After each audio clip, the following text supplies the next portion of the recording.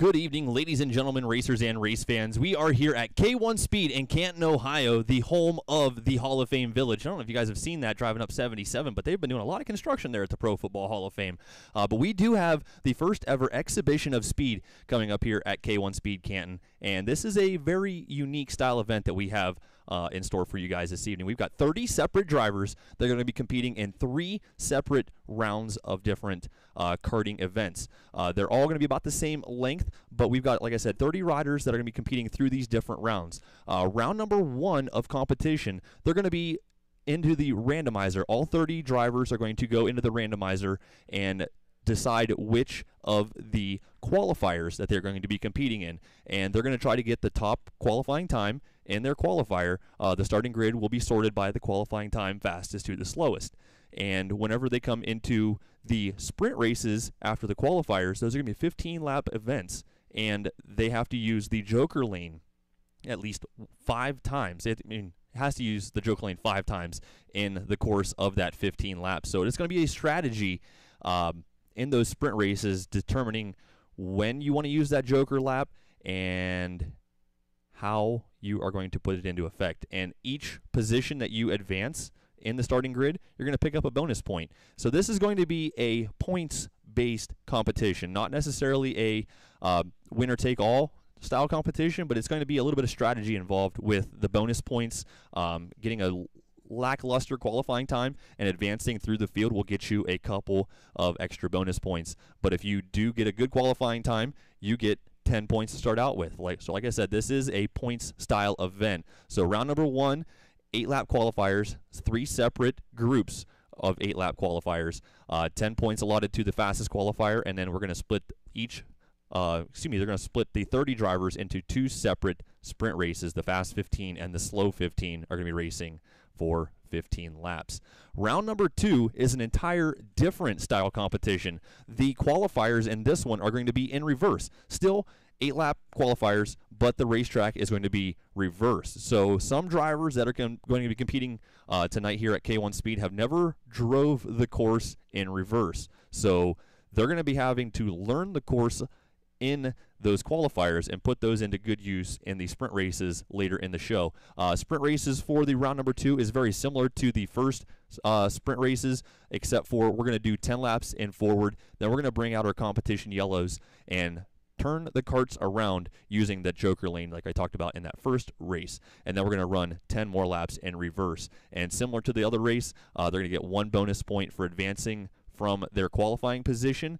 And bonus points. Those are going to be key in round number two as well. But the one that's going to be a lot of fun to watch is going to be round number three, the final races of the day. Round number three of competition, they're not going to go through the randomizer. They are going to be slotted into races right off the right off the bat and they're going to be slotted into the fastest excuse me the 15 drivers with the most points and the 15 drivers with the least amount of points and they're going to race for 20 laps competition yellow on lap number 10, and they're going to get 30 boosts in the course of those 20 laps. So, do you use all 30 boosts? Do you hold on to the boosts? Do you not use them? As you can see on the screen, you get one bonus point per unused boost in those boost races. So you can get some extra bonus points, and it may not be the winner of that boost race that gets the overall victory of the evening because it is a points tally event.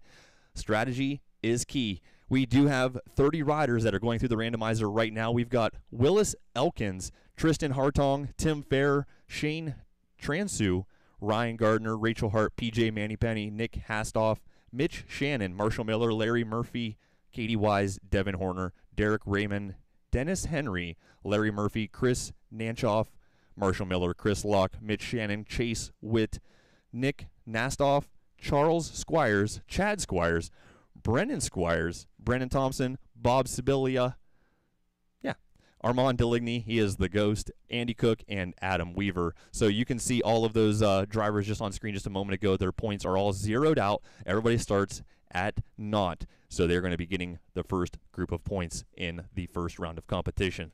Um, any word that we have gotten the ride drivers through the randomizer? Um, don't know about that yet, but we are in the process of getting the drivers through that randomizer right now and getting them staged up into their carts for qualifier number one any moment now. So we're going to get competition underway at here at K1 Speed Indoor Kart Racing for the first ever exhibition of speed here in just a couple of moments.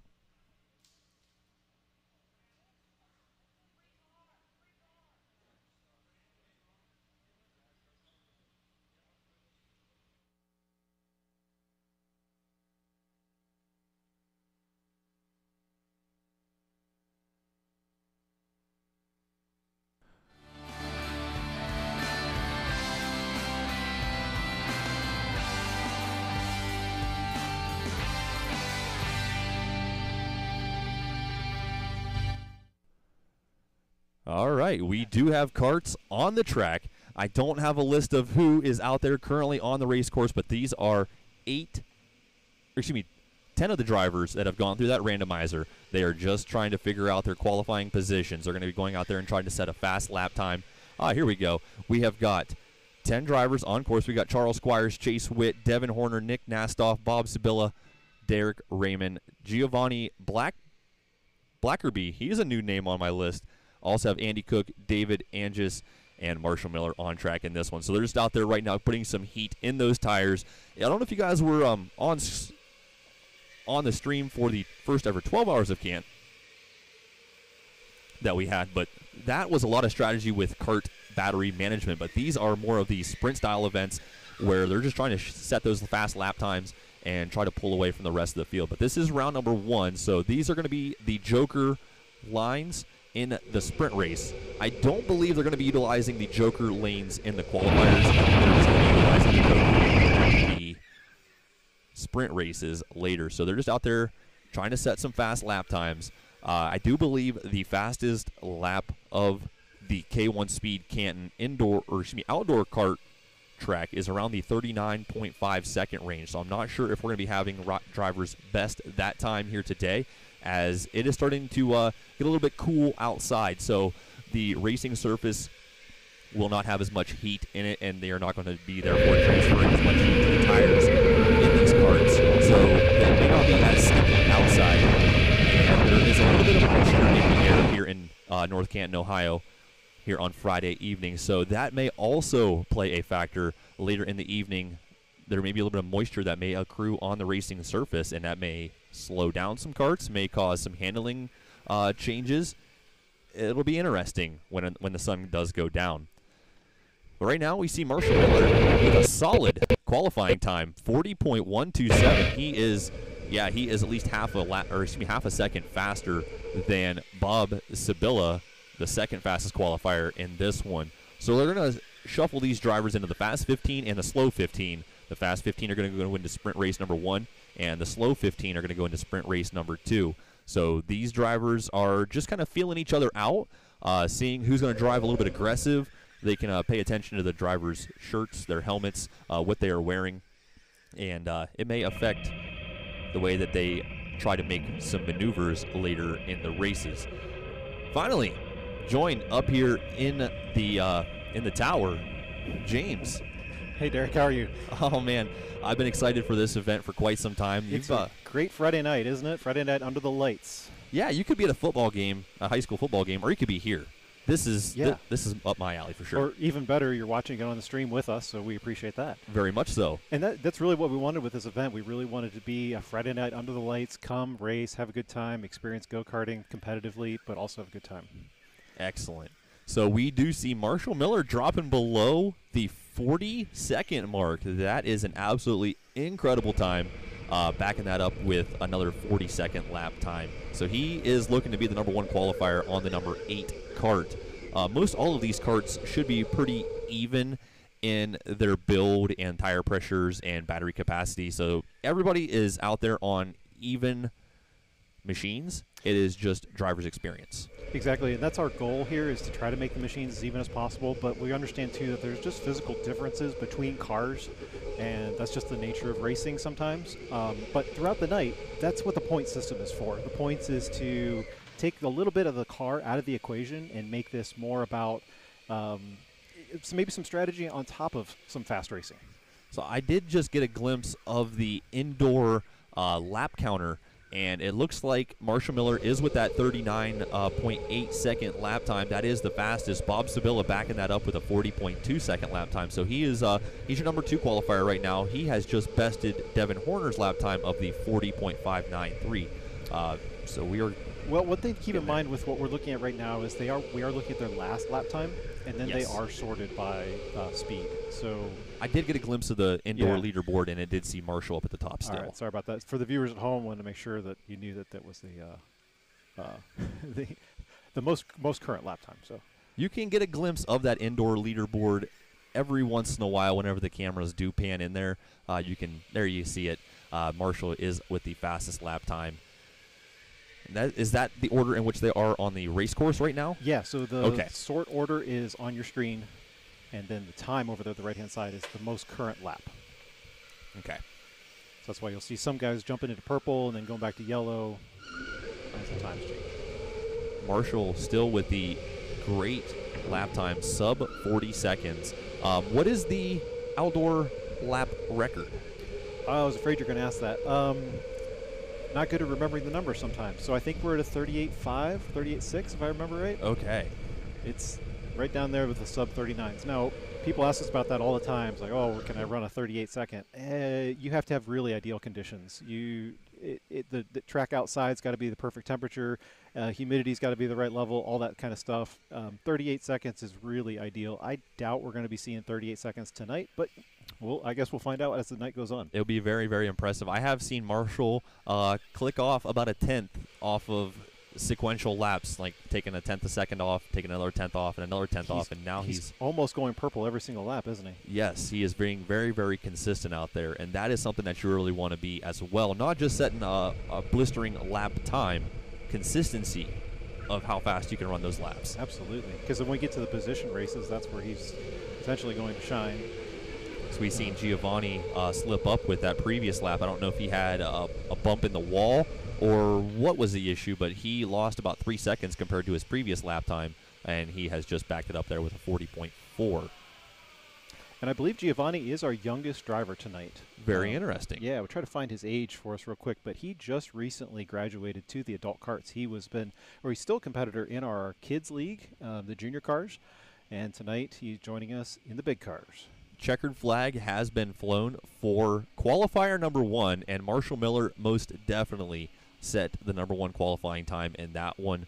Uh, he will be, he's most definitely guaranteed his spot in the fast sprint race with times like that. You can't, we can't uh, count them out until they're all racing, or excuse me, until they're all done being off Yeah. the race course. Yeah, exactly. And again, the points could screw everything up because you may have touched on this already, but we get down to the final race, and uh, there's going to be significant um, opportunity to gain points. So even though you're the fastest, you, you may have somebody slip through there.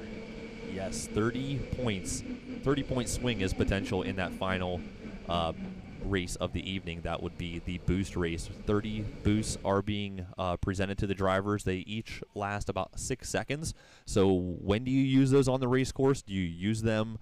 Uh, do you use them all? Do you not use any of them? Do you save them and just get the bonus points? That's really going to be a factor And in that final race. That, that button is just going to be screaming at those drivers because they're going to be running a position race and they're going to want to be on that button, realizing that every time they do that, it's going to cost them points. So Yep. I can't wait to see that race. So Marshall did have the fastest lap in that one with a 30, 39.7, 39.8 essentially. Uh, Giovanni with a 40.1. Birth date 2013. Wow, he is Yeah. just a kid. Yeah, absolutely. 11 years old, 10 years old. Not even shown as a teenager in our system. So Bob Sibilla, great time too, ranking up third, finishing up the top three. We did not have any ladies on the race course in that one. We do have a few ladies racing with us tonight. We do have Rachel Hart. We do have, um, I seen the name. Katie. Katie. Yep. Yeah. Not only are they female drivers, but they are uh, female drivers that lead some of our in, uh, series. So Katie just wrapped up the endurance championship. She won that uh, complete series. It's a six-month competition. And Rachel Hart, who uh, is bottom of the screen right here, taking some pictures. They, we've got her, which just came back from the K1 National Championships, and is also leading in our GP series. So Wasn't she like 16th in the 2022 K1 championships? somewhere around Oh, there. Yeah, I, I don't remember the number, but She was up she there. was up there. She did qualify for the national championship. Uh, five of our drivers got to go out to California for the national championships, and uh, I see and Armand in that, this so. one. We do have 10 more drivers set to hit the track in just a moment, and Rachel then will be in qualifier number three. So we'll see her out there in just a moment when she gets the camera put down. But we're getting ready to send the drivers out on the track here in qualifier number two, another 10 laps, and we'll see if anybody can touch that 39.7 second lap time. And Armand Deligny, the ghost, he has been exceptionally consistent in every single race that I have seen him compete in, and I am really excited to see him out here in this event as well. So we have got 10 more drivers set to hit the track. We've got Katie Wise, David Pons, Brennan Squires, Corey Ricker, PJ Manny Penny, Larry Murphy, Dennis Henry, Armand Deligny, Mitch Shannon, and Zach Harmon all competing in this one. And they're getting ready to get the go ahead to head out there on the race course to put some heat in those tires, and they will be underway in just a few moments. Heat race, excuse me, qualifier race number two, round number one of competition at K1 Speed in Canton for the first ever exhibition of speed. So we're just down there in the pits right now, mounting up a couple of GoPros. We have GoPros on all of our carts racing with us today. So that is going to give us great onboard footage. And the number 33 cart, that is Larry Murphy. I was talking to Larry earlier in the evening. I can tell it's Larry because of the gloves that he's wearing right now. I was talking to Larry. He's 76 years old, and he just wants to have some fun racing carts. So we'll see um, if the age is the extra experience when it comes to this one. So they're getting the go ahead to head out there on the race course to put some heat in those tires, and we'll get the green flag waving in just a moment. So these drivers are randomized into which qualifier they're going to go into. They're randomized for qualifiers in round number one and round number two of competition, but there is no qualifiers in round three of competition. They're just going to be racked up based on their points and how they sit in the evening.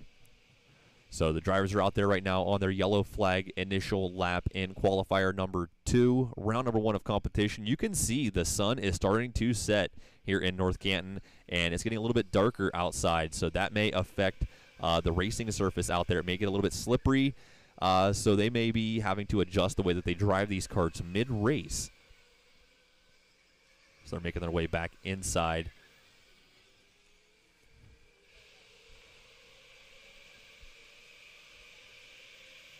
Green flag has flown for qualifier number two. I'm really excited whenever we get all of these top 15 on the race course at one point in time and seeing how they work their way through the pack. Right now, we are on board with Armand Deligny. He's currently in the number eight spot on the race course, but he's going to make a couple of quick moves and work his way past Dennis Henry and advance another position on the race course.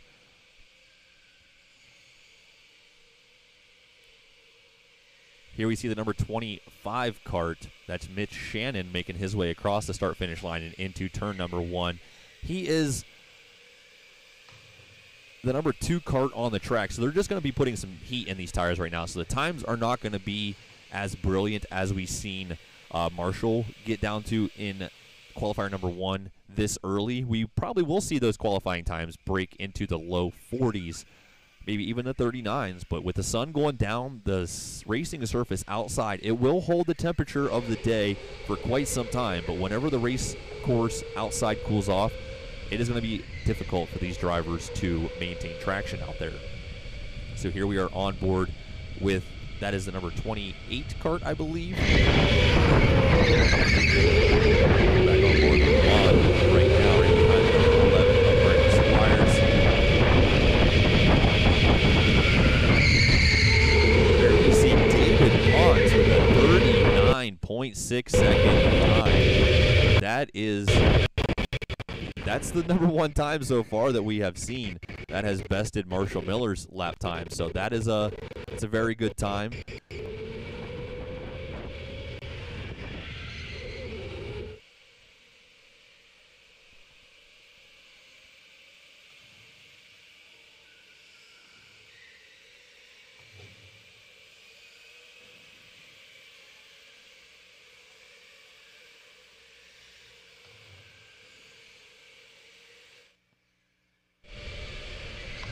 David Pons backing up that 39.6 second lap time with a 39.7. So he is being extremely consistent out here in qualifier number two. He put some heat in those tires early in this qualifier, and he is just running consistent sub sub 40 second lap times. There on screen, we have the number 33. That's Larry Murphy, one of the oldest competitors that we have racing the exhibition of speed. He's making his way around the carousel and down the start straightaway right now. Improving on his lap time. He is about the mid 41 second range, so he he's got some time to improve. He's got some areas on the race course where he can observe other faster drivers and maybe utilize some different lines in heats later in the day, in different qualifiers later in the day, even in, in the sprint race at the end of this. Oh, we got a collision between the number 22 of Katie Wise and the 32, 33 of Larry Murphy uh, coming together. No, that's 32 of Corey Ricker coming together. So Katie Wise and Corey Ricker coming together just there in turn number three, but they have gotten it settled out. Just past the halfway mark in this one, and David Pons just continues to click off laps on the number 36 cart. There we can see him exiting the building and going outside right now into turn number five. David Pons, we just seen him glimpsing into the far portion of the screen. He has incredible times here on the outdoor course at K1 Speed Canton for the exhibition of speed. He'll be crossing the finish line momentarily. We'll see if he can best that 39.5. That is exceptional. Back on board with the number 32 of Corey Ricker. Wow, David Pons responding to that best lap time with a 39.2. So that is absolutely incredible. He has bested Marshall Miller's lap times, and I'm really con- really curious uh, to see the combined qualifying times whenever we get all of these qualifiers completed to see how David Pons stacks off stacks up against the rest of the pack and even the top 15. I'm really curious to see around the 12 through 17 mark all of the drivers most of the drivers are right there in the mid 40 second range so drivers 10 through 20 are going to be pretty much a blanket with nearly identical times there in the middle of the field so it's going to be interesting 39.3 from David Pons on his previous lap, so backing up the 39.2 with the 39.3. And there we see Mitch Shannon finally busting into the 39 second range with Zach Harmon nearly breaking into the breaking into the 39s as well with a 40 flat. That is his fastest lap time. Just about another lap remaining here in qualifier number two.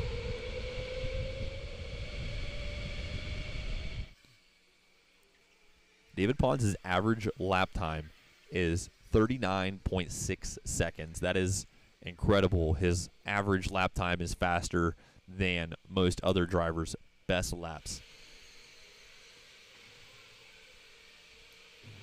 There, I just got a glimpse of some of the drivers getting themselves carted up for qualifier number three as we are on our final lap here in qualifier number two. David Pons still with the best lap in this one. Zach Harmon with the number two best lap with a 39.877. That is just going to best Mitch Shannon's 39.882. So there we have seen the checkered flag fly here in qualifier number two.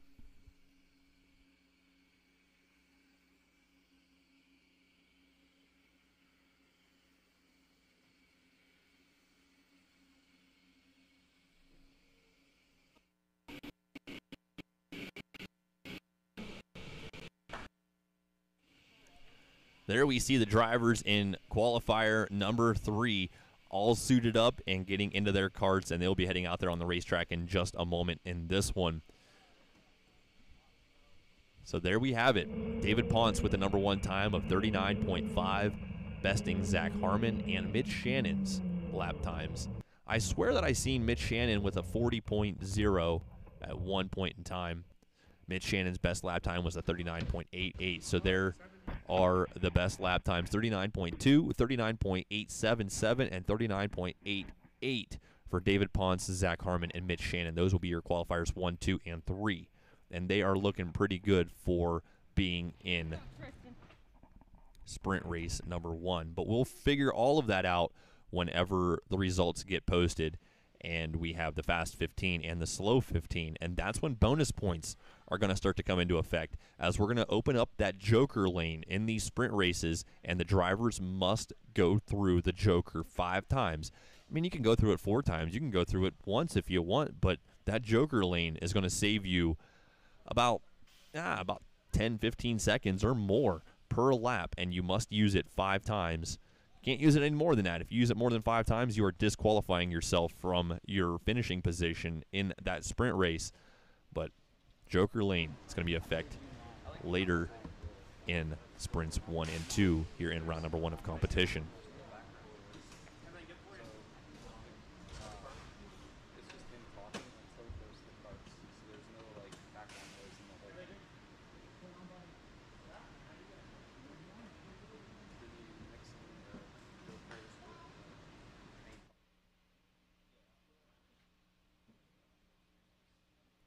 There we're just getting a panoramic of all of the drivers that are just ready to go out there on the race course in this one. I know for certain that we have uh, Rachel Hart and Corey Salerno here in heat number three. We will get the list of the remaining drivers here in heat number three in just a couple of moments, and they're getting ready to head out there on the track to try to set some fast qualifying times and try to be in sprint race number one here for the first ever exhibition of speed at K1 Speed Canton.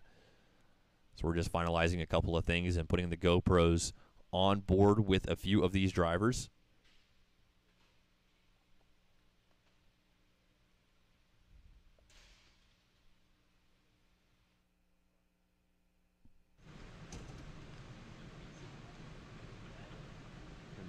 So there we're on board with the number 23 in the paddock still in the pits ready to go and set his lap time. I don't have a list of which driver is which yet. There we go. The number 12 machine, Shane Transu, Corey Salerno on the number 10, the 31 of Adam Weaver, the number 2 of Rachel Hart, the number 5 of Chris Nanchoff, the 16 of Willis Elkins, the number 23 there we are we were on board with Tristan Hartong. Also have Brendan Thomas, Ryan Gardner, and Chad Squires in heat number 3.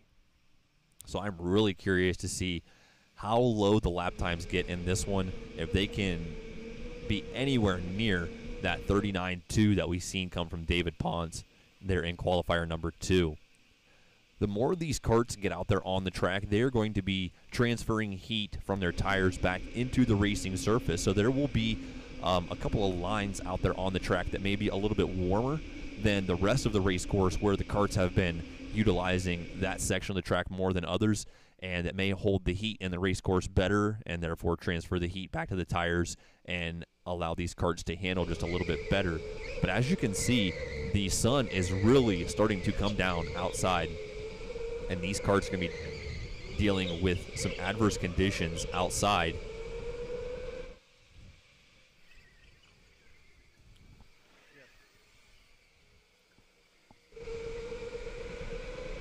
Who's our notable ones in this one, James? Uh, let's see. This is the third heat, and well, I can only speak for the, the guys that I've seen on a regular basis here at this track because um, we have to keep in mind we might see some surprises here tonight. But um, I can tell you as far as this track goes, we got uh, Corey Salerno. He's famous for the Salerno move. Um, he's he's he's a good qualifier, but when we get into position racing, especially then, um, Rachel Hart, obviously we talked about her. Chris Nanchoff, uh, just he could drive any kart. So let's just see what time he puts out there. And Tristan Hartong um, just won a couple of our races here at Boost not too long ago. So all those people to watch. Excellent. So Tristan Hartong may be a little bit more exceptional in round number three of competition for the Boost races. 39.8 already from Rachel Hart. Wow, that is doesn't that, take her t- much time to warm up, does it? No, that was very impressive already on the number two cart, and she is trying to be contested with Chris Nanchoff. So those two carts already hooking it up out there on the racetrack, and they may try to push each other to some sub 39 second lap times. Riding on board with Rachel Hart right now. You can tell it's her with a Sonic the Hedgehog helmet, as it is bright blue. It's it's definitely a notable helmet. Yeah, she loves to go by the nickname Sonic, and uh, probably see some of her social media stuff posted on that if we get a sh- lower shot of it at some point. I wouldn't be too surprised if we see Chris back off just a little bit. That's probably where we see the 43 because he, he needs some track space. Yeah. So we've seen Rachel lose about a second on the first lap to lap two. So that may have been, you know, getting the pressure from Nanchoff and not hitting her marks as, you know, efficiently as she could have. So she's going to get out there with some clear real estate in this one. Chad Squires, even though he's down at the bottom, has competed in endurance series here before, so um, he's he's had a few laps around this track, no doubt. Now the endurance races, they run if we're outdoor, it's 45 laps, and if we're indoor, it's 65 laps. So it takes about a half hour. It's one constant, one run of the final race, and one thing we just added recently is a cart swap. So that added a little extra challenge to the racers uh, having to come into the pits, change it to a different cart, get back out on the racetrack, warm up the tires, and go from there. So, oh, we see some battling out there on the racetrack between the number 13 and 15 boy, give him the squeeze, that's for sure. Chad Squires, Chad Brendan Squires, Thomas, yeah. Shane Trans Transu, all duking it out there. Rachel's previous lap with 39.5, so that's really good. Nanchoff breaking into the 39s as well. Even Mitch Shannon, or no, that's still a lap times from the previous one over here Yeah. on our side screen. But Chris Nanchoff really uh, making some mistakes on that previous lap, perhaps. Lost a whole bunch of time.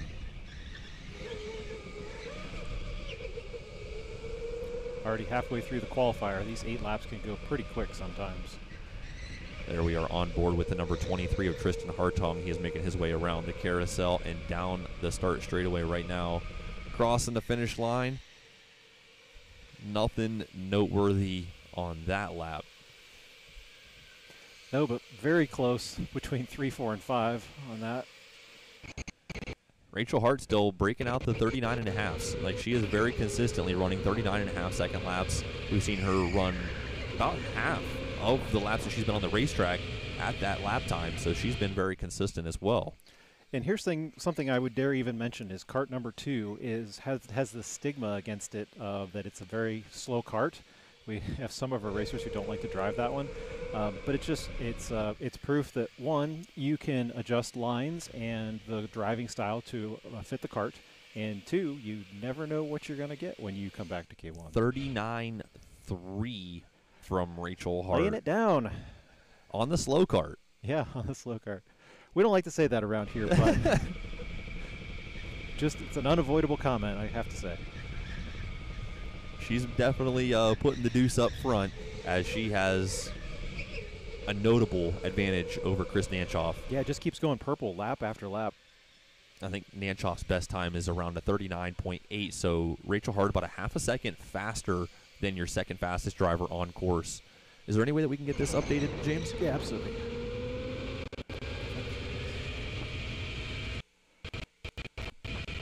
White flag has flown already uh, for the drivers here in qualifier number three. Nanchoff with a 39.3, so that's a very, very good lap. 39.37 for Rachel Hart. So a hundredth of a second separates Yeah, Chris Nanchoff. finally got a clean lap in as he jumps to number two. And Adam Weaver moving up to number three, just over the 40 second mark. 40.089. That's a very good time as well. And across the line for the final lap. I was saying that I believe positions 10 through 20 are going to have nearly identical lap times, but we'll really figure that out whenever all of the laps get posted. And I'm curious to see how the Joker lane is going to affect some of these drivers. Yes. Can't wait to see the Joker la- lane race um, because it just adds so much to the strategy, the whole thing. The one that I'm looking forward to is the reverse track. Because coming from a, a motocross background that I do, we always talk about going out and riding the tracks backwards, just try Yeah. to get the lines worked in to see if you can utilize, you know, your skills on a different way. So turning the track around backwards, and some of these drivers that have never driven the track backwards are going to have to learn like it was their first time driving a cart again. It's totally different, and a lot of drivers like it as their preferred direction, surprisingly. Um, I know personally, I love driving reverse. When I'm out testing cars and I want to feel, I, I feel like I can be more consistent with my line in reverse. Uh, but not everybody is run that direction because you have to come either for an event or you have to have some sort of qualifying time, or you have to come to an event like this in order to do that. Now, how much uh, does it take for the staff here to switch the directions of the race course? Do they have to move the Nothing yellow at all. flags? Nothing at all. Yeah, that's the cool thing is we set up the track to go in both directions. So. Very, very good. So it is uh, multifaceted racing here at K1 Speed Canton, and we have multiple disciplines of racing for the first ever exhibition of speed. So we're going to get the qualifying times tallied up now. Yep, and um, the other thing I was going to note about the reverse is the. Uh, uh, I'm going to draw a blank on that. The uh, not the the flow of the track is obviously very good, but um, anybody who comes here on normal arrive and drive and sets a sub 41 or a sub 27 second lap time in normal direction can qualify to run the reverse. Something we set aside as like our pro skill. Something we'd like to tell people. If, we don't want you get we don't want you to get bored here. We want you to keep you entertained. I'm also looking forward to the final race of the day, the final races of the day, the boost races that we have. Uh, two individual sprint races, no qualifiers. They're just going to be staged up based on how many points that they have. And I was down there in the drivers' meeting, and I seen numerous hands get raised whenever uh, we asked the question, "Who has never ran boost here at K1 Speed?" Yeah, because the boost is only used on Monday nights. So if if you don't come on Monday night, we- and we get asked that all the time, "Okay, what's the boost button? What's the boost button? Well, you got to come on Monday to find out. There we go. We just seen a 38.4, I think, was the lap time of the fastest lap of the outdoor cart. So I don't know if we're going to get there. That's fast. It is, yeah. So what their track workers are doing now is they're removing the center section of barrier, and this is going to open up the Joker. So we are just in the process of tallying the results, and we will get those finalized in just a few moments. And we will have sprint race number one getting lined up. Now, are we going to have to do any cart maintenance on any of these events? Are we going to throw any of them on the Chargers, or will they have enough uh, battery to last the whole evening? But they definitely get charged after every race. So right now they'll be setting them on the chargers, and we it's about a one to one ratio. So about one minute of track time, one minute of charge time. That Okay. allows us to get turned over pretty quick. Three rows of cars. By the time we get through the three qualifying sessions, we're back to the same row. There we go. And Answered a whole bunch of questions that I had in one one answer. one thing we're doing tonight is uh, we have the wheel of fun or the wheel of cart numbers. Uh, it's one of the two. I don't know, but everybody down there is hitting a button. It's spinning for a random cart assignment, and then that's the car they get in. That's the randomizer. Yeah. I was talking about that. Everybody had to go and select which cart that they would be racing and which qualifier they would be racing. We are right next to the Akron Canton Airport, Yeah. so That's a UFO coming in for a landing. could be that too. Hey, nobody's telling us it's not. so we're gonna get um, the results tallied, and we're gonna get race sprint race number one uh, racked up down there in staging in just a few moments. And we're gonna get uh, round number one completed and points tallied because we already do have some points accumulated from those qualifiers. Yeah, absolutely. I think we're gonna maybe take a quick break and Okay. get those cars and get those drivers' assignments ready to go as our wonderful uh, team behind the scenes is taking care of the points. There for we us. go. Rachel Hart, Marshall Miller, and David Pons all getting 10 points as they were the number one qualifiers in their groups. And as you can see, going down through the rest of the list. Okay. So very, very good. So Josh, give me all the carts in row one. Yeah, that's uh, you'll have I got We're 20. sev- several cars tied, but then as we go through, we'll, uh, we'll We're- end up with some more. We're still working on getting all the points Yeah. um, posted, but those are definitely the top three. Uh, actually, that's the top 15 that we're going to be having race with us. So the Ghost, Armand Deligny, is going to just squeak into heat number one, sprint race number one. But like I said, we're going to take a couple of minutes and get these results tallied, and we'll be back with the start of sprint race number one. Yeah, I need four more.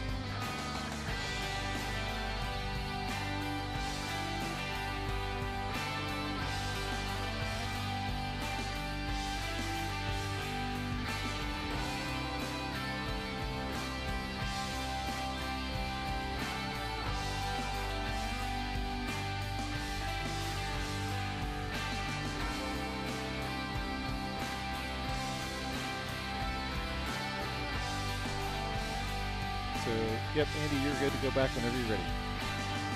We're just checking out a little bit of off-screen stuff right now, and we can see a couple of these drivers uh, selecting their carts via the randomizer. Um, can't see it on your screen, but I can see it off your screen. So they're just going through in sprint race number one. All the drivers there in sprint race number one are just determining which cart they're going to get. And now this driver's got one of two choices which cart he's going to get. I think he got that one. So number 20 going to that driver.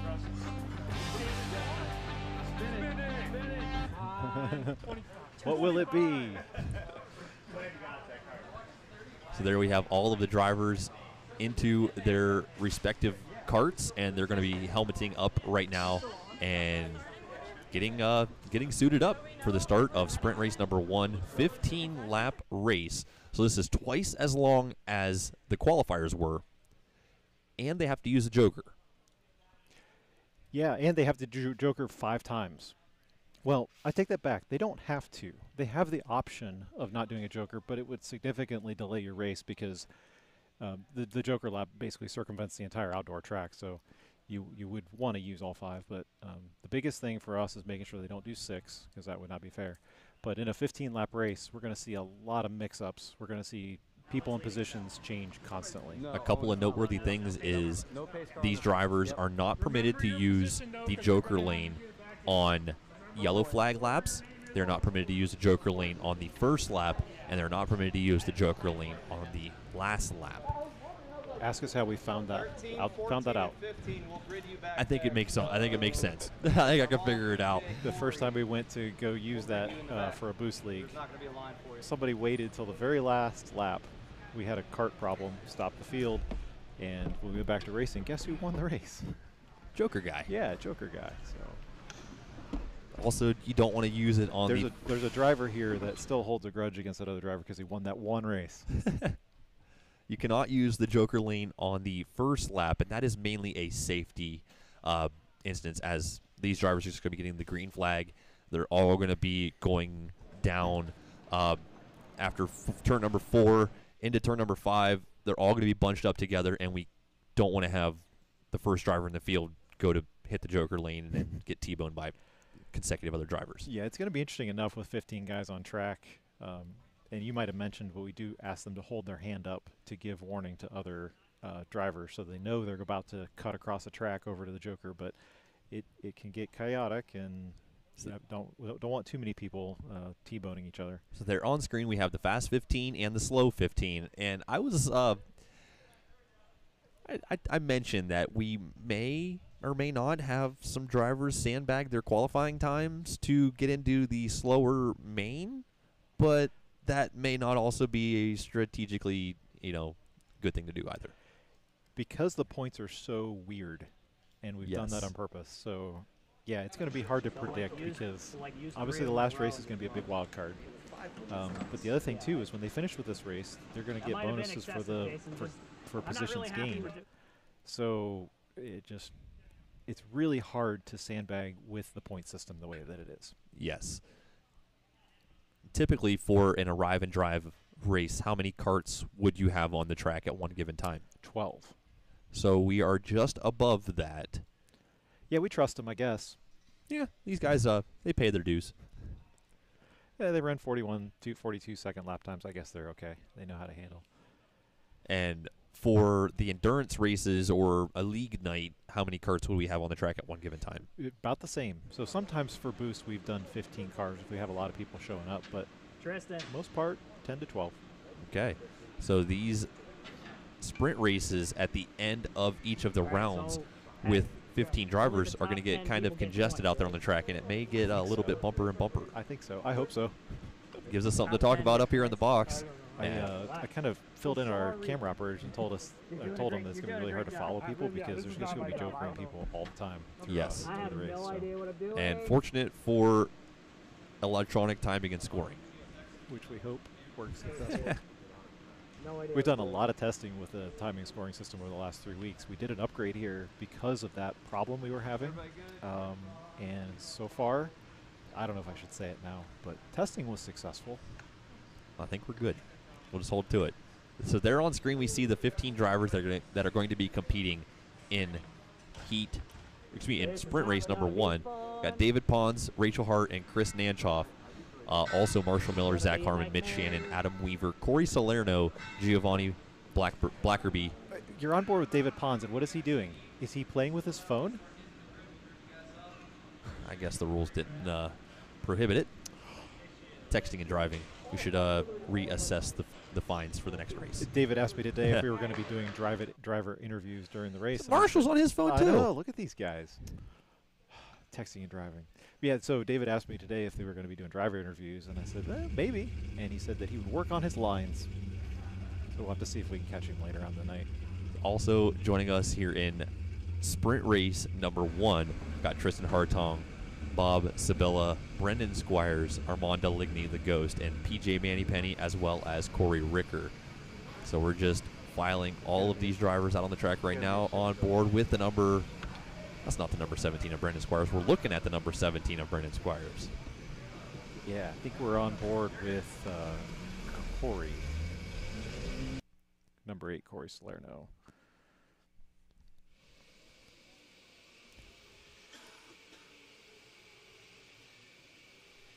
And because they did random card assignments, the cars are sitting in the wrong order in the rows, so you're going to see a little bit of chaos here when everybody comes out of the pits as they order themselves up.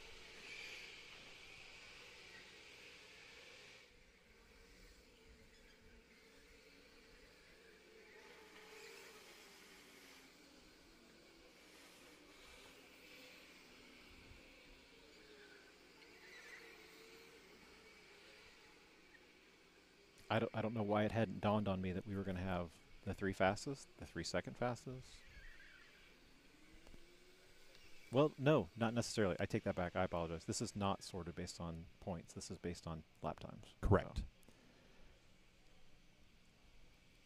So I was asking you earlier in the day, are we going to be splitting the sprint races into the fast 15 or the slow 15, or are we going to, you know, pick the odds and the evens out and have, you know, a fast heat in both sprint race means?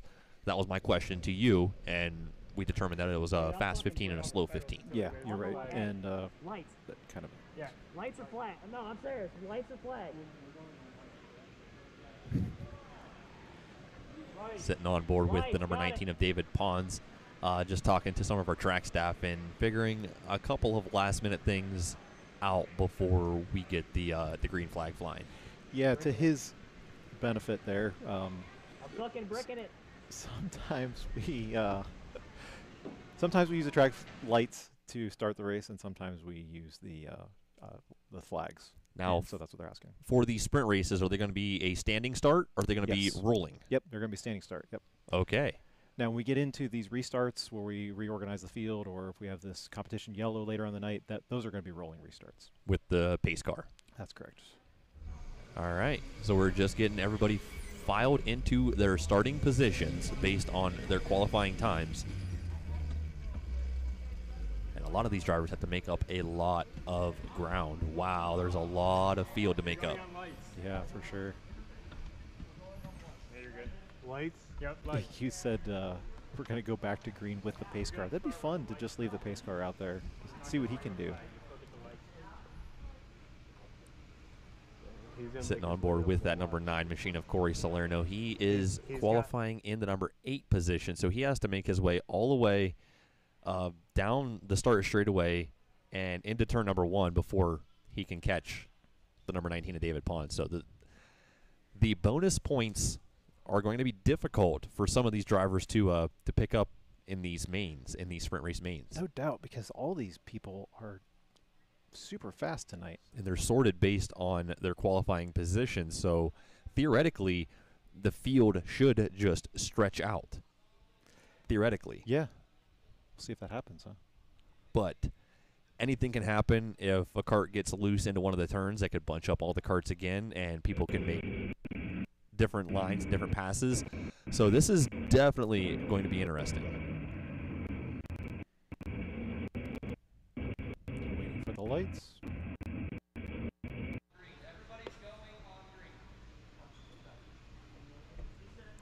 Jason, the race director, looking to give him final instructions.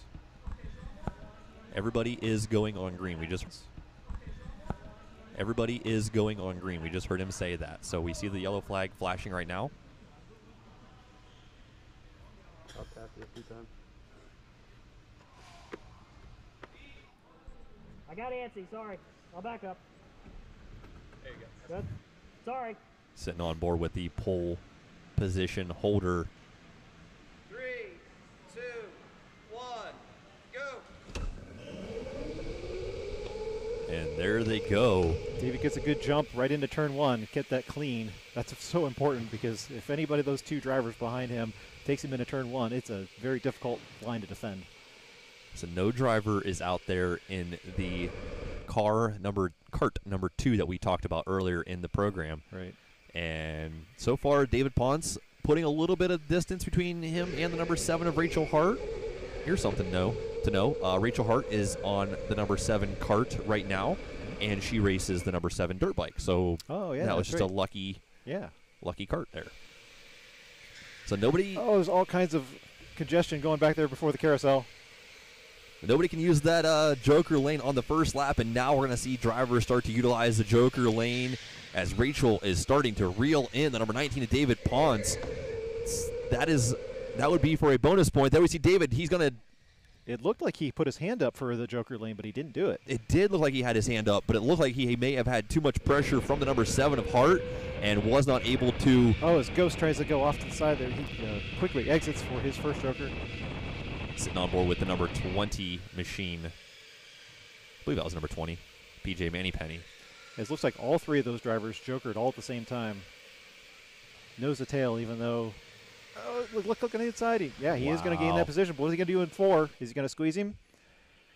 Going back outside, there's the number 34 cart of Adam Weaver still He running. Up front. Armand maintained that position. Marshall has worked his way into the number one spot as we see David Pons has been has slipped up to the number seven position. I don't believe he's used the Joker at all, as we've seen the top Right. ri- drivers utilize it. Exactly. So Pons has used the Joker lane there, and he has moved back up to the top of the field ahead of Nanchoff. Yeah, I, I wonder if Pons is going to joker this lap because it looked like he thought about it or he signaled it. And on board PJ Mannypenny. Another accomplished endurance racer.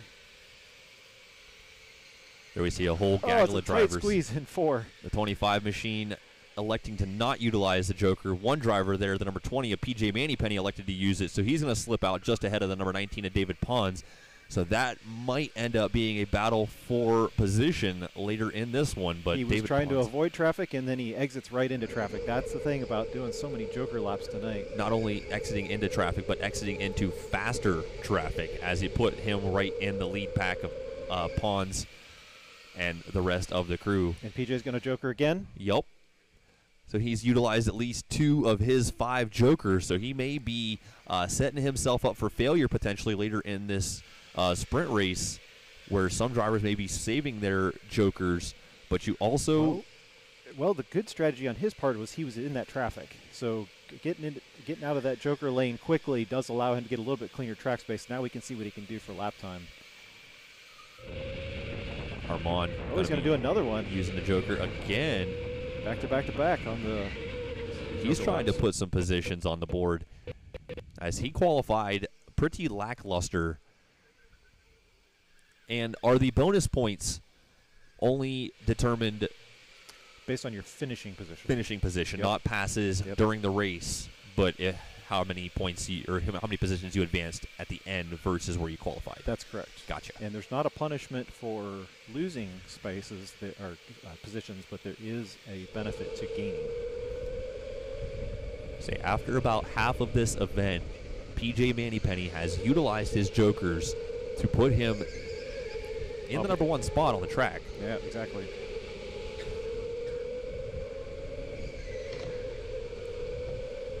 Nanchoff also uh, with some great times, and he sits in the number two spot on the track. Marshall Miller, he was one of our fastest drivers using the phone before the green flag flew, and he is just outside of the top three, but he still has some jokers that he can use. He may save, you know, four in a row for laps 12 or for laps 11, 13, 14, 11, 12, 13, and 14. And of course, David Pons, you know, right behind the number one PJ. Puts Oh, is he, on- oh. oh. he's gonna push. Is he going to let them give that position back? Yeah, he is. He's pointing. Yeah. He should. He should let PJ take that position back. We'll see what he does on the outside. But David doesn't want to lose any time either, so you want him to get back. I guess PJ is just not going to take it. but he can't let off too much because he has Rachel Hart all over his rear bumper, and those two drivers have been all over each other since the green flag flew. So that may actually be the battle for the race lead. We just don't know it. Yeah, exactly, exactly.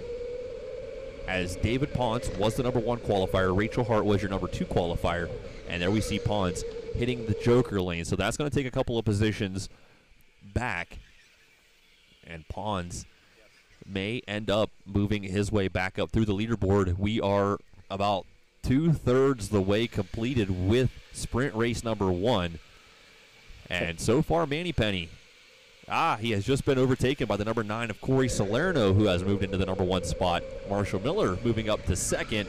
There we see oh, this is David going to be a squeeze right there. Woo, he came in hot through traffic, did the number 19 of David Pons. And is that still Hart behind him? No. Yeah, that's Chris right in front Yes. of him that he squeezed. Well, yeah, Hart is right behind him. So Rachel is still not letting David Pons go. They are matching each other. If they hit, if one driver hits the Joker, then Rachel will follow them through the Joker. So Rachel is not allowing the number 19 of David Pons to get away. I have to imagine this is one of David's last jokers. Um, as we saw Chris Nanchoff go outside. There we see the number three of Marshall Miller now splitting the number 19 of David Pons and Rachel Hart. So Hart did not use the Joker a couple of times when Pons did, so she may not have had the opportunity to use it. David having to defend on the inside because that's Marshall Miller right on his tail. And Marshall's going to look on the inside. and- Whoa! Marshall giving uh giving the number 19 of Pons some business there in turn number seven. So so far Salerno on top of the leaderboard over David Pons. And I just saw PJ cross the timeline. Armand, Armand completing one of the Joker laps. This is a very interesting as the Joker lane does really throw some stuff into it. There we see Pons hitting the Joker lane once again. So I am curious to see in a couple of more laps how this all settles out. As we see now, Rachel Hart has taken over the number one spot from David Pons. She must have, you know, made the move during one of the Joker lines and came out just ahead of the number 19 of Pons. So Pons may have been in some traffic, allowing the number seven of Hart to utilize that Joker to her advantage and put her back on top of the leaderboard. With the number 21 of Zach Harmon sitting back there in third, and Armand Deligny. Wow, he has worked his way through the field. He's going to get some bonus points if things were to end as they are right now, as he was qualifying in something like the number 12 position. So advancing, you know, half a dozen spots for the number 14 of the Ghost. Adam Weaver is shown at the top of the charts, but I believe that means he. Did he mess up his Joker? He's not supposed to. Okay, this would be the last, last lap. So this is how they should come across right now.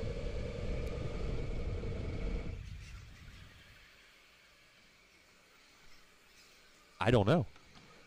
Adam is still scored in the lead. Was he able to get enough clear track to main to, to actually pull off the win for this? If so, that is What absolutely epic. If so, that is What absolutely epic. strategy. Weaver, Nanchoff, Hart. Everybody's Pons. lined up nose to tail on the very last lap, coming to the Whoa! flag. Getting Marshall Miller and Armand coming together. PJ does not want to give up that spot. That's PJ. Every spot, every point counts. Whoa, one Oh, driver got one driver sideways. And so unofficially, it shows Adam Weaver as the sprint race number one winner over Chris Nanchoff, Rachel Hart, David Pons, and Zach Harmon. What a strategy! What a great strategy on Adam Weaver's behalf to make sure that he got that Joker lap just at the last second and jumped everybody else in the lead. So Zach Weaver, he was, or excuse me, Adam Weaver, he was qualifying in the number nine position. So he's going to get some bonus points as a result of that one. That's great. Have to do the Joker counts to make sure Adam didn't get an extra one in there. Because if he got an extra one, then that would put him out of out of it. It would put him entirely out of contention.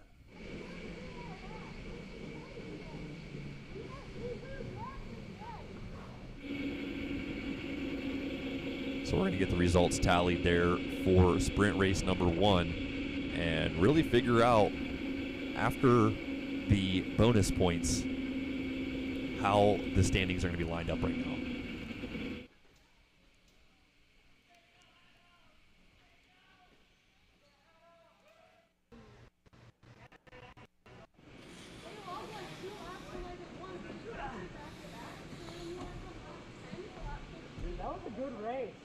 Listening to Rachel talk about something. Who is that on screen right there in the green shirt? Uh, that's Chris Nanchoff. Okay.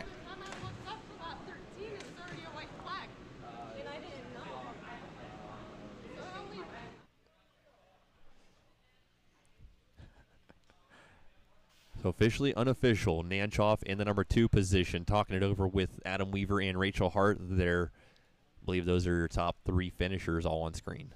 I just I have to believe there's a disagreement with some sort of pass back there, but I don't know that we saw it. So There we see some of the drivers in sprint race number two. The slow, the slow sprint, the slow heat is getting lined up into their carts, and they're not slow by any means. They just weren't the fast 15. yeah, exactly. I think we're going to step away for a minute and get those points tallied up. Excellent. We'll be back in just a couple of moments with the green flag flying for sprint race number two.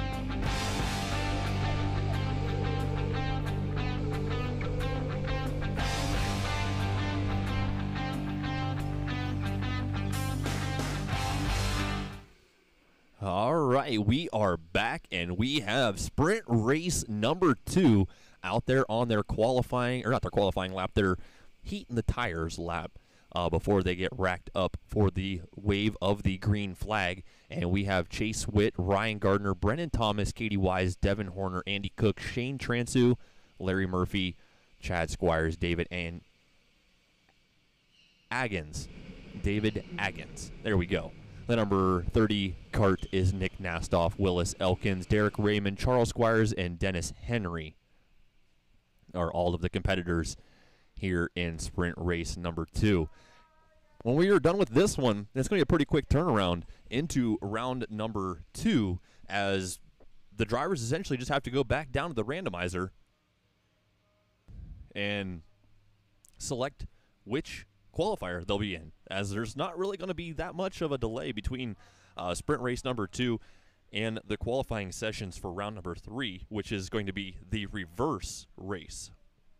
So, just as we had in sprint race number one, this is the same rules apply in this one, as the drivers must utilize the Joker lane five times during the course of those 15 laps, and they are not permitted to use the Joker lane on lap one or the final lap. And these are 15 lap heat rate or 15 lap sprint race main events.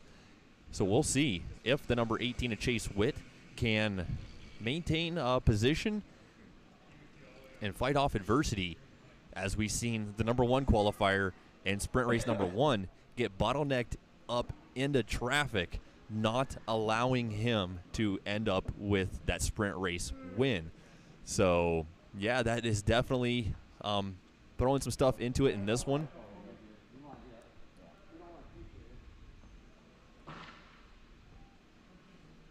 As we've seen uh, Chris Nanchoff, Adam Weaver, David Pons all out there in that first sprint race. I do have a little heads up on um, some points, unofficial points, as of the results of sprint race number one. And we are showing a three way tie, unofficially showing a three way tie for the leading leader of the points uh, between Nanchoff, Hart, and Weaver. So we'll be able, we'll see if um, any of these drivers are going to get enough points to challenge the top of the leaderboard.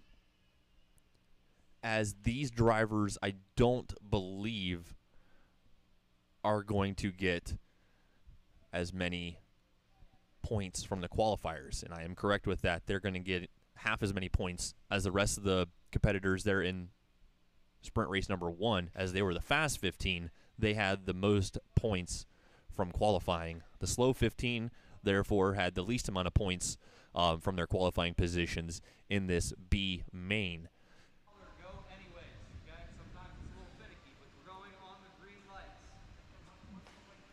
So there we just heard Jason Lucky, the referee and official, say we are going on the green lights. So that way, all of the competitors can see the green, and they're just not relying on the start finish line to be able to see the green when they are when they may have their back turned to them. As they have 15 drivers on the field right now. Um, drivers 13, 14, and 15 may have their back turned to the green flag. And it waves. We are racing sprint race number two, the B main.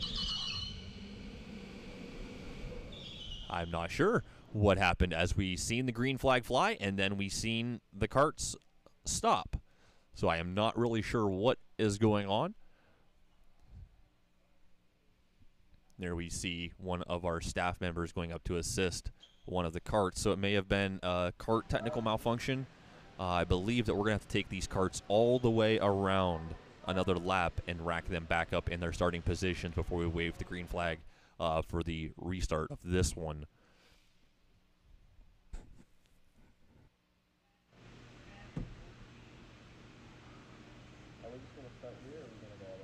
All right, feet all the way off the pedals again.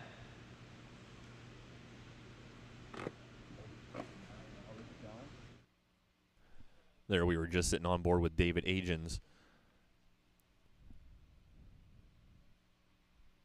Though I am curious to see how Larry Murphy ends up in this one. I was talking to Larry uh, before we had uh, the drivers meeting today, and you know Larry was just just excited to be here, having a good time on a Friday night racing karts. He couldn't be any happier than than being here tonight.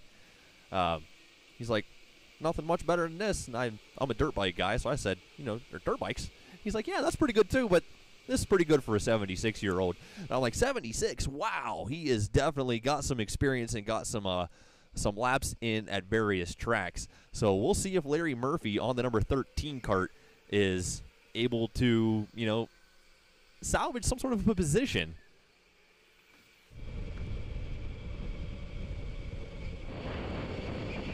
So the green flag has, I believe, officially flown. No, we are sending the carts back down to their grid, and we're going to wave the green flag once again for the start of the B main here in round number one.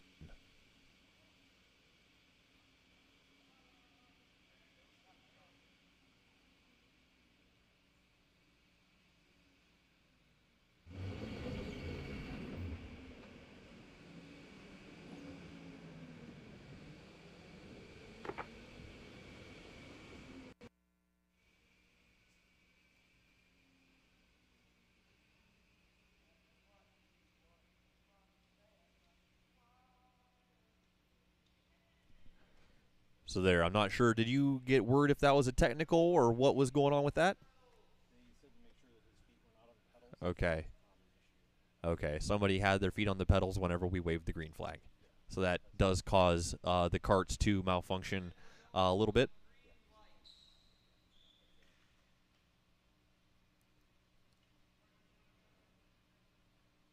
So we have the we have the field racked back up on the grid once again, and we are just waiting for the wave of the green flag, and there it goes. Driver in the number two position, the number two of Ryan Gardner, got a great jump on that green flag, and he pulled right up to the rear bumper of the number 18 of Chase Witt. So we may have a battle already at the front of the field here in the B main. No drivers are permitted to use that Joker lane on the opening lap, so they are permitted to once uh, they cross the start finish line. Number 22, Dennis Henry, uh, trying to pull a fast one on the field. Jokering on the first lap, yeah. Yeah, jokering on that first lap, and that will be assessed.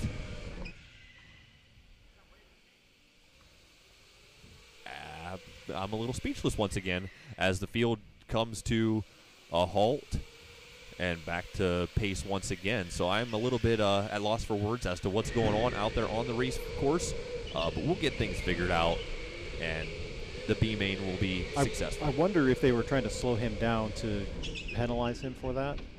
Although we're all slowing down now. Interesting. I didn't do it, I swear. I was just driving my cart and then it just stopped.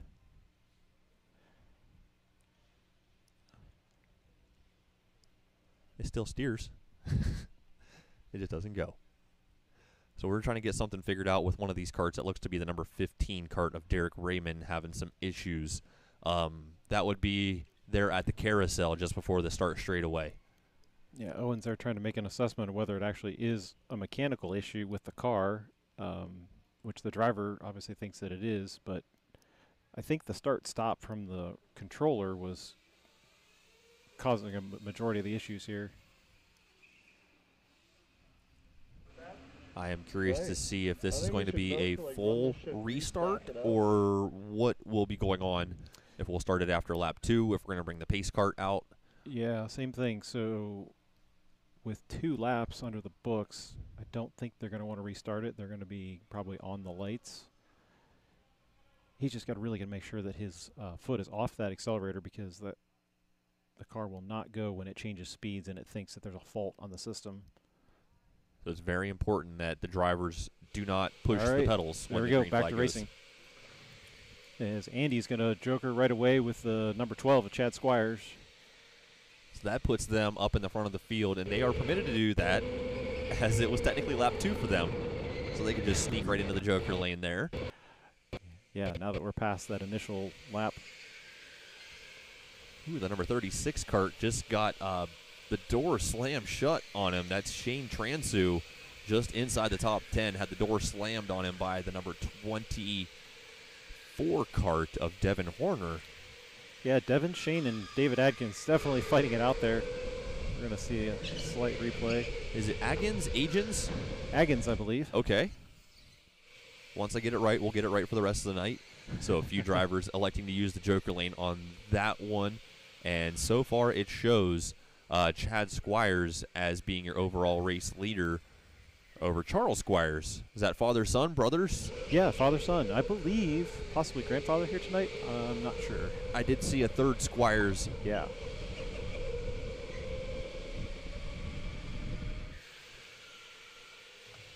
Looking for Larry Murphy. There he is sitting back in 13th place. 76 years old, James. Yeah, He just wants to have fun going fast. absolutely. Larry Larry's a great guy. He comes in here. Uh, he's usually waiting at the door when we open up at noon. Comes in to race a couple races. He brings his dog in too. Good, Yeah. good. Uh, and he's always up for conversation for young drivers, young talent.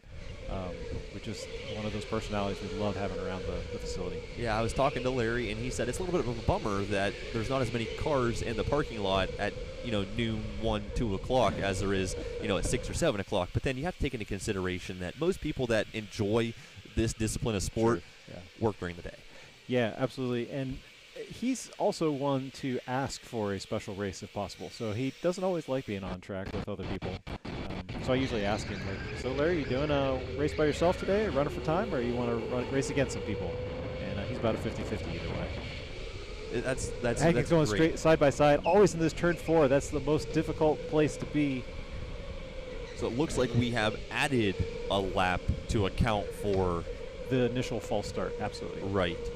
So with that, it's showing Katie Wise as your leader over David Agins with Willis Elkins in third and Chad Squires back and forth and Transu uh, rounding out our top five. So this is uh this is good racing. You know, I'm, I'm a Larry Murphy fan. I'm I'm You're not supposed to pick sides, uh, but hey, yeah, you're allowed. I just want to see him advance into a top ten finish. That would be great for him. He has raced 178 races at K1 Speed Canton. And we've only been open for a year and a half. that's that's impressive. Everybody's got a little Ricky Bobby in them, and it's good to see Larry Murphy want to come out here and go fast. That's that's that's spectacular. Uh, the number 12 and 36 battling out Chad Squires and Shaden Transu, outside, inside. Oh, A little bit of traffic coming contact in. as it come around the Joker. Which was one of the things in the drivers' meeting that they discussed. Nick you, Nastoff. You're gonna, yeah, if you're gonna joker like this, you got to hold the right hand side and wait. f- Uh, well, not wait, but you got to be uh, cautious of traffic that is on a flying lap coming from the outside. About halfway through this, with unknown jokers for each of the drivers, it's showing David Agins with the advantage over Katie Wise and Willis Elkins, one, two, and three. But there we see Willis uh, utilizing a joker lane, joker lap uh, to move up a position in the leaderboard to So second. Now this will be interesting. Does David joker again? Nope. Da- He's going to stay right on his tail, even though he's got traffic right in front of him. David's used a bunch of jokers already in Gotta this look on the B main. inside. Wow. Got it. Wow, what a clean move. That is difficult to do under braking in those conditions, and he, he pulled it off. The number 23 at David Agins, he looks to be about 20 something years old, give or take.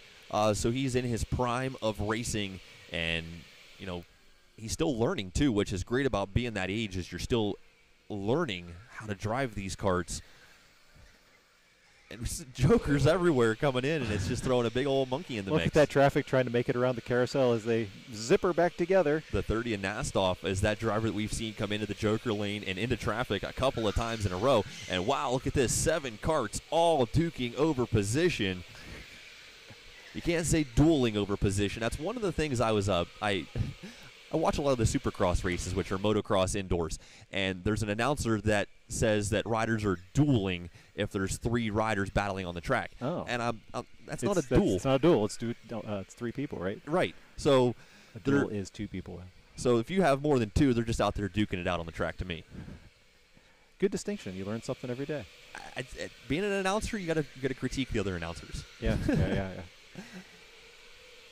So so far, I tell you what, though, I'm very impressed that uh, even though there's a lot of traffic out there, they are racing relatively clean. I know some drivers may refute that, but the way they zippered back together after the Joker lane, it, quite a feat. And they all those cars were going through one, two, and three together.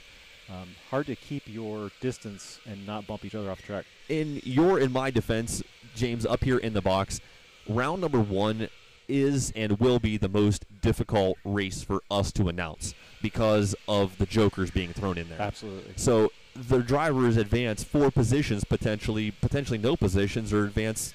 You know, they could go up five positions utilizing that joker. So it's really difficult for us up here in the box to give you guys accurate results that may be viewing on screen. Yeah, Uh, we're just 100% relying upon the running order that you're looking at on your screen as well. exactly. Uh, the one thing that helps, though, we did change this so that it shows the last lap time. At least you know, like Andy Cook just now took his Joker since he's in the 26s. Yep. So Shane Transu, he has been using Same with Derek Raymond down there in 13th position. He jokered as well.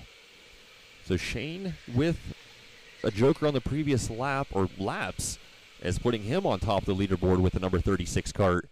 Uh, haven't figured out which helmet he is. Um, we'll try to get him. There's the number 33 and 24 coming at us. Willis Elkins and Dave, Devin Horner. Um, and then we see Katie Wise utilizing a joker lane to put her back up in the number one spot uh, with just a couple of laps remaining. So this is winding down and winding down fast. So if there's going to be any advances on the leaderboard, we're going to see it happen very soon. And David A- Agins is throwing his hands in the air. He has oh, no, front power. I just watched him. He had his foot depressed on the throttle and he was going backwards. So I am not sure with what is going on with Agins as we see a competition yellow come out here on the field or a, a full course yellow come out here on the field to try to assess what is going on with David Agins' cart. We can see on the dash there that it says wait, so it doesn't have a speed instruction. The car thinks that it's in basically neutral right now. Now, does the race course have sensors all the way around it to know when the carts are inside and outside of bounds? It doesn't, no. Okay. That'd be a cool system to have someday, but not now. I was just wondering maybe he s- stepped out of bounds and his cart shut off, but it's looking like it may be something more severe than that as he has pulled the buckles and starting to run back to the pits as I believe we're going to hold that position on the field for him to get a different cart and He's, he's helping out our track workers by uh, coming to the car. Yep, so that is exactly what's going on as we're giving him a replacement cart for these last two laps and he will be staged up hopefully back in the same position that he was in on the course. So two considerations for this. One is sometimes the fault code on the condition of that car is because of um, using both pedals at the same time. We don't know that for sure because we weren't on board when we came in there, but you have to be careful about stalling out the car because it doesn't want the brake to stay on. So that's a possibility. And the second thing is, while this kind of maneuver is frustrating to the drivers and it may not be the best situation for racing conditions, it, it does happen. I mean, uh, mechanical failures in everyday uh, uh, racing happen, and the benefit here is that you get a different cart instead of having to go back and fix your own stuff. Mechanical problems are part of motorsports. That's right. And I've seen this uh, watching the Pro Motocross series a handful of times over this past season. We've seen a couple of riders that were battling over the championship that had a mechanical failure Yeah. that took them out of the championship. So it can happen. Devastating when that happens. Happens on two wheels, happens on four wheels, it happens indoors and outdoors. And unfortunately, it happened here, but we got him back in a replacement cart, and it looks like we've already got the transponders adjusted with the accurate cart number that he is currently in. So that was one of my questions uh, coming into this restart was is the timing and scoring going to be accurate with him, you know, just jumping carts? Yeah, absolutely. Um, quick flip of the switch, and we're done. And the other consideration, even though we're going white flag, is the Joker is now closed. Correct. So because of mechanical failure and the positions of the cars, the, nobody else can Joker, um, even though white, lap, white white flag is out anyway. So There we see the red flag at the Jokers signaling that no drivers may enter. And it's pretty much down to this. The 29 cart of Katie Wise is probably going to run away with this one. as we're still battling back here in the hairpin, That's for just outside of the top five as we see the number 22 cart yeah, we got Chad and Shane battling it out. as the checkered flag flies. That is how they will cross the field. I'm not sure if Dennis was a lapped driver. Um, not sure, but it shows him at the end of the leaderboard as he was right in the mix of that thick of riders. But the checkered flag has flown, and we will get the results finalized and tallied at the conclusion of this sprint race number two. And we'll get the points updated for all of our viewers at home and on screen in just a few moments as well, as we do have a semi idea of the scoring coming into this. It's showing now Adam Weaver with some updated uh, points as he is the leader. It showed at one point in time a three way tie for the race lead, but that was before we had the passing bonuses, The bonuses. assessed. Yep, Adam jumped up significantly with the starting position to the final position. So we will get uh, the B mains points assessed in a couple of moments. But you know, just for the time being, thirty, excuse me, twenty-nine points is our leader at this point in time. Yeah, Adam Weaver is going to gain six points for the bonus on the, his uh, on his execution. Armand bonus pointing seven. So that is very, very good. Uh, showing Corey Ricker as advancing eight positions in that A main. So th- that's, you know, we're just unofficial at this point in time until the points get posted for you guys on screen. Uh, but just looking out off screen, Corey Ricker with some huge bonus points in that A main. That's huge. Yeah, eight points. That's that's a significant jump. So we're going to take a couple of minutes now after the conclusion of that B main. We're going to send the drivers back down to the paddock and send them back through the randomizer as we have three more qualifiers coming at you in round number two of competition. But this time, the race course is going to be turned around backwards, and these drivers are going to have to contest with something that they may not have ever driven before here at K1 Speed in Canton uh, for the first ever exhibition of speed. There's Katie right in the center of the shot. Katie and her father PJ. Congratulations to her on the winning this last uh, heat. Yeah. There we see Marshall already suited back up and pacing to a cart. He's ready to go. He's ready to hit the race course here in qualifier number one for round number two of competition. Very similar to round number one of competition. Three separate qualifiers, eight laps again, and there will be 10 points assessed to the fastest qualifier of each of the divisions. And so on and so forth down the line. I still see smiles in the pits. That's good to see. Yep. The difference is this time is the racetrack is going to be turned on in reverse in round number two for the qualifier. Something majority of these drivers have not done before. 38.49 is what these drivers are trying to aim for for fast laps for the day. I haven't seen anybody break into the 38s. The low 39s is all the faster that I have seen. Uh, but we are just sending these drivers through the randomizer at this point in time to get their carts and which qualifier they're going to be competing in in round number two of competition at this point in time. And we'll get qualifier number one uh, racked up into their carts in just a few moments, and we'll get qualifier number one of round two of competition underway. So we're going to take a couple of minutes and get things all set up for the start of round number two.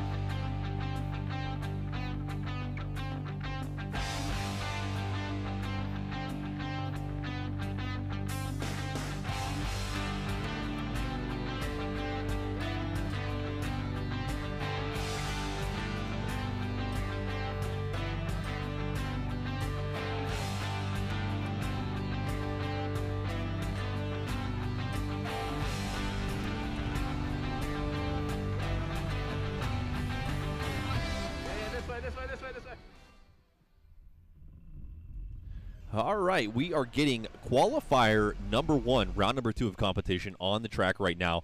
And the difference is they're going backwards. So they're going to come out of the pits and make a hard U turn and start navigating this course in reverse. And we have used the randomizer to select 10 drivers in qualifier number one. We have Larry Murphy, Katie Wise, Chase Witt, Charles Squires, Chris Nanchoff, David Pons, Marshall Miller, Brennan Thomas, Armand Deligny, and Ryan Gardner all in qualifier number two. In that order is how they're going to be out there on the race course. And 10 points will be allotted to the number one qualifier in this bracket.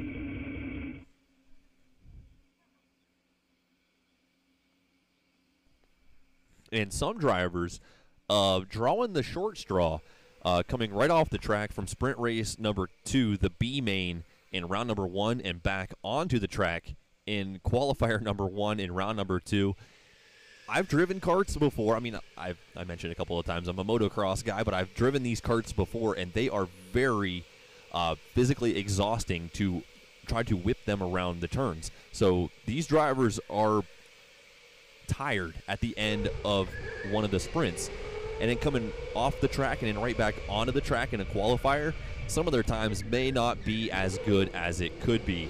And what we talked about earlier in the program is a lot of these drivers have not driven this course in reverse. But one thing that's going to be, you know, helpful to us up here in the box is we're not going to toss that joker in. So passes on the track are passes for positions. And we'll be able to note, note that and relay that information back to you guys that are watching with us. I am not sure what the lap times are for reverse, if they're going to be nearly competitive as they were for forwards, as we've seen lap times going forwards in the low, low 39 second range here today. I'm not sure if we're going to see those fast of lap times in reverse, as this is not the driver's normal direction. But I was talking to James, and some of the drivers like to drive it in reverse. But that may actually just be because of a change of pace, that they may get kind of bored of driving the forward direction a little bit, so we toss them in there in reverse, and it kind of, kind of changes the pace a little bit and brings out the enjoyment back in the sport of karting. So some of the drivers liking to go in reverse versus the forward, even though it may not be as fast as going forward. But there we see Marshall Miller busting out the 40 flat on the previous lap. So prove me wrong that the lap times are just as fast going reverse. So that's what I was wondering, James. Is is the lap times? Hey, you're not on. You're not on. That, now you are. Thanks. I was wondering if the lap times in reverse are as competitive as they are forwards. It's amazingly similar, isn't it? Very It's- much so. You would think that with some of these sweeping corners, like the carousel being so much faster, that uh, that it would affect the time. But I guess overall distance is really all that matters. What this, I'm this is the tricky one right here. When he turned to reverse of turn one, it's. I played with this when I was racing about 60 laps in a, in, in a row, and I just kept trying turn one differently because of how slow it was, but also because it set you up for the carousel. And uh, the weird thing is, you just have to you have to do the reverse of turn two. You have to go slow into it and then press the throttle about halfway through the apex, because otherwise the car is just too unsettled. How often do you compete? Uh, do you are you in any leagues or anything? Um, I get to run in the Boost League usually. That's the only competition that I get to see. All the other uh, leagues that we do here are mandated by K1, so I don't jump into those.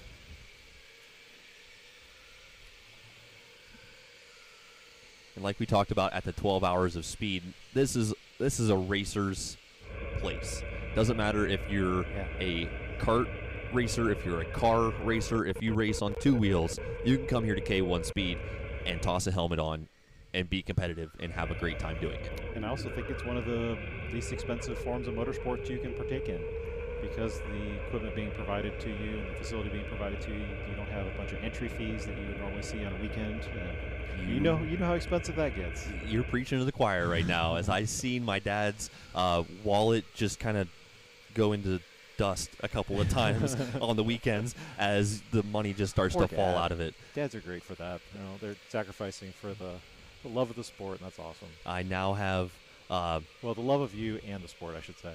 I've got two stepdaughters and two uh, children of my own, and my youngest stepdaughter just got a bike, and now she's starting to race. So I'm being the moto dad now too. Yeah. And my two and a half year old son is starting to ride his uh, his Stasic two wheeler with no training wheels, and I just see my life all going downhill. so It all just gets more expensive from here. it it very much so does, and that's why we have Grandpa Claus. Grandpa Claus helps out a whole lot. That's great. So they're just out there for qualifiers right now. They're not really racing for positions. They're racing for points as they're trying to get the number one qualifying time, and they are also trying to, uh, Learn a line. yeah, that too. Yeah. They're trying to get points.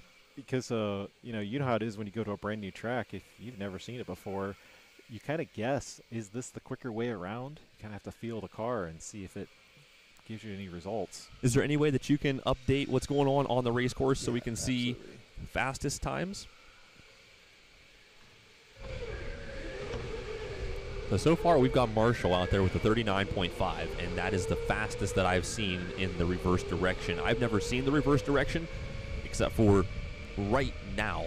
So I've seen Marshall now nearing besting his forward direction time. And I believe he's the only one in the 39s. Everybody is for Armand is a 40-0. Um, and we got Brendan, uh, Brandon, sorry, uh, They're 40.9. The Ghost just There broke 40, and Marshall backing up his time. So two sub 40s with David Pons there at a 40 flat. Looking like they're going to be uh, A main racers in round two of competition. We'll, we'll, uh, We're we'll still early. We'll try to stay on board with this real quick, um, and let's watch. So this is the fastest part of the circuit in reverse. You're full out. You try to maintain your momentum, and then here's the trick. Look at this left-right complex right there, and how that turn four in reverse jets out in the middle of your car. You've got to go wide there in turn four to set yourself up straight coming into turn number three in reverse. That because it's so fast too. Um, Yes. and and uh, you do have a little bit of discrepancy in the carts and the grip level that you have. Sometimes you want to uh, just, uh, lack of a better term, you just want to throw the car through that corner, and sometimes you actually want to let off and coast to keep make sure your uh, all the balance on four tires are good. before we got competition underway today for the first ever exhibition of speed, I had a chance to walk outside and look at the driver's feet when they were coming through the turns, and that's all I was looking at Yeah. was their feet and which feet they were using and when they were using it. And I was learning a lot just by observing, uh, particularly Marshall Miller and, and Armand the Ghost. Both of those drivers are very smooth, and you can learn a lot just by watching them. And they both drive their carts extremely different. Hmm. Armand is very smooth and almost effortless at going fast, where Marshall, he's like a bulldog harnessed into an electric go kart. he's he's whipping the steering wheel around. He's jamming on the pedals. Yeah. So he is very aggressive at his driving style versus Armand's smooth and almost effortless driving style. So That's very true. In fact, I've never put that to words before, but you're absolutely correct. When you watch um, Marshall uh, manhandle the car, he throws it into those corners, and Armand is going to be the more smoother guy, coming from a gas cart background, actually. and I was watching the outside sections in the forward direction, and Armand was not using brakes coming into turn number six. He was just lifting and then Lifting. getting back on the throttle, where Marshall was coming hard into turn six, slamming on the brakes, and then getting hard back on the throttle coming into seven and eight. So driving it's- the cart's it- different. so it's amazing that when you look at those times, that they're like four tenths off of each other, because you would think that that much of a difference in driving the car would make a, a bigger time difference. I would think that the smoother time would be faster. Watching Yeah. all of the motorsports that I've Interesting. watched, smoothers faster, but I've watched a lot of uh, Driver 61 on YouTube, and there's a there's a British guy that does a YouTube channel does a lot about racing, and the smooth line is not always the fastest racing line.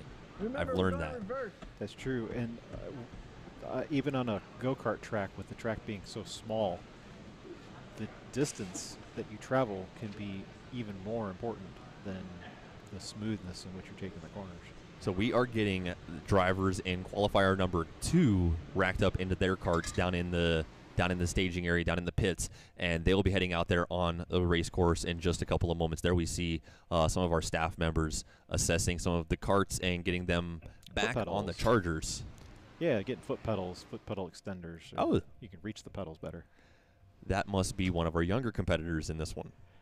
Yeah, let's see. Ryan Gardner? Is that who that's going to be? Is he in the 28 machine? That's what we're showing. Yeah. So he is one of our younger competitors. Is there any way we can see what his age is by chance? 2007. 2023. 16. Yeah. Small 16. So these drivers just getting uh, all suited in, buckled in, and they will be heading out on the racetrack in just a moment also get points for for the start of qualifier number two. Eight laps reverse which direction. Doesn't really- I mean, trying to get that top really. qualifying Like, time in group number two. It's randomized, so you may have a whole bunch of fast drivers in one particular qualifier, and another qualifier may have a bunch of slower drivers with one fast driver in. So it's all random. Yeah, and then we have our updated point standings. Adam Weaver jumping to the top because of his performance in the first position racing. Very, very good. Brendan Thomas in second with Katie Wise in third. And pretty tight inside the top five with only five points separating first through fifth. And the top 10 separated by less than nine points. So the boost challenge at the end of this exhibition of speed here at K1 Speed Canton will definitely be the deciding factor as there are 30 bonus points up for grabs if you do not use that boost button at all in round number three of competition. But if you use it, your bonus points come away. You could potentially get no bonus points, or you can get 30 bonus points in round number three of competition. And the passes are not going to be affected in round number three of competition. You're not going to get any bonus points for making passes like you did in rounds one and two. It's just bonus points based on how many boosts are left.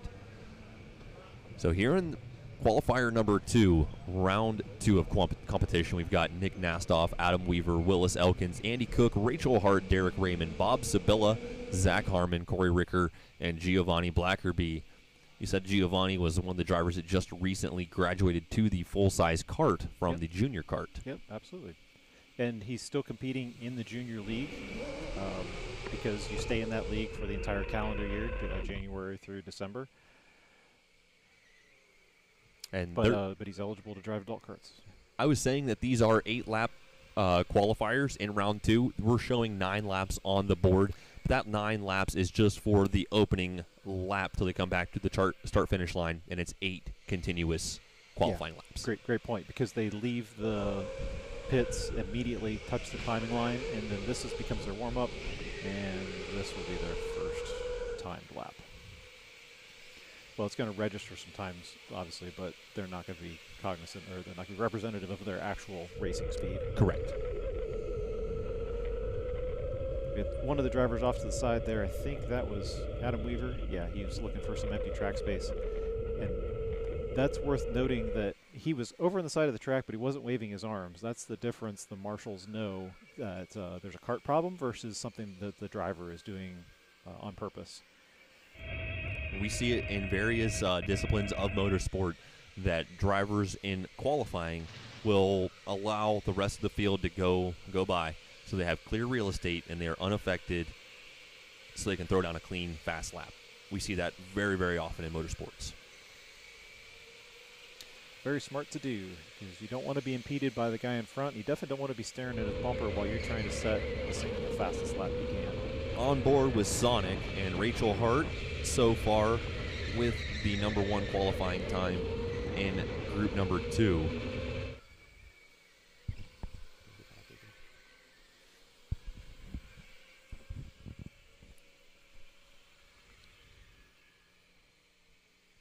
And we'll see if we can follow Rachel as she comes through the reverse of turn four. Aha. Let's see where she slings that car. This is very interesting. We have Rachel Hart and Adam Weaver both here in qualifier number two, and Adam Weaver is our current points leader, if I'm not mistaken. And Rachel Hart also sitting up there in the top of the leaderboard for the points. So there may be a little bit of strategy going on in a in this qualifier where Rachel may want to stay above Adam Weaver to get those points to try to give her a couple extra bonus points. We had numerous discussions when we were outlining the point system for this event about what people would do to sandbag if if they wanted to, and if they would want to. Um, as Adam is showing, okay, waving his hand, but telling him it's okay. Interesting. Well, just going to get a gap and keep the tires warm, I guess. Doesn't seem to be an issue now, other than getting a gap. Um, so you, that's what we were talking about with the point system is are people going to want to sandbag so that they can try to get bonus points for the positions gained or would they want to sandbag so they can win the B main because there are is prize money for winning the B main but the way the point system is that when we the laid out we think strategize that most people are not going to want to do that because it's just too unknown there's a lot of drivers with very close times if you try to hit a certain time frame you may not land where you need to land. And Very, very good plus points. The the third round is the biggest uh, variable to the whole thing. We're sitting on board with Giovanni, one of our youngest competitors of the day for the first ever exhibition of speed here at K1 Speed Canton. And he's sitting about the 30, excuse me, about the 41 and a half lap times. That's been about his average fast lap time in the reverse directions, about a 41 and a half. So he's trying to uh, break into the 40s and try to try to get into this A main. That's his goal. I would have to imagine this is probably the first time he's run reverse. I I think he's done it in the junior carts, but uh, I don't know if he's run the adult before. I guess at least he's had exposure to how the how the circuit runs in the back direction. Zach Harmon is not the ghost. Yeah, we'll have to we'll have to get that corrected. Sorry. There we see, still see Rachel Hart with the number one qualifying time here in qualifier number two of round two of competition, as she is clicking off another lap. Overall, the number one spot on the race course.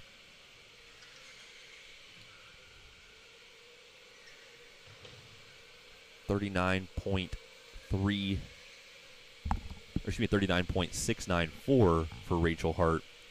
It's about a half a second faster than Adam Weaver's best time. I'm still somewhat surprised that we've got this many people in the 41s. I, I figured we were going to have some people who were more off in line at the 42, 43s. So good job to these competitors uh, adapting quickly. That was another point I was getting ready to make. They're really learning this course and running consistent lap times in the reverse direction, something that they may not be used to doing. And we are nearing the end here of qualifier number two, round two of competition. And white flag flies as we see Rachel Hart trying to get one more clean lap out there. Try to best that 39.69. Yeah, of your top two, you've got obviously the top six are all in the 40s, but um, for all intents and purposes, you've got Adam with a 41.1, and then everybody else has got a three tenths, four tenths gap on them. So Rachel and Adam in good good position for this qualifier. And we already have qualifier number three figured out. Those drivers already know which carts they're going to be in, and they are probably making their way out of the paddock and into the pits, um, getting themselves ready for their upcoming qualifying session. Checkered flag has flown, and we see Rachel Hart besting her best time with a 39.5, and that's the best one of this group. By far, and since we're on board with Whoa! little bit of check. Since Just- we're on board with Giovanni, good job to him. Fourth position in this qualifier. out of nowhere, Adam Weaver busting out the 39.77. So that's the second fastest time in this qualifying session, and that is one of the fastest times we've seen in the reverse direction as well. We'll see qualifier number three. We'll see if Salerno can pull a couple of moves in this one. Using the Joker lane to cut out and go back into the pits. Yep. And we will get qualifier number three of round two of competition uh, racked up, suited up, and into their carts in just a couple of moments. And we will continue to get the points tallied up from the qualifier number one of round two and get those added to some of the drivers' point totals, as the points are going to continue to change all throughout the evening as every race, every time these drivers are on the track, the points are going to get affected. So our staff is very busy keeping up with that. Mad props to the K1 Speed staff tonight. They are just, they always rise to the occasion. We did a 12 hour race six months ago, and they, uh, lack of a better word, they impressed me. I don't know what better way to say, but uh, they're just hustling tonight as well. They always got to charge the cars and get them back out there. A couple of the same staff members that I seen from earlier in the year, some Absolutely. new staff members, Absolutely. new mechanic I seen. Yeah. Yep. If uh, if everything runs well, then he'll he'll look great, and if anything's wrong, then bring the complaints to me. as these things are not maintenance-free uh, machines. We were talking about uh, this may be one of the cheapest forms of motorsport that you can get into. You don't have to worry about maintaining these vehicles. Yeah, we, we do that for you. And if you've ever come to a Saturday afternoon and seen an arrive and drive session, you'll realize how much work it takes to maintain a fleet of 36 cars. I was uh, asking the mechanic, like, what kind of tire pressure do you set the tires to? Because I just happened to watch him uh, mount up a tire, and he's like 25, I believe, for the adult and 22 for the youth, or I- may have it backwards. Uh, you're you're 25 for rears, 23 for fronts. Okay, Yeah. okay, that's what it is. Um, just implemented a new TPM, TPMS monitoring system as well. We don't have the graphic for it tonight, but Really? yeah. So we saw in the 12 hours where we're monitoring all the batteries. We're Yeah. now monitoring the tire pressures on every car. And what kind of swing will we see the tire pressures go through? Not a lot, actually. I expected it to be more. Um, you get a couple of degrees in temperature and only about a pound and a half, maybe two pounds of pressure raised during a race. That is very, very surprising. I would have, you know, expected 15, 20, 30 degrees in temperature difference, and probably 5 psi would have been my guess. Yeah, I mean, at least on the internal temperature readings that we get, maybe surface level might be a little higher, but yeah, I was surprised. Very good. And we are getting group number three, qualifier number three of round two of competition, all racked up in their carts, and they're getting their carts turned on right now. And they'll be heading out there on the course in just a moment. Uh, the 10 drivers in this one, we've got Tristan Hartong, David Agins, Shane Transu, Corey Salerno, David, excuse me, Dennis Henry, Brendan Squires, PJ Manny Penny, Mitch Shannon, Chad Squires, and David Horner competing in qualifier number three.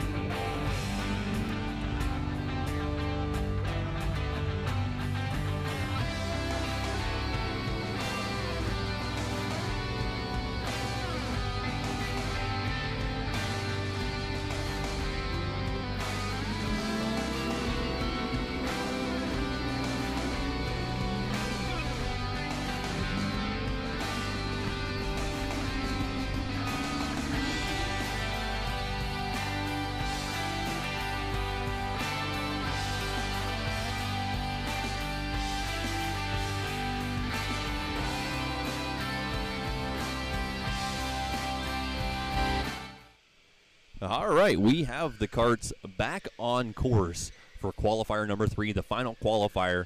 And after this, we will take a couple of minutes and get all of the results tallied from each of the qualifiers and get the point totals assessed as well before we get sprint races number one and two underway.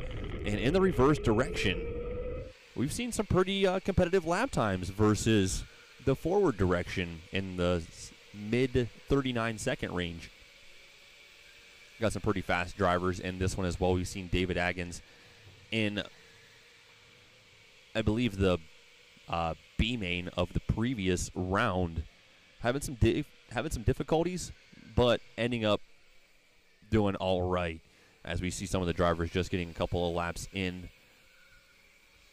going in outside around turn number five in reverse, and back down into turn number four in reverse.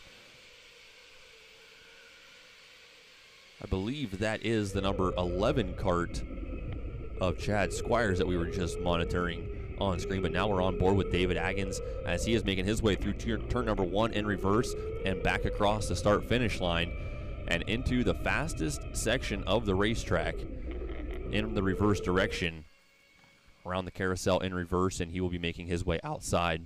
There we're taking a look at the number eight of PJ Manny Penny. He is coming back inside and through number turn number four in reverse, and he's making a pass on one driver. That's the number 16 of Mitch Shannon, who's still trying to get his bearings in the reverse direction. But sitting on board with PJ Mannypenny, he's going to click off another lap, and he's got about a mid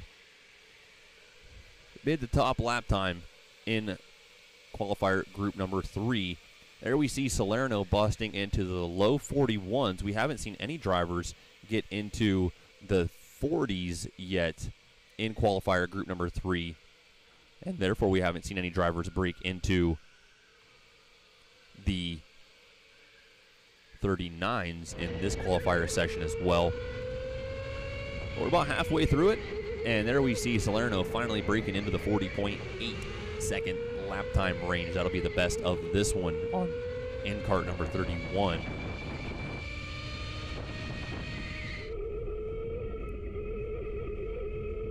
We're on board with David Agins right now. He is going to come across the finish line and click off another lap. And that one will not be one of his fast laps.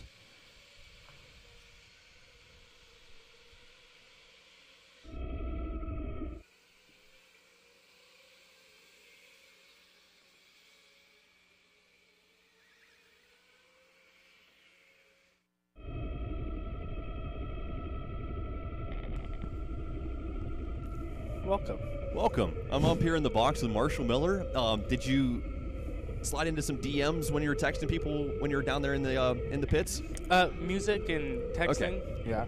All right. I was just wondering because we've seen you down there texting and getting ready to drive, and we were uh, need to address some uh, some rules here at K1 Speed. But I'm glad to have you up here in the box. Uh, Yeah. Marshall Miller joining us up here in the box. Uh, how's the track out here today? Fun. Fun. And I was talking to James.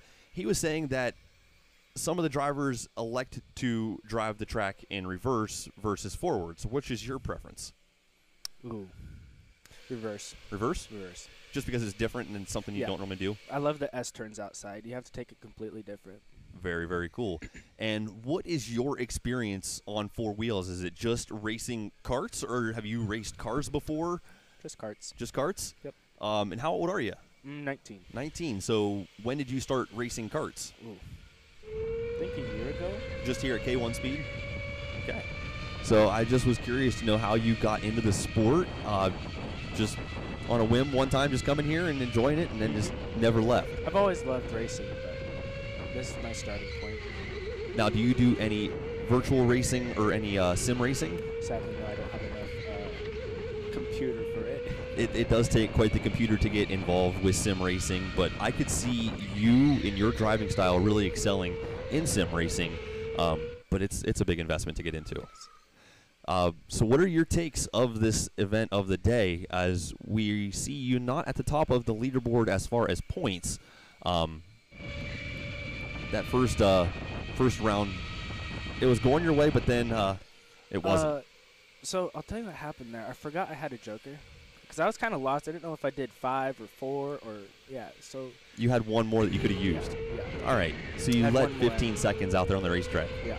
Uh, that that makes that makes perfect sense. That's why if I add up my points, it should be however you want, whoever you want to give third to, which Katie's in third with 25. I'm at 25 points now. So whether you want me want to swap or just give me fourth.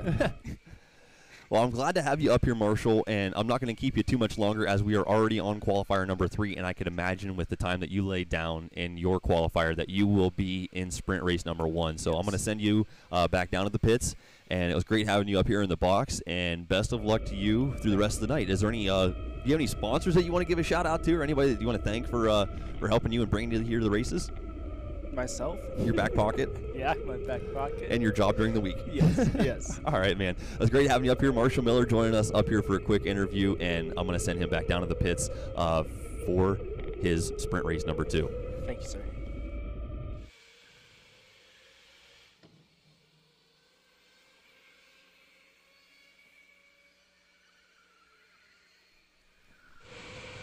Wrapping up there with the final qualifier session, we see David Agins with the fast time there on the previous lap, and so far in this one, David Agins, I believe he will have the fastest time over Corey Salerno's. So Marshall was filling my shoes. Did he did he do an okay job? Is he is he hired or am I fired or? He's got some room to improve on. Okay, all right, good. You're, you're still solid up here. We'll keep James for another couple of races. I don't think you're going to go anywhere. He's quiet but uh, aggressive on the under the helmet. That's for sure. He is a very, very good driver and a very unique driving style. I like the fact that you asked him about the sponsors, um, which is obviously th- what drivers get trained to do, right? Um, the cool thing about go karting is, I guess the the cost is not something that requires a sponsorship. I guess that's a that's a good and a bad thing at the same time. Touche. So it was kind of cool that he didn't have necessarily somebody besides himself foot the bill. So yeah, I know in, in the motocross world, there are sponsors that get thrown around everywhere for Yeah. all sorts of different parts and accessories. So some of these drivers, they may race cars, and there may be some, you know, helmet companies that may toss them a toss them a skid lid. You never know. Maybe after tonight he'll get picked up. he he's impressive. I'll tell you that. Um, we are still waiting to get the points tallied up from all of the qualifiers and get those totaled into the overall points. But we will get uh, sprint race number one staged up.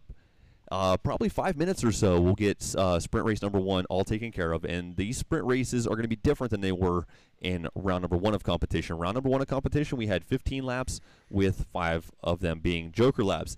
Now we've got 20 laps of racing, actual racing 20 laps, but it's going to be 10 laps in the forward direction and 10 laps in the reverse direction in that order. And we're going to have a competition yellow halfway through to switch these drivers around. Have you ever seen a race where they did that? No, but I have seen a race that was entirely restarted with a brand new gate drop halfway through the race. And that really threw me for a ringer when I watched it because the first 15 minutes of the race was pretty much pointless at that point in time. If everybody's Yeah. lined up Right. on a 40 man gate, what's the point in even racing the first 15 minutes if it didn't matter? You know? Probably. So this is a little bit different as they'll be making passes through the field in each of the 10 lap forward and reverse directions. And whenever they the- whenever the competition yellow comes out, the field will just bottleneck up a little bit, but they'll still be in the same positions. Exactly. Yeah. So they're going to still race for position. They can race to the line at the end of lap 10, and then that's where they um, uh, reverse direction. So um, I got a call from pit control. Let me be right back. No problem. And we will be back in about five minutes or so with the start of sprint race number one, round number two of competition here at K1 Speed Indoor Karting for the first ever exhibition of speed.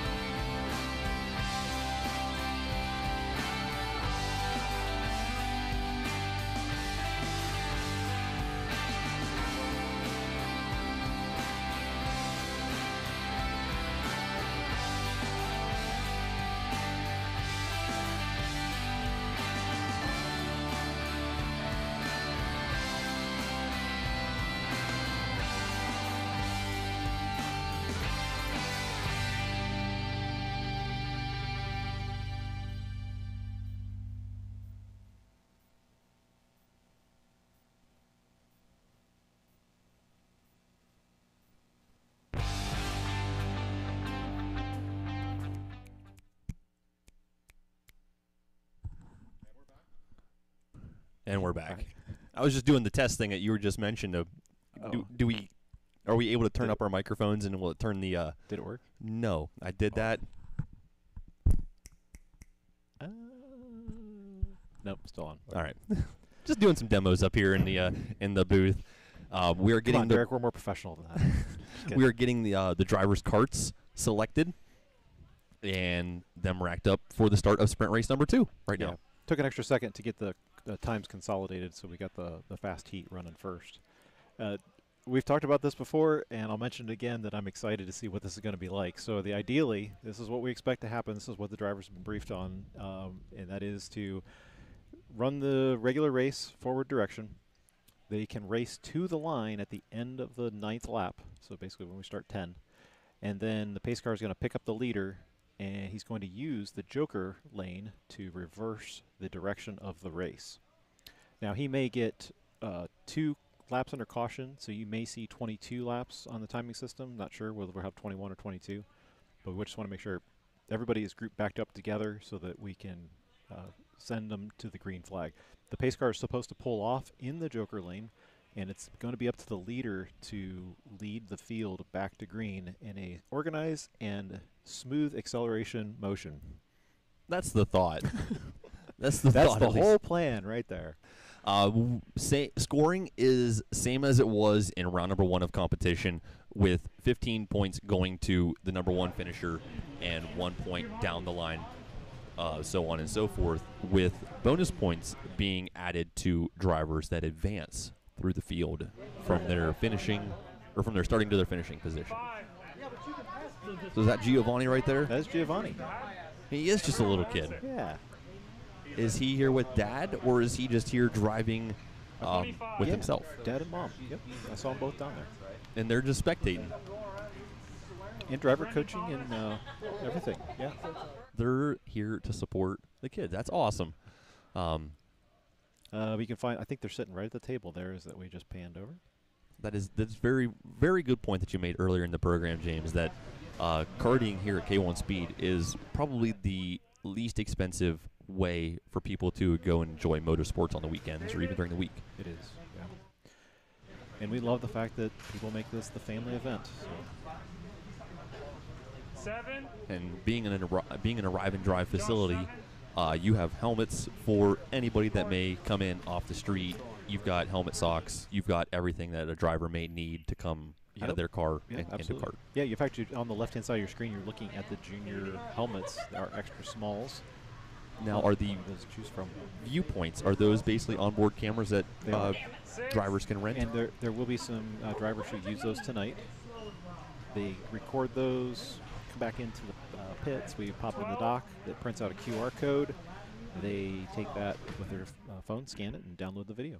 I'm pretty sure PJ Mannypenny has had the last or next to last pick and the last couple of times that he has went to the randomizer. So Yeah, he's Uh, the he's the bottom of the 15 drivers, so he's just above mid pack. I think that was the same way that it was in round number one of competition. But there we see updated uh, points as of right now, and it, I don't want to count him out of the mix, but Dennis Henry, uh, he's got a long way to make up. needless to say. Uh, but Adam Weaver, Yeah, Rachel but- Hart, Armand Deligny, and Chris Nanchoff all with But- over 30 points. but uh, glad to have all these guys here. We don't don't want to overstate that, understate that, Which way you wanna Uh, say it's it? bad. but just so appreciate the fact that guys who ha- maybe haven't raced this track before, haven't been to a Kingdom Speed, whatever, it, are, came tonight. I, I think if you look at our field, we're about split 50-50. 50% of our field are regulars where they come here and they compete in leagues, and then the other half are people who are just coming for either disciplines, other disciplines, or uh, for the first time. I am pretty sure that Marshall Miller had he definitely did have an onboard camera on his helmet in addition to the GoPro that we have viewing. Yeah. I'm pretty sure that his onboard on his helmet is one of those Insta 360 cameras where it's going to give a forward and backwards view. Awesome shots. Have you seen one of those yet? I have Um, I want one. yeah, They're very cool. it is amazing that the field of view is 100 and, or is it completely 360 degrees because the lens actually merges with the other lens. They put three lenses in the front, three lenses in the back, and then they merge all that data together. Uh, you and I are kind of computer nerds anyway, so Yeah. we can appreciate that. And But it makes a spectacular uh, visual. I've been thinking about those Insta360 cameras, and with them being able to process the data in real time in which it does, can individual users view different camera angles at the same time out of the same camera? Considering it is taking images all the time. Yeah, I'm not sure. film. I know, I know when you. Uh, are you talking about like if you were streaming the device? So therefore, if somebody at home had access to the Insta360 camera, they could pan around and watch whatever that they wanted to watch in real time. Yes, the, the f- the final video can be uploaded on YouTube. In fact, our channel is going to be doing that for Rachel's race. She did it in California, um, where on the YouTube channel you can still pan and tilt wherever you want to go. That is incredible. Yeah, And, that that technology is coming. It's coming quick. and my thought to piggyback off of that was in sporting events, football, NASCAR racing, motocross, whatever, you could have Insta360 cameras set up around the facility, and then you yourself, being a viewer at home, can watch Whatever your you want. Yeah. your racer. If you want to watch your racer, I bet they're working on that technology as we speak. I brainstormed that and I thought that would be incredible with that technology. So here they are. They're heading out there on the track. They'll probably head out there in the forward direction and then utilize the Joker lane. No, they're running their 10 laps in forward first. Yep, we'll still Okay. go normal grid. So they're going to be racked up in the normal grid, 15 drivers. And then at the halfway point, we will have the competition caution come out, and the pace car will come out and switch the drivers from forward direction to reverse direction. We're getting there, nearing the end of round number two of competition here for the first ever exhibition of speed at K1 Speed Canton. Uh, drivers are just out there on their yellow flag, yellow light lap right now before they make their way to the staging grid. Well, Marshall's going to take. Yep, a couple of drivers are going to take this the Joker. It's cold outside right now. I don't know if you stepped out there, but it's starting to get a little bit chilly outside. So I don't blame some of these drivers for not wanting to go outside, especially if they've got shorts on like I do. there we see Marshall getting staged up. He's got one of the more flamboyant helmets, as does Rachel Hart in karting that we see racing with us tonight. A couple of drivers bringing their own helmets. A couple of drivers using the Arrive and Drive helmets. Uh, what brand, do you mind me asking, are the helmets that you have equipped here? We have. AGVs or something along those lines? I'm drawing a blank. I caught you off guard. Yeah, I'm good at asking those pe- peculiar questions. it'll come to me. Did you ever figure out what cells are running in uh, the batteries? Are they No, 18 as the- 650s, the types of 26 cells, 650s? That I don't know. Stuff I got it. I'm sorry. I should have done my homework so that I was prepared for tonight. So we're getting the drivers all racked up in this one. We've got Marshall Miller, Rachel Hart, Adam Weaver, Armand Deligny, David Pons, Corey Ricker, Chris Nanchoff, Giovanni Blackerby, Andy Cook, Brendan Thomas, David Agins, Corey Salerno, Katie Wise, PJ Manny Penny, and David, S- excuse me, and Brendan Squires are all of the drivers in A main round number two. So, like in round one, we are going to let the drivers go on the green lights, not necessarily the green flag, as we have some drivers there we see um, with their back turned to the finish line flaggers. So, they're going to have to be going off of the lights to let them know when to punch it, Ethel, and get going. So, we're just getting all the drivers out there on the course right now and we'll get that green flag waving in just a moment for the start of round number two of competition for the sprint races. The A main lined up on the track right now. Who's gonna make a jump for the front? Who's gonna take advantage of this mid-race direction change? Here's what I have seen: is David Pons is wicked fast forward. He is by far the fastest driver that we've had here in the forward direction.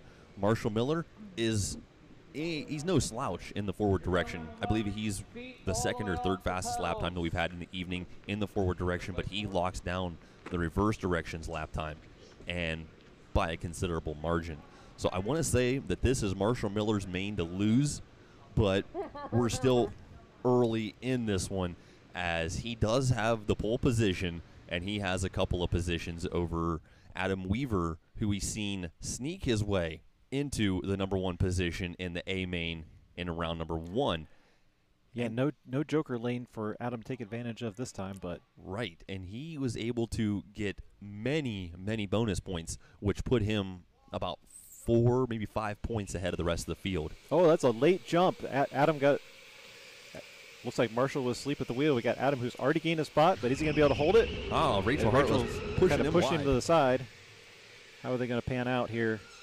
so they're all Adam's trying to bottlenecking hold on to that second position. Mar- or Rachel just just right right behind him. Marshall's. It looks like they'll yeah they'll be able to maintain gap as they go outside now. The cool track uh, temperature is going to affect grip level, especially in this corner coming out of the high speed corner. Wow, Marshall Miller has already opened up about a four to five cart length advantage over the battle for the number two And what's spot. happening to Armand? Looks like he got swallowed up there. Armand on the number 36 cart leading that group, but it was way off the pace of where he started. We're Ah, see take that back. He's still running in fourth. Okay, it just looked like he had gone backwards at that corner back there, but it looked like maybe just traffic.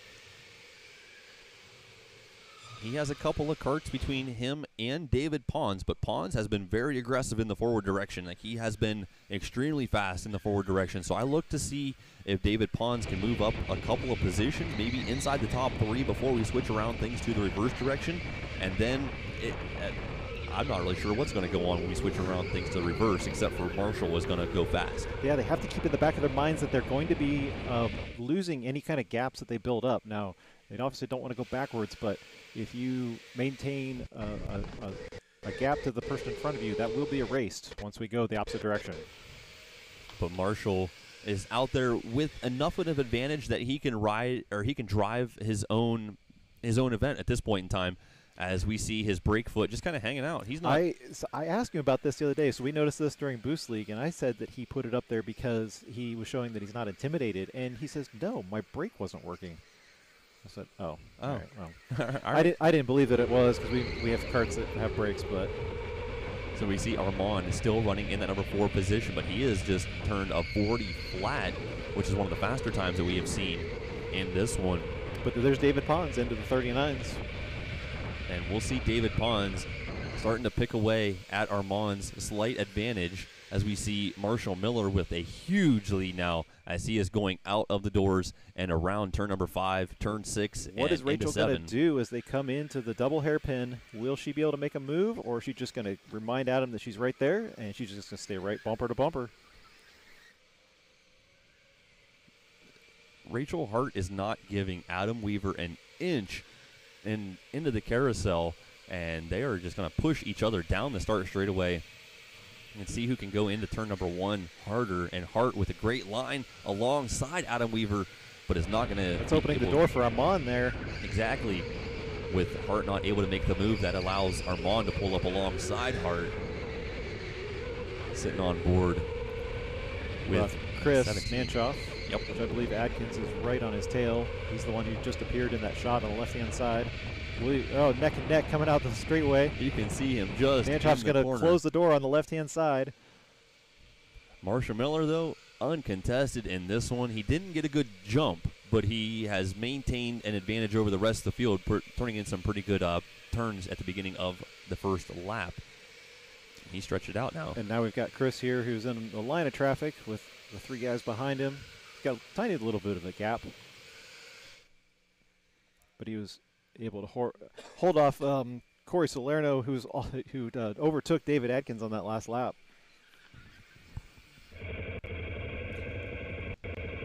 Sitting on board with Andy Cook right now. Looks like a Friday night drive out there. He's just outside of our top five.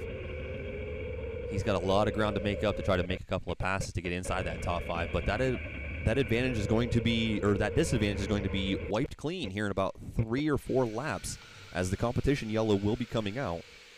Yeah, and we do have 22 laps on the board for those two yellow laps that are going to occur.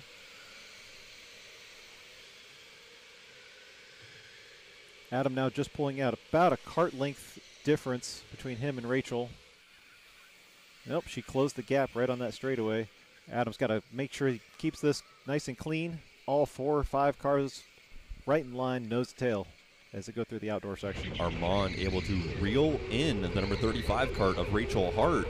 Armand was down about three to four cart lengths earlier in this A main, but he has since pulled that gap back to naught, and he is all over the rear fender, the rear bumper of Rachel Hart, who is all over Adam Weaver. So it's a three-way battle for the number two spot with the number 20 and David Pons just outside of striking distance on those three riders drivers just ahead of him. Almost a five-car train as we still see that huge gap that uh, that uh, that Marshall has pulled out from the rest of the field. I did see one driver bump into Armand. I believe I believe it was David Pons bumping into Armand, but no passes were made.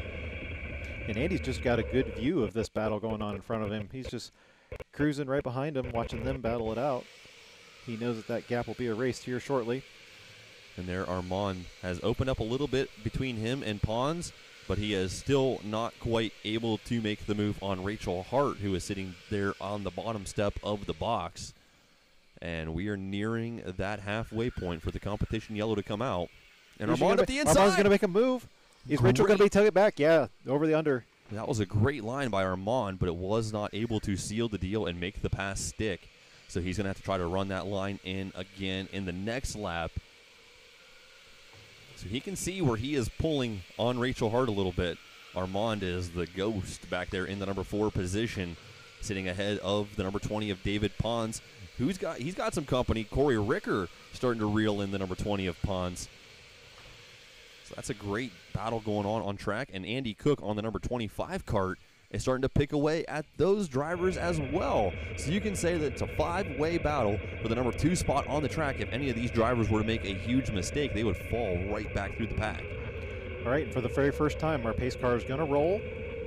He's going to go to the straightaway to make sure that all these cars can race through the 10th, 10th lap, and then we're going to pick up Marshall Miller, who's the leader of the race. Let all these guys pass the start finish line. That's going to be a midway checkered flag. And we will slow the field down. What a great shot from our pace car driver tonight. Great shot. As we see the number 19 of Marshall Miller bumping our pace car a little bit, just having some fun. Oh, Owen Malley, our our pace car driver tonight, has a lot of gas karting experience. So if there's anybody who can drive the pace car tonight, this is the guy.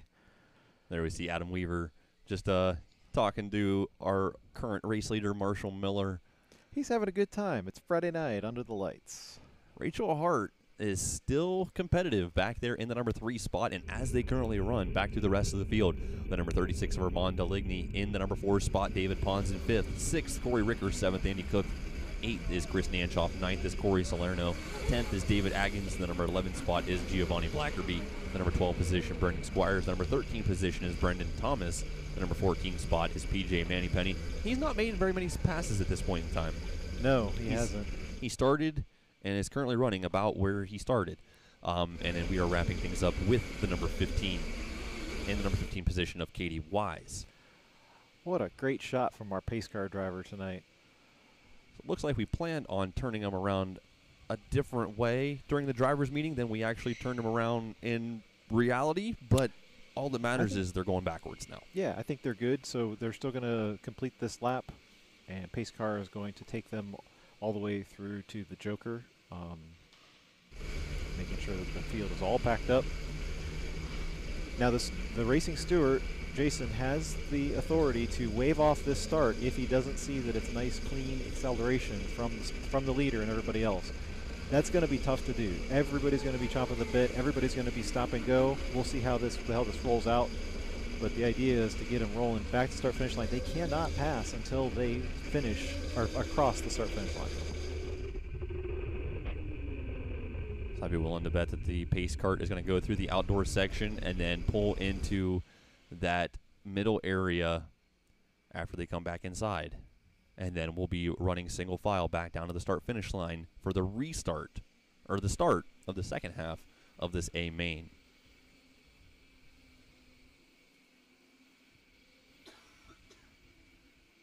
Race control saying make sure everybody is packed up, which it looks like we are. And this is where our pace car is going to pull off to the side. The field is now belonging to Marshall Miller as he hopefully smoothly accelerates the field.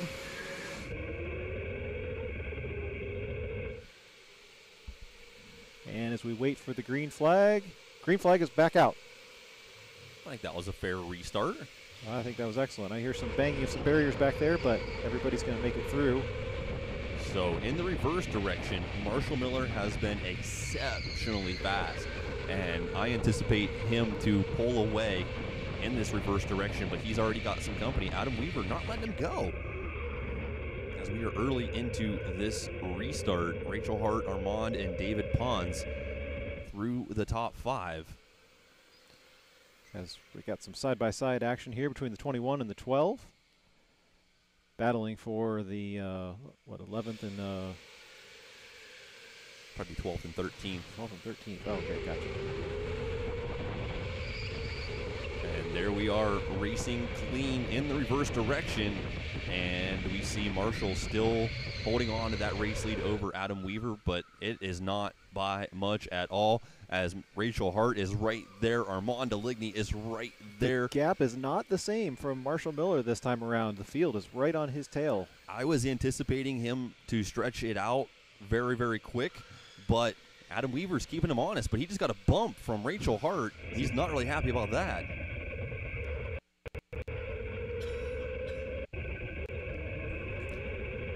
On board with Andy Cook, obviously, but then also right in front of us is Chris Nanchoff in eighth position. These guys were these guys were separated at the beginning of the of the heat as well. Here But all, they're going to be nose to tail, just like just like our front five is. here all, David Pons looking on the inside. He's eh, Armand's going to be able to hold that position. All kinds of bumping and grinding going out there on the race course, but Rachel Hart is glued to Adam Weaver's rear bumper, and they're coming into turn number four. Rachel Hart trying to set herself up to make the move on Weaver, but just cannot put the front end and show. Armand is going to take advantage of that. Going to take the outside. Oh, what's, what's Rachel going Oh! to do? that was Oh, a hard hard hit. lick. Hard lick for Rachel Hart in turn number one reverse. Uh, she She's just got the door spots there. double slam shut from Armand Deligny and Adam Weaver were both just cut her line off and she had nowhere to go but into the barricade. It just looked like Adam was having a hard time with the grip going through the reverse of turn four. That is what gave her the extra momentum. We'll see what happens here this time around. Is yeah, he has the same issue as David Pons is going to try to go wide and then maybe undercut through two, or he'll stay right in line with him. Armand Deligny really working his way through the field. He has moved up to the number two spot. Yeah, that was a huge gain for him, taking advantage of that. We know Rachel Hart was sitting in the number two position in the points, and with that huge mix So up, they're going to go two wide for two rows. What's ha- what's going to happen here? Adam Weaver was our current points leader coming into this one by a substantial margin, and he is sitting back in the number three position. And I'm not sure of what his qualifying time was, if it was up towards the top or not. He may end up not getting any bonus points or very few bonus points as a result of his current finishing position. Adam having to run the outside line to that, but that, that means that David Pons is looking to the inside. The top two have checked out altogether from the rest of the field. But it looks like Armand's starting to reel in Marshall. Yeah, as we're now having a competition between Rachel and Chris. Looks like Rachel's got her bearings back. She's all over Corey Salerno, but just ahead of Chris Nanchoff. So that's a great battle inside the top 10. But Rachel Hart, that's a tough break, though. She lost about five positions as a result of that bang with the wall. David Pons is really going to push Adam through this corner. Let's see what happens here. Into turn number four in reverse, having to set that corner up a little bit different than No- they would in the forward direction. If David Pons is not careful, he was okay. He held on to the position, but Corey Ricker was right on his tail, and he was going to take advantage of that, trying to pass Adam. But Look at Armand go, reeling in Marshall Miller and making it making it happen fast. He's got about four laps to try to work his way up to the rear fender of Marshall Miller, and he's there. It's whether he can make the move. As you can see them just in the corner of our shot. They're going into turn number four in reverse and heading into turn number three in reverse. And both those drivers are hooked it up out there on the race course and battling over the race lead. There we see them coming across the finish line. Marshall Miller and Armand Deligny. Out of nowhere, we see Armand with some smooth lines and he has caught up to Marshall Miller, duking it out over the number one spot. laying down big double rubber tracks on the side as Marshall went on the on the defensive on that, but he was able to maintain the position.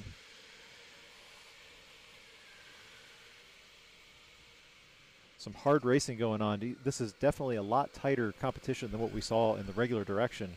I guess the good news is that if uh, if you're late on the throttle, you've got your neighbor behind you to bump start you out of the corner. You are correct there. Good to see Rachel Hart rebounding after those mist- that mistake earlier in this A main. She has worked her way back up to the number five, six position on track, and she may not.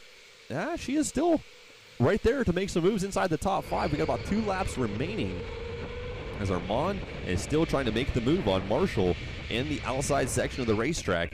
They're making their way around turn number six, turn number five in reverse, and heading back inside the doors. that number 26 machine is not someone we've talked a lot about tonight, but uh, he he's coined the term the Salerno move because he has this way of kind of pushing people off to the side, but doing so in a manner that uh, Isn't too offensive. is yeah isn't offensive. It's not pushing people out of the way. Um, I'll show you up the inside right there. but that's it right That- there. yep. That's exactly the Salerno move. Get As Chris Nanchoff is getting pushed sideways and throwing up the arm, saying, "What's going on here?" There White flag is out. One lap to go. Rachel Hart trying to make two quick passes to put her inside the top Getting five super further. aggressive out there. As the one car, this was Adam who was just trying to hold his line on the by turning the wheel to the right. There we see Rachel Hart right in the thick of things as she has worked her way back up to fifth on track, and she is all over Corey Ricker for fourth. She may be able to get up inside the top three as well after that nasty lick. I thought she was out of it. I thought that with that crash that she would not have been in contention, but she has rebounded and put herself back in the number five position as they come across the finish line in the A main of round number two of competition. So that was a great rebound for Rachel Hart but exceptional racing for Marshall Miller and Armand Deligny. But great race as well for Adam Weaver. Yeah, especially Armand, who started in fourth position, gaining two points for the, the additional spots he gained. Marshall Miller holding. Adam Weaver is going to go up with not. David Pons did go back two spots. He started the number five. Corey Salerno seventh. making a bunch of moves. Much, bunch of those uh, Salerno moves, I think. Six bonus points going to the way of Corey Salerno as he has unofficially made six passes in that main event. That would probably be the most advances we've seen in that race. I would be willing to bet that that would be the most bonus points that we're going to see come from any of the drivers there in the A main. So we're going to take a couple of minutes now and send these drivers back down to the pits, work on getting our points tallied up from that A main of round two of competition, and we will get the B main helmeted up, staged up, suited up, and into their carts in just a couple of minutes. This has been some great racing already that we've had, James. This is this is definitely a good event. What a difference in the reverse direction versus the primary. The, the, the forward direction, we had large gaps, especially Marshall, who took an early lead. Uh, but once we went reverse, we had everybody almost nose to tail through the whole field. Your top two were able to break free of the rest of the pack, but they were still competitive against each other. And the rest of the field, you could have threw a blanket over the entire field. It was it was great competition. That's Corey Salerno right there, who's talking with Jason, who's the, the steward for this event.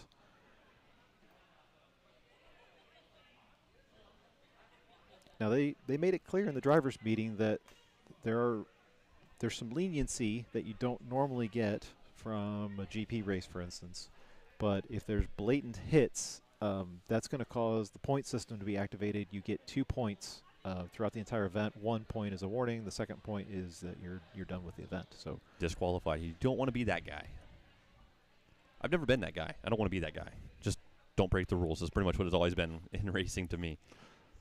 Um, but we are going to take a couple of minutes and tally up some results and get some official results from the A main posted. And we will have our B main drivers selecting their carts. We see them selecting their carts right now, and they're going to get themselves helmeted up and back down to their positions in the pit lane.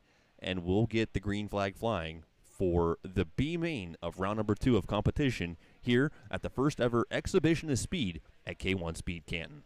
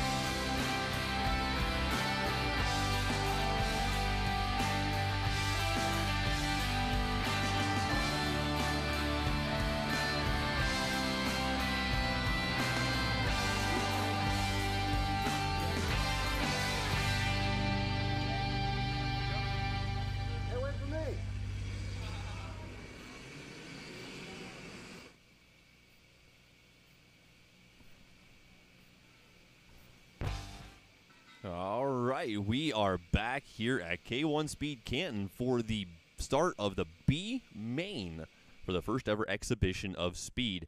Again, the B main, same as the A main, 10 laps forward, 10 laps reverse, with that mandatory competition competition yellow right there in the middle.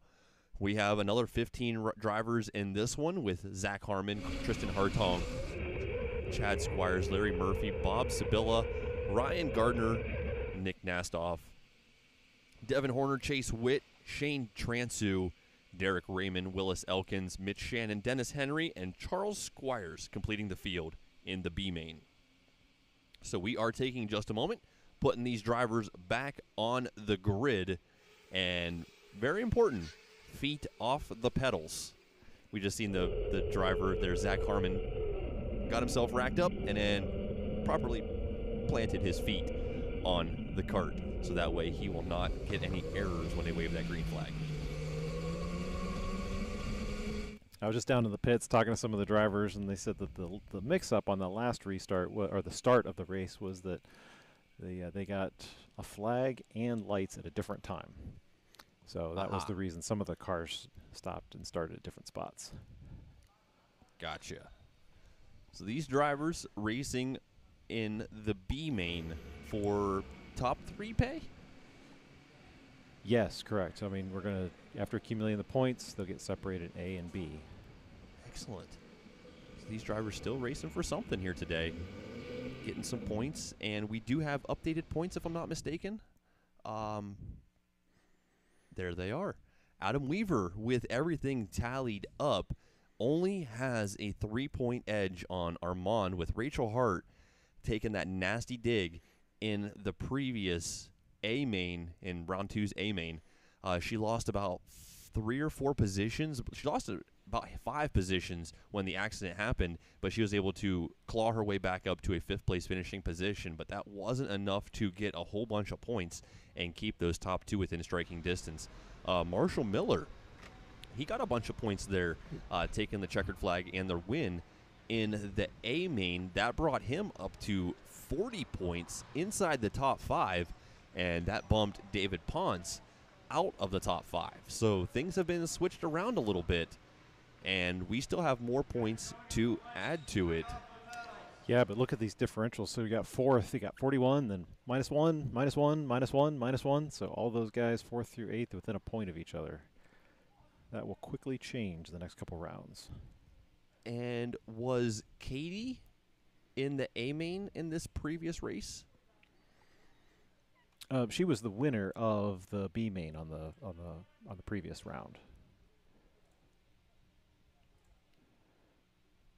but in she was not in the A main in round two, if I'm not mistaken. So she is sitting in contention to get a whole bunch of points here. In ninth place overall, Katie Wise. Another false Nope, start. my mistake. She was in the A main, so my mistake entirely. Uh, just disregard everything that I just said. Announcers make mistakes too, believe it or not. So he jumped the gun on that start, and we'll get things figured out. We'll probably run them around a lap and then put them back down on the grid. As we see the yellow the yellow lights flashing right now out there on course. Race control says we're going to just add a lap and regrid them. Excellent. Thanks for the update.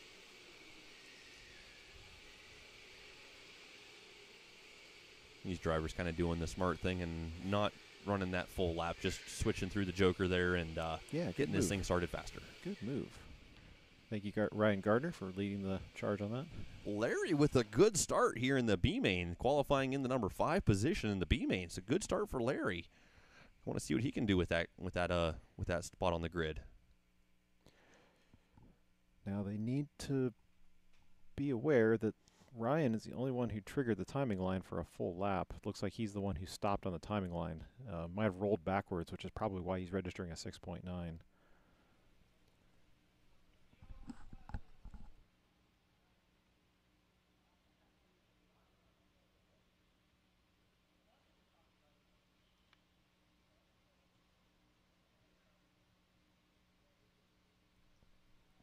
Just assessing uh, the timing and scoring for Mr. Gardner there and getting him squared back at zero.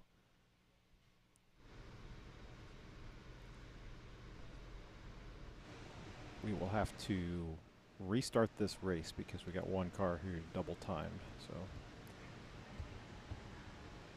So really, Larry Murphy's actually starting in the number four position yeah, in this B main. Great.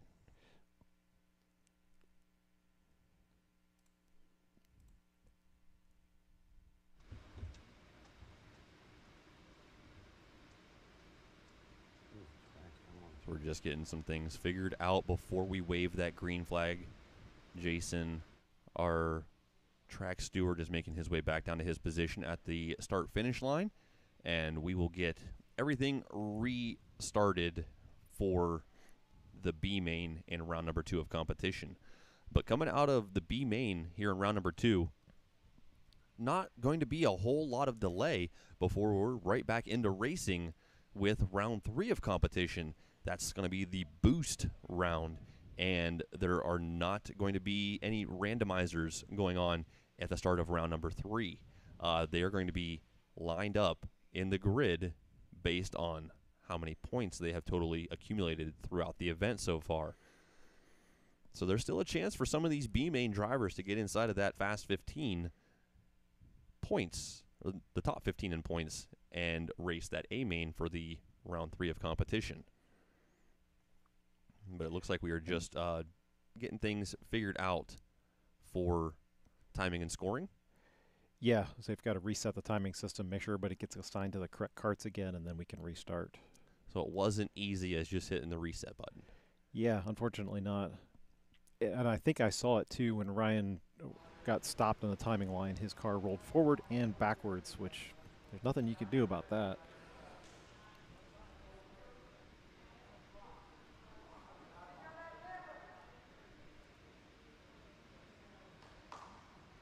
There we go.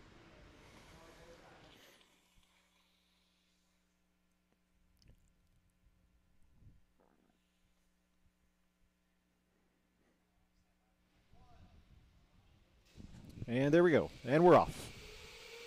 It looks to be a clean start in the B main. Much And cleaner than our last restart in the B main.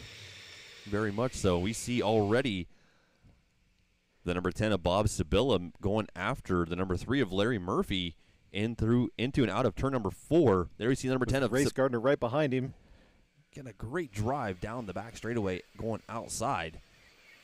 Zach Harmon's got a, about a cart length edge on Tristan Hartong, who is already opening it up now over Chad Squires back there in third. So going three wide back in through the double doors. Always makes it a tight squeeze before they hit the carousel. Very that much so. barrier just sticks out in the middle of the road there, and you got to decide who's going to take the right and who's going to take the left. And if not, well, you end up in the middle. We have changed up leaders on the course. Tristan Hartong has made the move on Zach Harmon to take over the number one spot, and convincingly so, as he is already. No, check that. Harmon has passed him right back, though, so they were side by side across the timing and scoring beacon last time by, and Harmon was able to put himself right back ahead of Hartong. And here they are completing their second lap around the carousel. They go and down the start straightaway. Harmon still with the edge on Hartong. Bob Sibilla in third, Gardner in fourth, and they're going to go three wide into turn one. whoa, one driver getting all kinds of slowed down. The number 31, you're 31 with.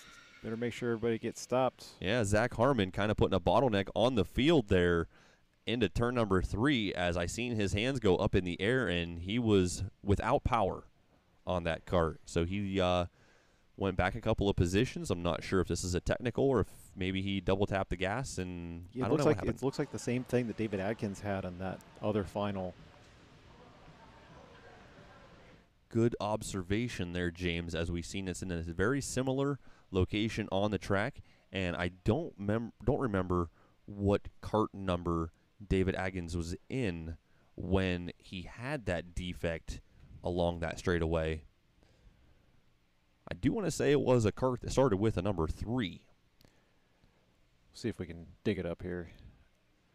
So we have Jason Lucky, our track steward, out there trying to assess what is going on on the track, as this is a very similar situation that we had earlier in the program with the yellow flag coming out very early in the main, and we have to put them back down there on the line potentially and do a restart, or we'll figure out what's going on.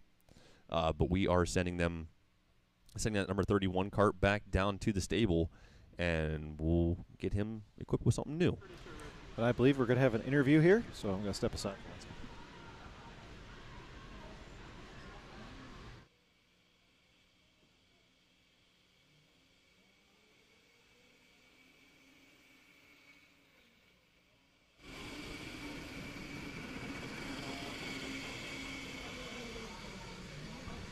Last race was nuts.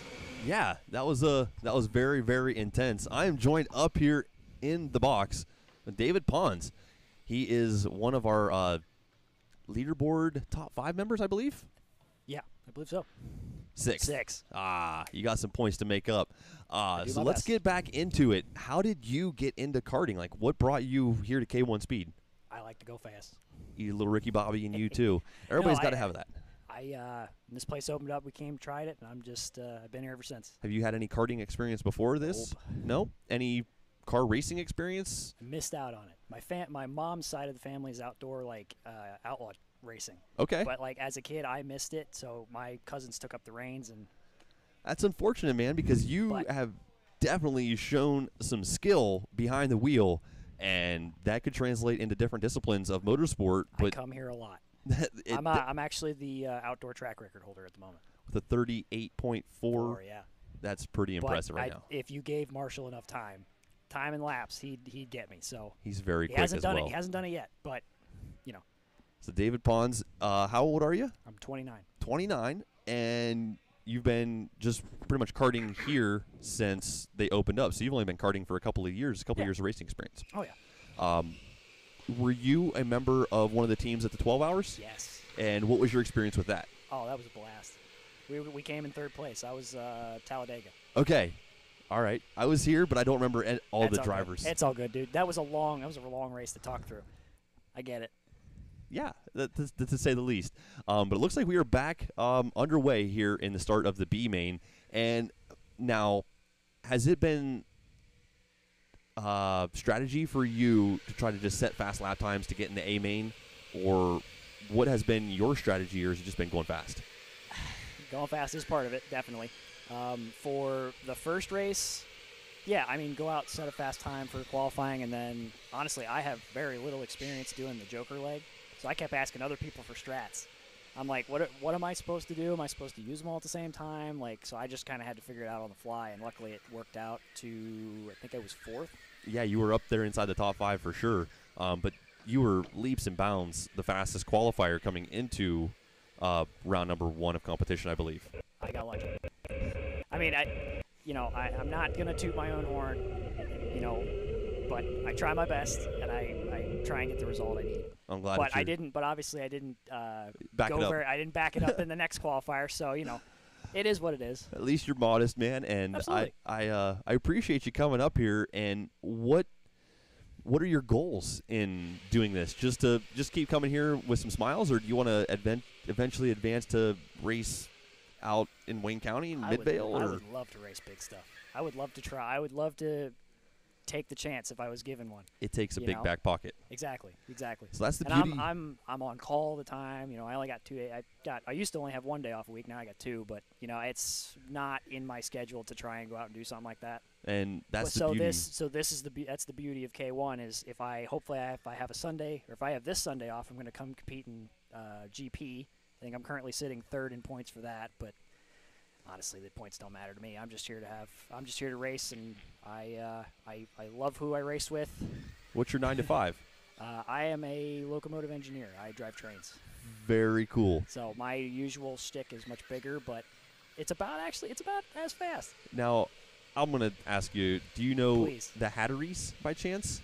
Because I know that the Hattery family does a lot of things with the locomotives, and if you don't, that's totally cool. But it just would have been one of those Name crosses. rings bells, but I'm not sure. Okay, no worries. Uh, but we have some great racing going on out there on the track right now with Devin Horner uh, currently sitting up front over Mitch Shannon. Ooh, there's some side by side right there. We'll have to see who they are when they come back through. I bet that's a battle up towards the front of the pack. Yeah. Um, any noteworthy drivers that you see out here in this one? Oh, uh, I would love for Tristan and Zach to start putting in putting in some work. Okay. Uh, Tristan was on my team for the 12 hour. Okay, Uh, I remember his name. Larry, I raced with all the time when I first started. I'm a low Uh, key I- Larry there's fan. a lot of there's actually a lot of names on here I don't recognize, and that's a great. That's great. That is very good. It's not all just the same circle of guys. It's expanding the word of the competitions here at K1 Speed. Absolutely. And it seems like it seems like everybody's having a good time. Right Unless on. you get a little too competitive, then people start chirping. But you know, eh, what are, what are you gonna do, right? We all have those days. oh yeah.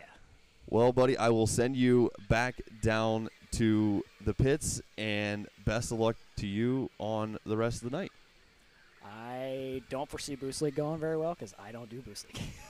but we'll see. At least Appreciate you're it, honest, man. All right. Uh, so glad to have you up here, and we will get.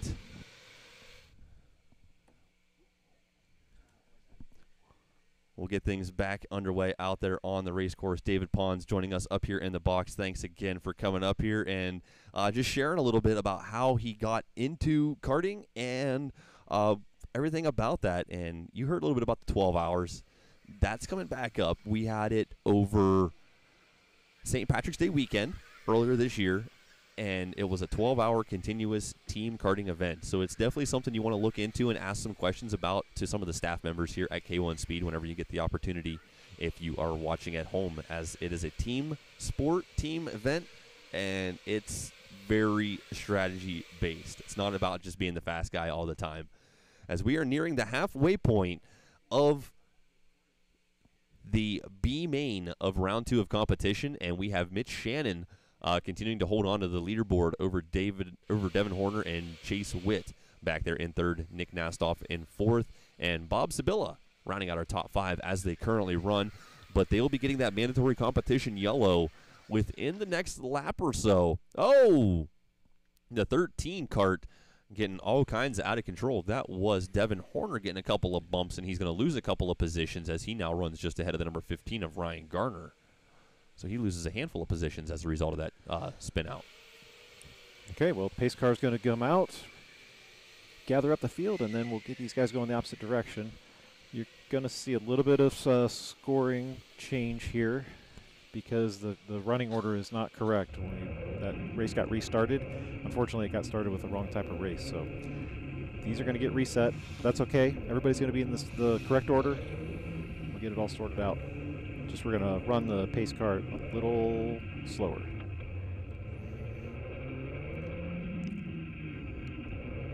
It's actually pretty hard to drive these cars on speed four behind the pace cart. Their uh, throttles are pretty sensitive, so kudos to these guys for keeping a nice steady pace. Now, can you give us a little bio on who our pace car driver is?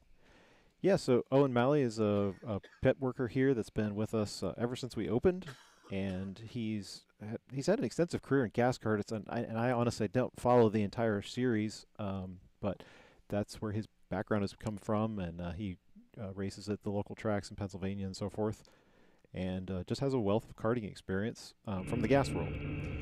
Now, I know that um, Atkins Raceway outside of Port Washington opened back up after being closed for 20 years or something like that. Are they still currently open? Do you know? Yeah, Atkins, as far as I know, yeah. And that's kind of an arrive and drive gas karting track, if I'm not mistaken. I I really should know, but yeah. for- I believe that you can go there and rent a cart and drive in the day. I've, I've checked them out on their website quite a few times, and that might be a, a cross discipline for some of these drivers to utilize if they want to use the carts, yeah, absolutely. the gas carts. the the driving philosophies and styles are drastically different. I would say um, racing still racing. You still need to know racing line and stuff, but the, the the controls of the car are a lot different. Now, Not to say that guys don't come here in the wintertime practice. So. Now, these carts are very much different than ones that we may see at rival karting facilities in the electronic world, as you here at K1 Speed run the batteries on uh, LiPo, correct? Um, Lithium ion. Lithium ion. Yep. Okay. Exactly. And some other karting facilities use the old lead acid battery still. That's correct. Yeah, when we decided, when I opened this facility, I decided that I did not want people to come here and try to set their fastest laps as their battery was dying. Uh, it's one of the big frustrations I had by visiting other facilities, um, especially when you get in a rhythm and you're uh, increasing your lap or decreasing your lap times as you go along. Uh, to have a battery die on you is extremely frustrating. So we made the additional investment here to get uh, the uh, lithium batteries so that we can maintain that 48, 50 volts your entire race, and we can run your cart for a lot longer. Different uh, battery technologies have come a long way uh, since the old lead acid cells that we Absolutely. were always accustomed to. And the battery technology is just continuing to progress. And electric vehicles are becoming the norm in not only what we see on the streets here around, you know, North Canton, but worldwide. EVs are going to be the norm starting around 2035. Yeah, and as we go back to green, it's just a, it's a, it, this is an exercise in in testing those limits, just like motorsports is the pinnacle of testing almost anything in the automotive world. Uh, Exactly. we've seen people comment that well, these are just go karts; it doesn't really matter. Nope, the, the philosophies apply, the physics apply, and the, the battery technologies definitely apply, even in something as small as go kart. And the BMS technology applies the battery management software and systems. Exactly. That was that was something that we exclusively designed here for our usage. Um, it allows us real-time monitoring of the batteries. With the yellow flag is out. Very interesting. I did not see any drivers crashing on course, but we do see the pace cart slowing all of the drivers back down in the reverse direction with oh, I see what it is. completed. Yeah. So Zach Harmon scored on cart 31. They need to get his car number uh, sorted out.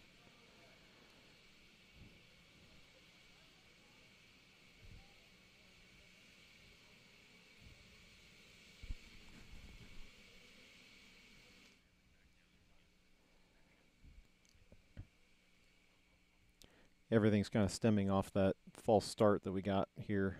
As a, we have a ripple effect, from one thing to the other. We are showing the correct number of laps in the correct number of direction in the correct direction, at least.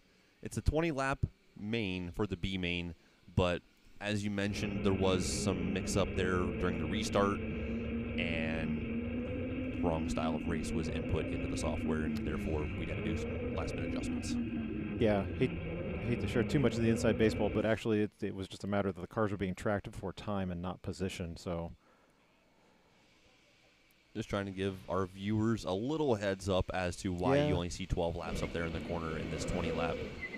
Um, but the first, the first set has been decided, and the drivers on track are lined up in their positions, or at least their positions after one one lap of racing in the reverse direction. the good news is the pace car lights are going to go off after this. They just went out, and we'll get back to racing the next lap. And they've added one lap to the race to compensate for that error. Trying to give these guys as much opportunity to battle it out as possible. And we will see Tristan Hartong with the early advantage as he has clear real estate ahead of him coming into the restart of this one.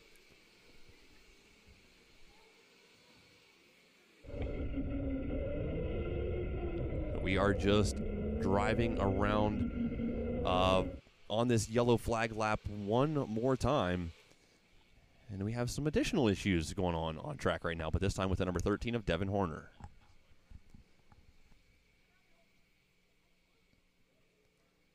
during this break, at least on track right now, we got uh, another one of our competitors from that A main joining me back up here in the box. Rachel Hart, you had a great qualifying position and you were running great there in the A main of round number two. But walk us through what happened during that A main because I what I seen was three wide and then you didn't have any racetrack left to go into. Yeah, basically. So um, the way it went was Adam was trying to turn his cart so that I would push him through the corner, and he miscalculated, and he actually came into me And instead of like going through the corner, we both kind of went in the wall, And Armand was there on the outside, and he just Yeah. walked around both of you guys. pretty much. Yeah. So now, was that a hard lick that you took? At least it looked from up here in the box like it was a pretty hard lick. Yeah. Um, unfortunately, even with the neck brace, you still kind of go forward a bit. Um, it was a pretty like fast to slow stop there and impact. So And Mm, as a result, it kind of kind of took the wind out of your sails a little bit, and you lost a handful of positions. You kind of fell back through the field, but you were able to rebound and work your way back up to fifth. yeah, um, I got going again and kind of realized like got to make up the ground. You know, the race doesn't stop for anything, so just, Just got to keep quit. going. Yeah. So so far, you are, I believe, sitting in the number two position in points, or am I? Are you s- Mm, I might be third now. third? On that, Uh, there you are. We got updated points ahead of us. I figured Armand got a couple on that. in So- passing. Coming into race number three, the boost race. Do you have much experience with the boost league? Yes. Okay. So I've run almost all of the boost races that we've done here. Now, with the bonus points being allotted to the drivers Yeah. that don't use boost, how are you going to manage this final race with the deficit you currently have? So I think it's going to be game time strategy. So we're all going to go out, we're going to start, and if the first guy starts boosting and pulling away and you're getting pummeled from behind, you're going to have to hit the button. I think it's going to play out one of two ways. Either you're going to boost or you're going to get pummeled, depending on if everybody boosts or nobody boosts. And then you're going to have to boost to catch up. right. Gotcha. Yeah. So either you don't boost and lose positions, um, and hopefully the person passing you is using up all of theirs, and you like don't lose as many as they're losing. Um, so it's very interesting. I don't know if there's really a good strategy. and it looks like you will be lined up in the A main of that third and final race. Yeah, I think it's gonna go by points. So I should hopefully line up third, and if I can keep that spot and use less boosts than everybody else, I should stay on the podium. Now, what is your experience in karting? I know that I know a little bit about your background outside of karting, so I know a little bit more than maybe the viewer at home. So, what uh, led you to coming in these front doors for the first time? Um, so I ran go kart leagues at High Voltage, and that's where I met James um, and some of my friends here. And I got a message from one of the guys, um, Chris Nanchoff, who's racing today, and he said, "Hey, my friend's opening a new go kart track. Want to go?" And so we were here like first day it opened. Excellent.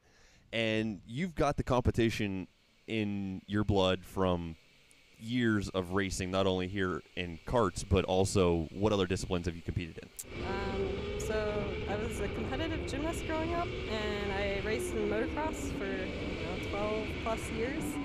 Um, and then in about 2020 time frame, when everything was kind of closing down, you could still get in a go kart under a helmet and go racing. So kind of transitioned there. Got a little bit into cars. Um, and this has been kind of my pride every week, Monday nights here for Boost League or GP or endurance karting. So not so much on the handlebars, but mainly behind the steering wheel now. Yeah, a little bit, a little bit safer. I did make the observation in the first race of the day. Uh, you were out there in cart number 7 Mhm. and that was your old motocross number.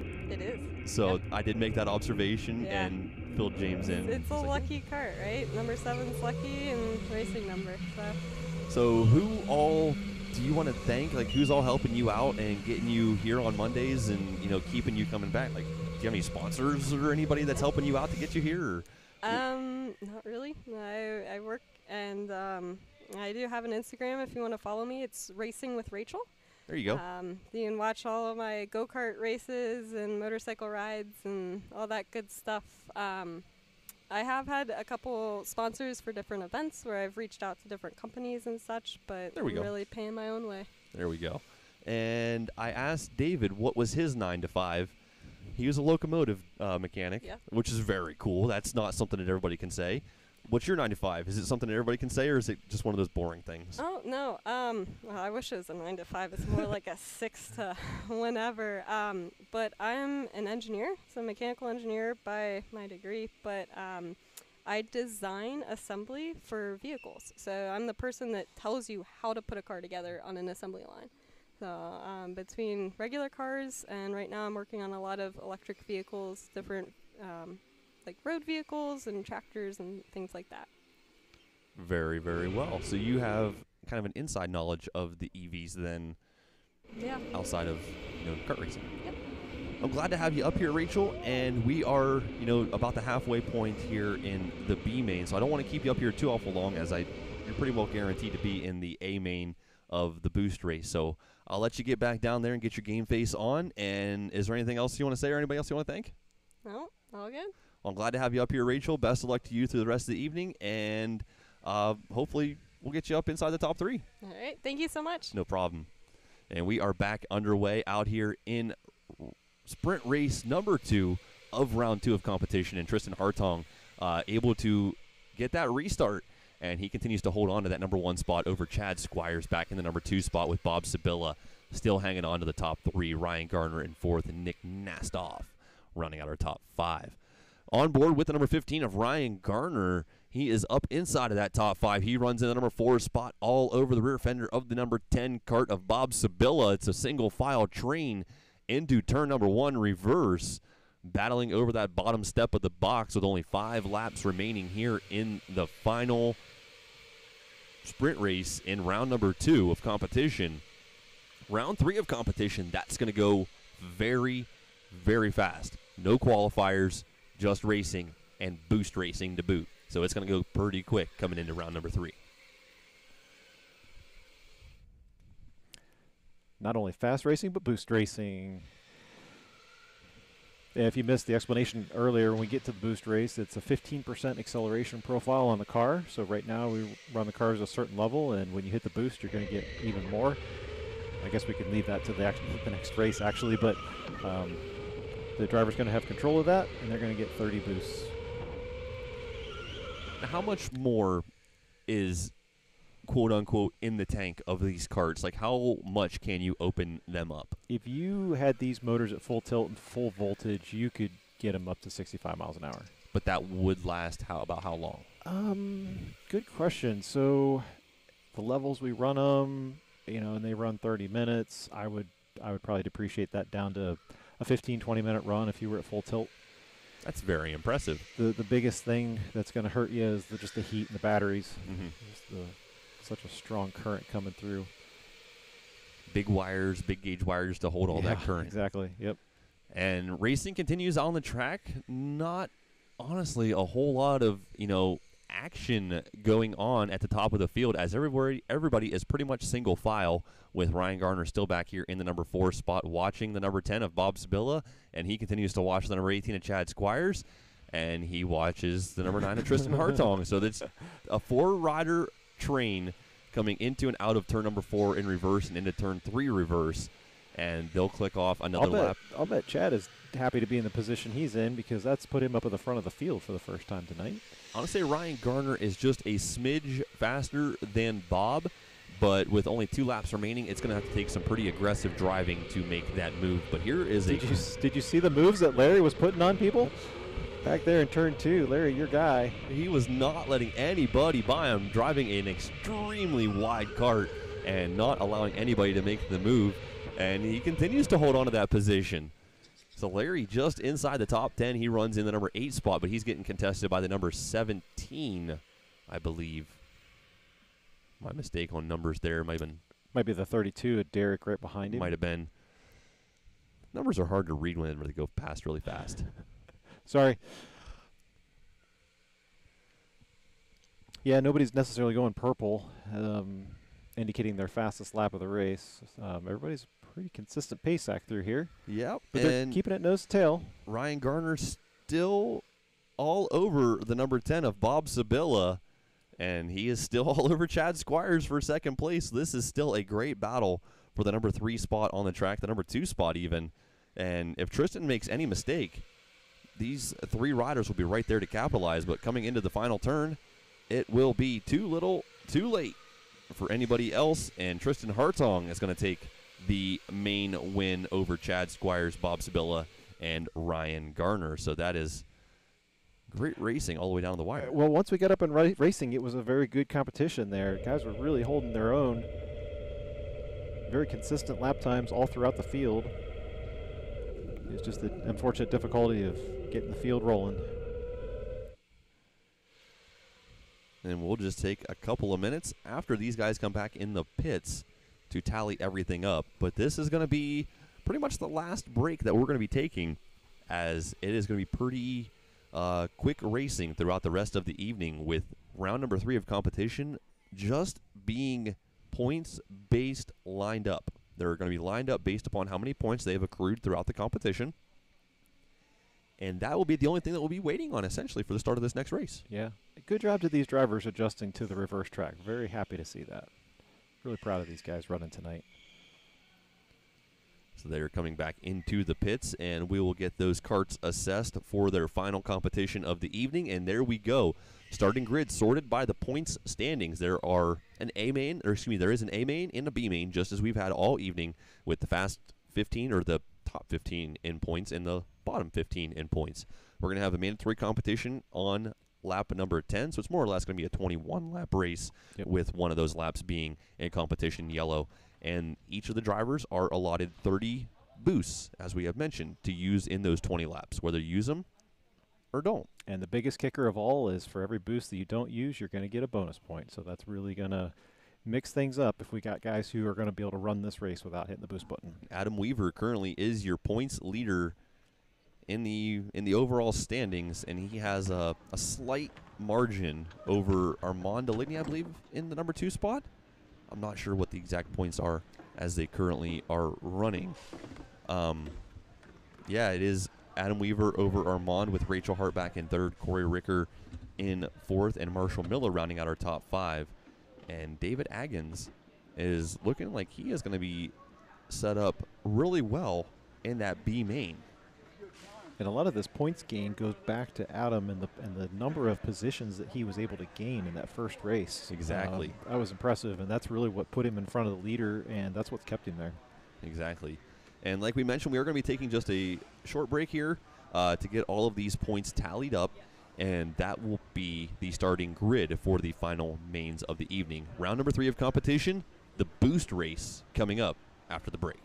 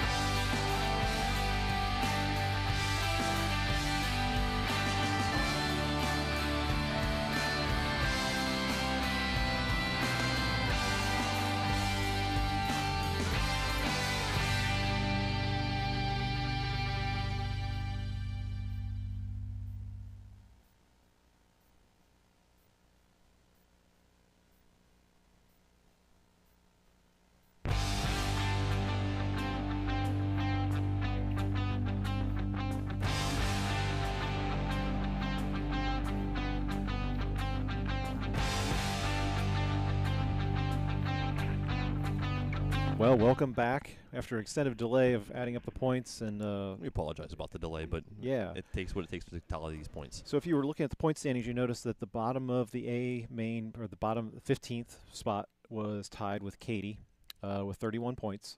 So we had to make a decision on what to do with that. Uh, due to the fact that uh, uh, Charles, the number 29 spot, is dropped out of the race. He's not going to run the final.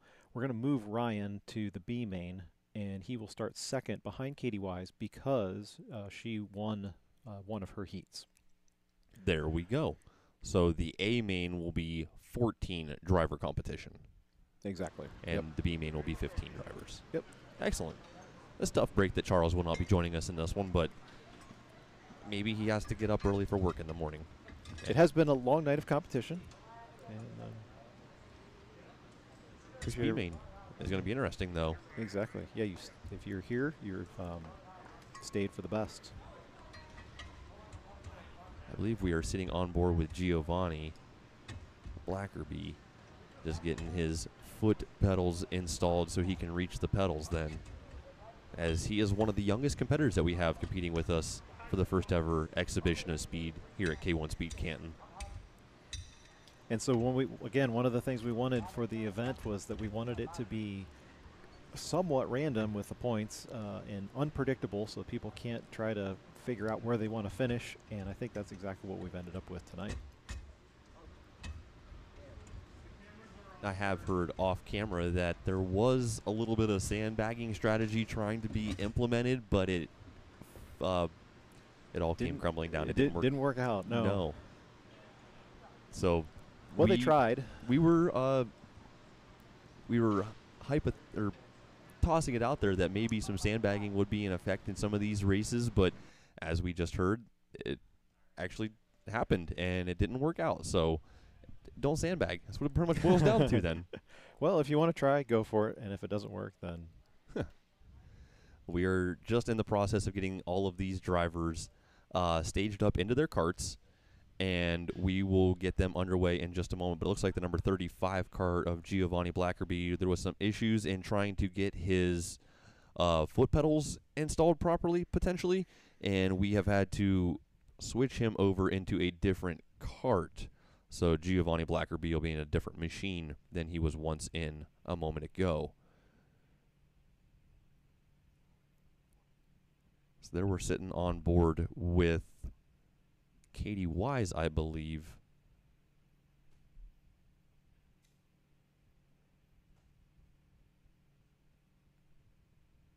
As we are just moments away from getting racing back underway here for the first ever exhibition of speed at K1 Speed Canton.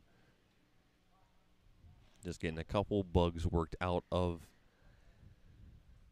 the issues, and we'll be underway. And we weren't totally lost on time uh, because we wanted to make sure the cars were as charged as possible to start this boost race. That that makes it it takes a big toll on the batteries to run this, and uh, we want to make sure they had it topped off as much as possible. I do remember you saying you, it was either on the broadcast or off camera that it's about a one to one ratio uh, for charge time and use time.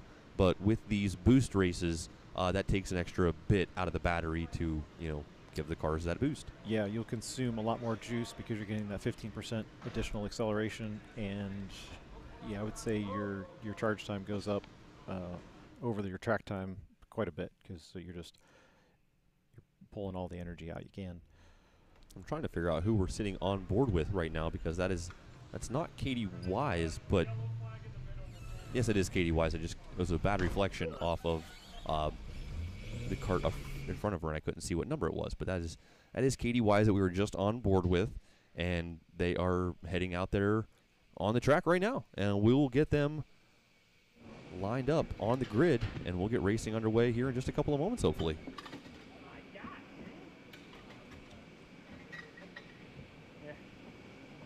just switching carts around left and right. But here in the B main, we will have Katie Wise on top of the leaderboard with Ryan Gardner, Brendan Thomas, Bob Sibilla, Zach Harmon, Giovanni Blackerby, David A- Agins, PJ Manny Penny, Brendan Squires, uh, Willis Elkins, Devin Horner, Nick Nastoff, Larry Murphy, Derek Raymond, and Dennis Murphy are all on the grid in this one. And as you rode on board with PJ Manipenny, the thing we hadn't mentioned tonight was that he was last last year's endurance champion. So his daughter won the series this uh, this year, and he won it last year in the inaugural event. So you got father and son that are holding the endurance championship. Pretty There we cool. go. Now So on keeping it in the family. on board, we can see the heads-up display changing between brake on, throttle, and all of the different displays. Whenever they hit the boost button, will they get a notification on that heads-up display? They don't. No. Okay. It's strictly what you feel from the car, and you when you tr- when you press the button, it immediately deducts one, and it stays on for four seconds. And just a reminder to the drivers to do not turn off your carts when you come back in the pits Exactly. from your event.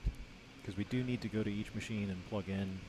We don't have any real-time telemetry that tells us how many boosts they're using, so we're going to check to see how many we got at the very end of the race. That's very important for the competitors to not completely turn off their machines when they come back in the pits from the completion of their event. And this is going to be a 20 lap race with a mandatory competition caution coming out at lap number 10. There may be more than just that one competition caution.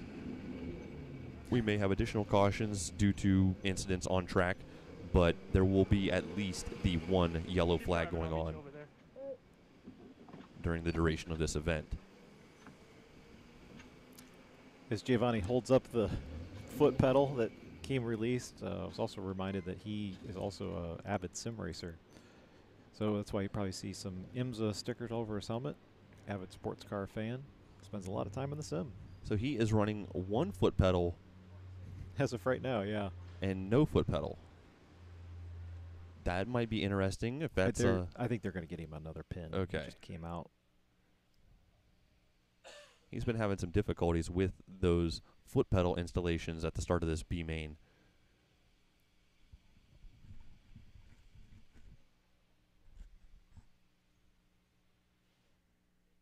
But there we are sitting on board with Brendan Thomas on the number 26 cart, sitting in third place here in the B main.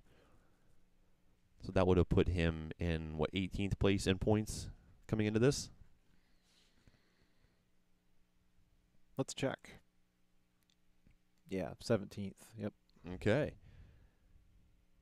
Katie Wise then leading the points in this one and so on and so forth, sitting on board with Katie Wise. So we are just at this point in time trying to get Giovanni Blackerby's pin put in his foot pedal, and that should be the only delay that we have before the green flag will get waved and we will get the B main underway for round number three of competition here for the exhibition of speed.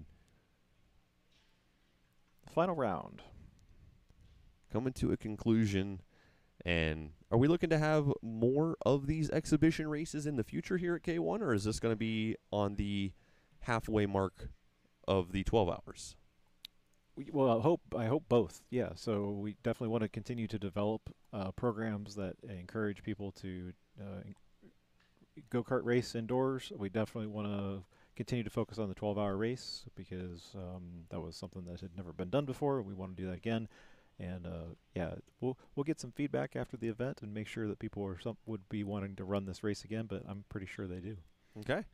And I'm curious to see what the feedback is as well on what they might want changed or what issues they have seen in the running of the inaugural because there's always going to be some bugs Sure. in the first ever event that you run of a certain type of uh, style of racing. So I'm curious to see some input from our competitors, and constructive criticism is always welcome.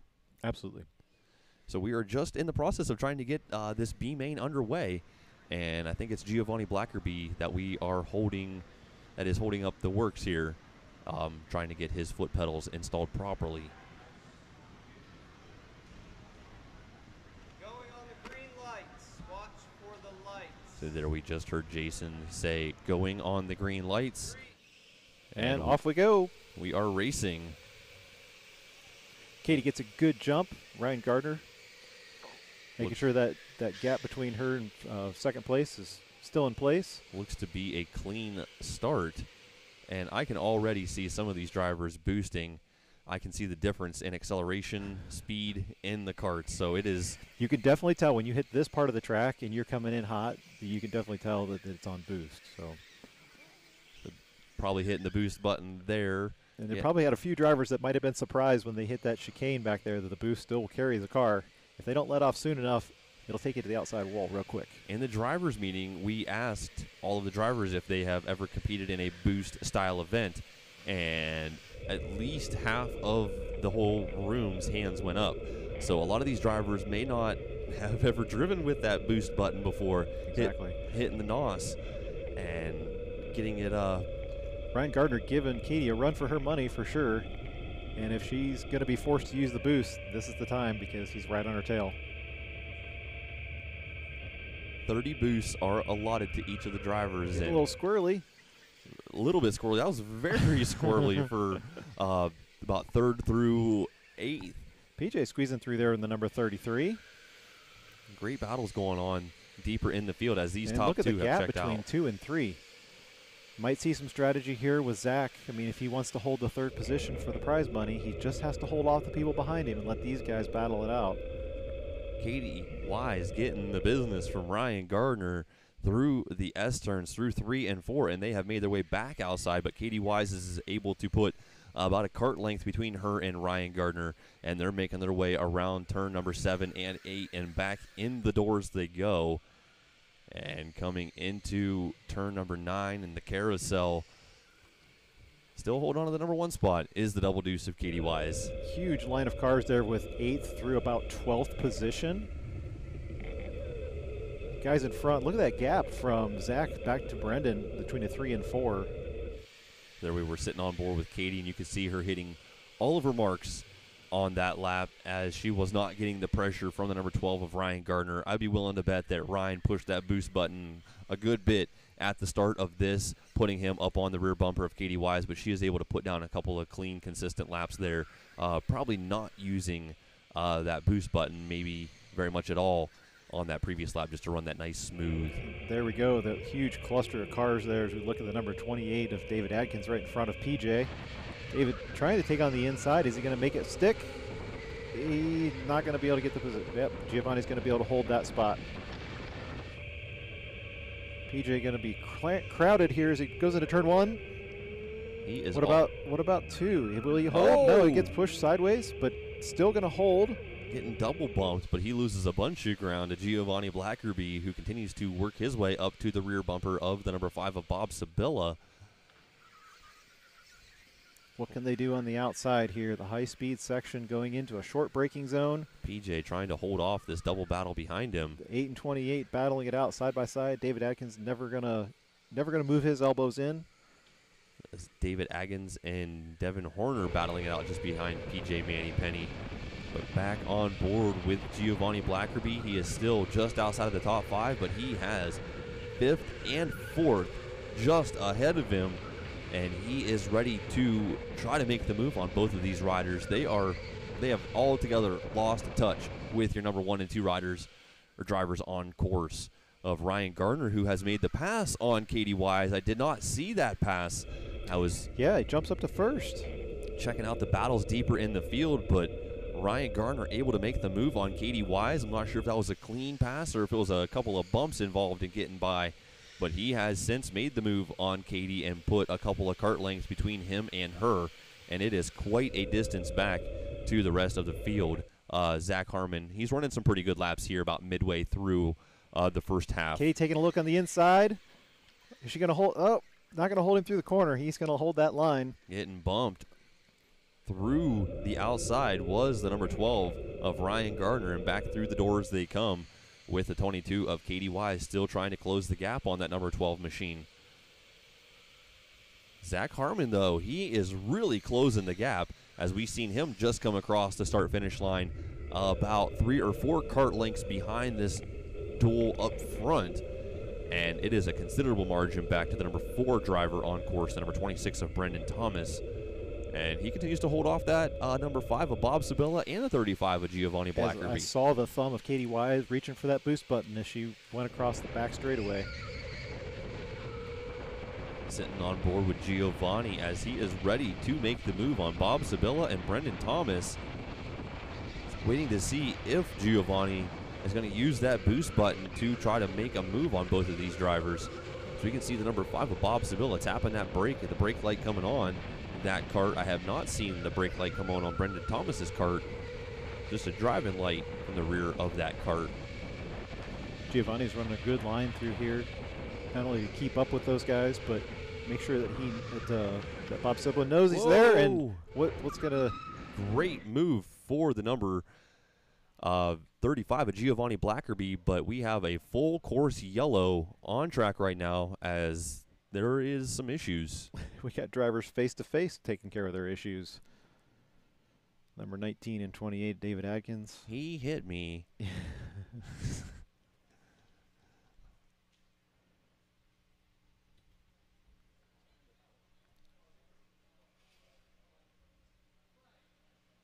So we're just going to get these drivers hopefully righted and facing the correct direction. Hopefully it'll be a quick restart back here into the B main.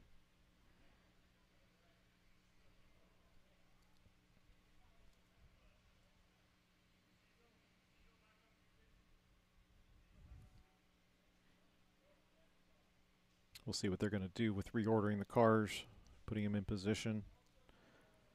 Curious to know how the restart of this one is going to be. If it's going to be bringing the pace cart out, or if it's going to be green flag and go. They will hit the green flag or hit the green lights, I believe. Okay. Yeah.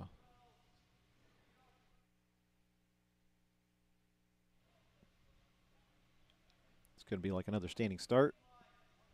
Make sure you're looking for a light. Make sure you find one one in here. Make sure you're looking at the right direction. Yep. So one of our track workers found it, and that's green. And we are back underway in the B main. After some bottlenecks out there on the race course, it looks like Katie Wise is still trying to close the gap on Ryan Gardner. These guys definitely didn't lose any ground, even though they had stoppage. Looks like the gaps are pretty, pretty close, but they're uh, back in line. Great battle for four, five, and six out there on the course. As Brendan Thomas is what seems to be holding up Bob Sibilla and Giovanni Blackerby. Blackerby has tried to make the move on Sibilla a couple of times, but the door has been slammed shut, and then we had the yellow flag come out, so we were unable to see if Giovanni would have been able to complete those passes before that yellow flag flew. And how much you want to bet that PJ sitting back there in seventh is just watching this all transpire to just try to make sure he doesn't have to use any more boosts than he has to?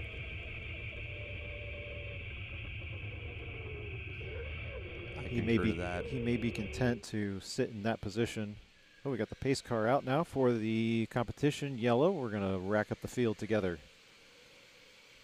All right, so everybody will funnel back in behind that pace cart, and we'll have this mandatory competition yellow just to bring the field back together. And we'll pull the pace cart in after everybody is bottlenecked up back together, and we'll get things back underway with the restart. There were two motivating factors to make sure we did this competition yellow. One of which was to stack up the field because if you wanted to sit back and not use boost, then it was going to reset the field. But the second thing was to make sure that the batteries got a chance to breathe. For anybody who is using boost, we need to make sure we can make it to the end of this 20 lap race.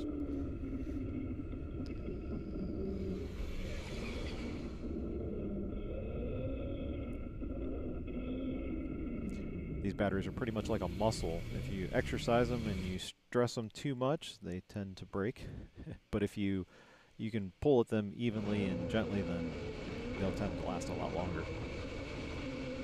You can flex the muscle, just don't pull the muscle. Yep, don't pull it. We all know what that feels like. So we should have our pace cart pulling in in just a moment, as this will be a rolling restart after the competition yellow. I believe the pace cart will complete the better portion of this lap and then pull in, and then we'll get things back underway. So if there was any concern from a driver with that incident that occurred about losing a gap or being in the wrong spot, that gap is now erased. We're going to start clean when we go back to green.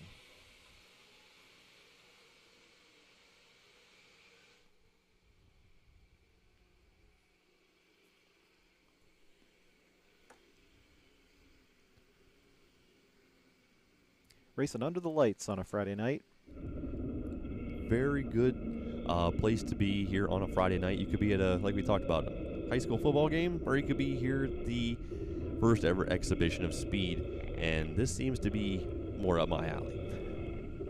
So we Love it. It's a nice crisp evening. We haven't had any rain tonight, although it was. Oh, it was Katie hits him from the back. Wasn't the smoothest of accelerations, but can't pass until the start-finish line, so they maintain position. she was trying to set herself up to make a quick move going into turn Yeah. number one. And it looked like Ryan just didn't do a full acceleration coming back to the green. Maybe a slight hesitation. There he is going through turn number five and into six. The number 12 of Ryan Gardner opening up a gap, a slight advantage on the 22 of Katie Wise. About a cart, maybe two carts you could stick between those two drivers. Those two checked out a good bit in the first half. Zach Harmon was able to keep them honest. But now he's right on the tail of Katie, so a little bit different than from the first half of the race. Good observation there, James, as there is a great battle shaping up for the number two spot on the race course. And Giovanni Blackerby did not have the restart in his favor in this one as he lost a couple of positions. He's now in the number seven spot. We're sitting on board with Giovanni as he is trying to make the move back on PJ Mannypenny, who made the pass on him at this restart.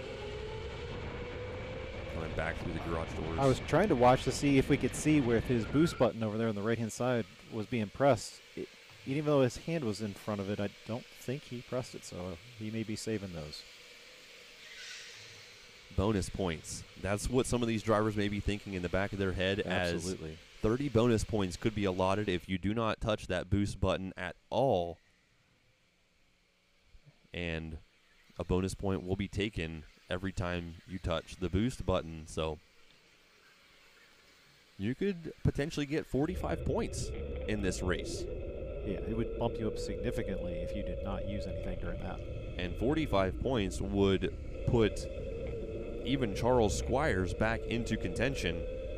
I mean, Yeah. Adam Weaver still has to race his main, but that would put him back up, you know, inside the top whatever. Well, the big main will still be finalized with this race. Um, so About seven laps remaining in the B main, as we see may see some drivers starting to use those boosts that they have left in the tank. As the number five of Sibilla really reeling in the number 21 of Zach Harmon and Katie Wise at a great three-way battle over the number two position as they make their way back indoors. And everybody is pretty much single file throughout the rest of the field. But the number 12 Orion Gardner, he has checked out. And he has put about a straightaway between him and the double deuce of Katie Wise. But look out, Zach Harmon trying to go up the inside. Outside nope, he's now. going to lose on that one.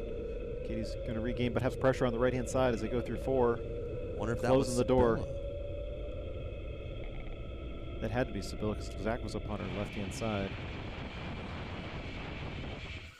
We're riding on board there with Giovanni Blackerby as they're starting to bottleneck back up, and Giovanni Blackerby's getting pushed all around. He is the he's the the subject of the bullying here tonight, as he is the little kid racing with all of the adults.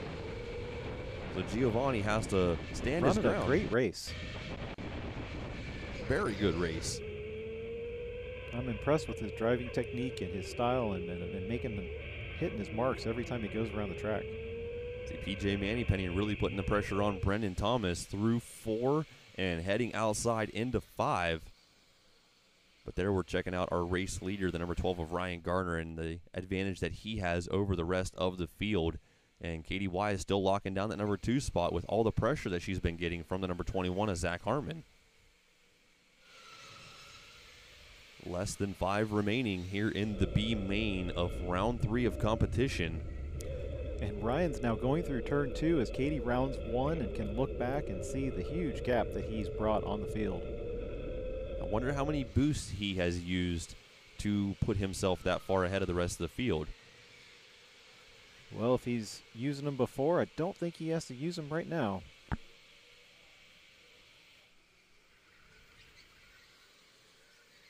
There's Katie Wise still holding on to second as she has opened up a slight edge on Zach Harmon.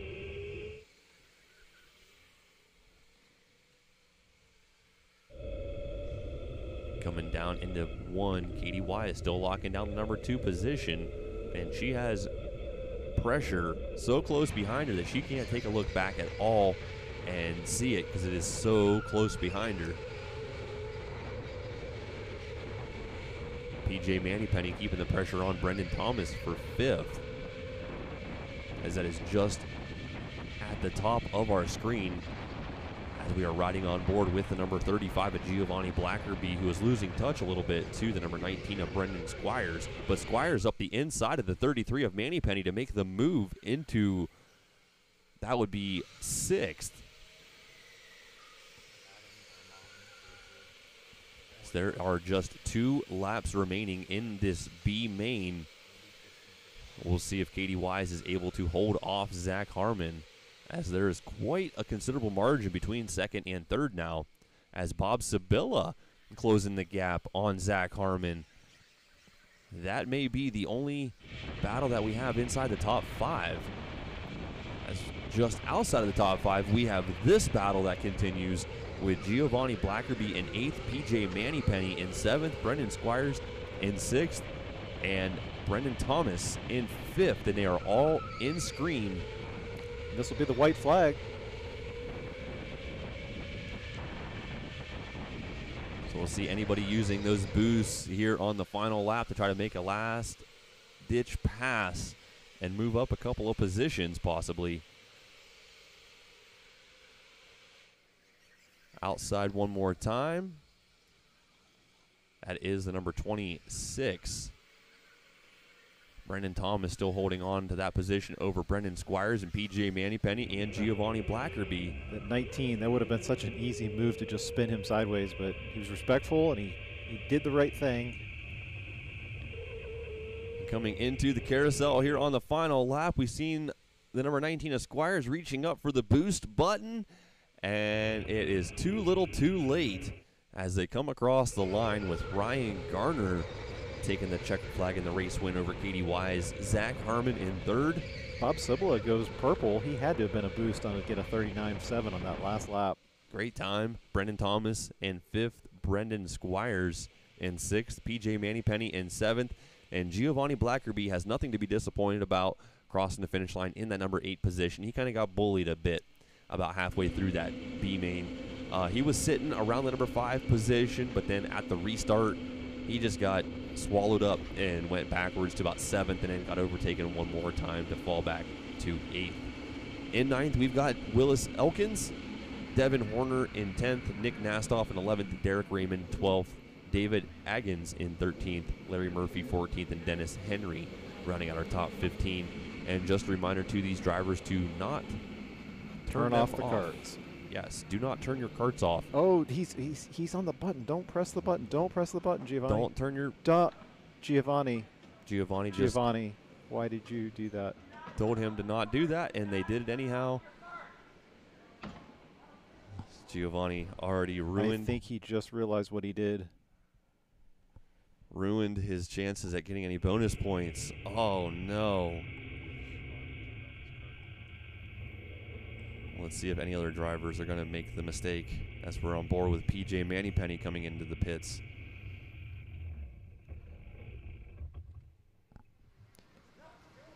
Well, unless he Giovanni knew that he used all his boosts, I'm not sure, but that looked like it was an unintentional thing. Intentionally unintentional. Intentionally unintentional. So we are going to take the computers out there and tap each of the carts and see how many boosts each of the carts used. And we'll see how many bonus points are going to be allotted to each of these drivers in the B main.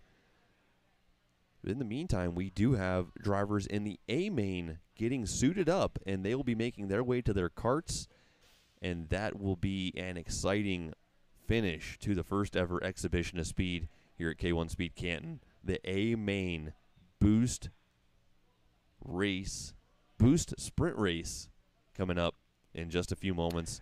And hopefully, our A main guys are getting in their cars because we don't need them to be standing around while they do this. So Correct. we'll see if we can get things moving and get back to you guys.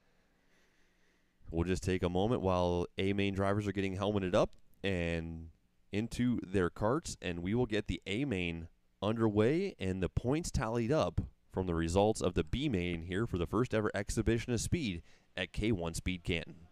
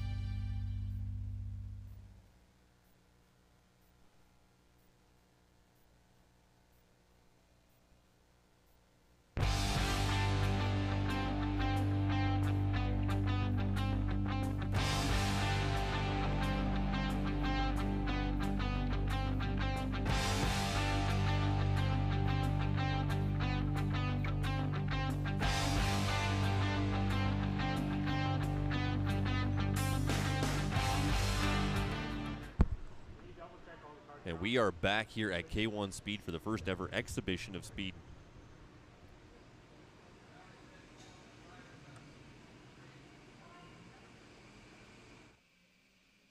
And we have our A main making their way out on the circuit.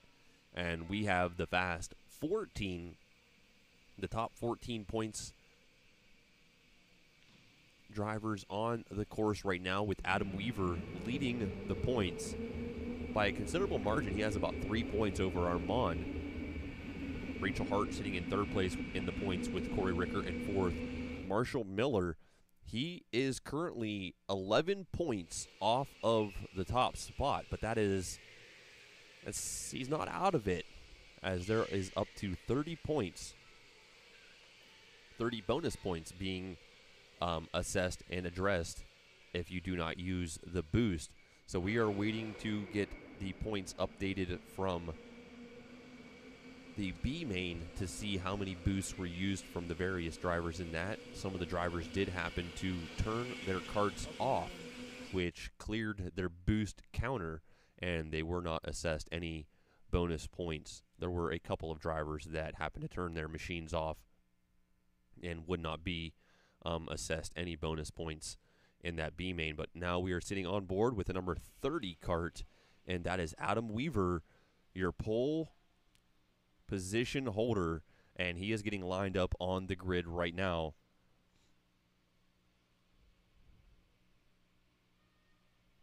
He's got the advantage over the number eight cart there on screen of Armand Deligny, the Ghost with Sonic. Rachel Hart sitting in the number three position on the grid. There's Corey Ricker in fourth place on the grid. Marshall Miller in fifth place on the grid on screen. There's the number 13 of David Pons. He is sitting in sixth place. Seventh place, Corey Salerno. There is the number three cart just off screen of Tristan Hartong. He is in the number nine position in their top center of the screen. That is Chris Nanchoff in the number 10 position rest of the field getting lined up here in the B main. There we see Mitch Shannon at the tail end of the field in this, excuse me, in the A main. We already had our B main, the A main about to hit the circuit. And they will have 10 laps, a competition yellow, and then 10 more laps to complete the A main of the boost race. The final race of the evening is set to hit the course and the green lights will flash, and that will be the start of this one as we see some of our track staff just finalizing a couple of our carts. And we'll see Jason make his way back down to his position at the finish line, and we will get the A main underway. The final race here at the inaugural running of the Exhibition of Speed at K1 Speed Canton.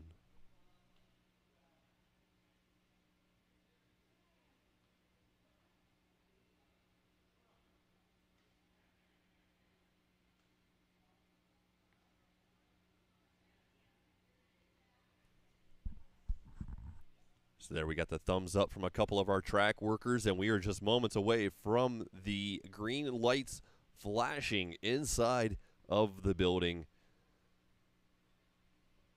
There we just see some finalizations getting made at the start finish line. And Jason will present to the racers that we'll go on the green lights. And we'll get the race underway for the final running of the boost race, the A main here at K1 Speed Canton.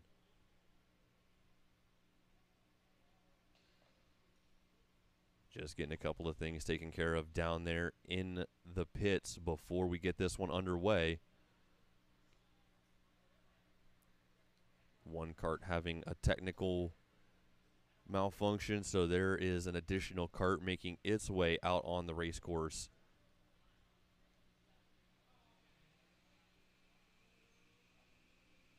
Not sure which driver was having some issues with his cart, but we're going to give that driver that fresh 15. Hopefully, get this one underway in just a moment.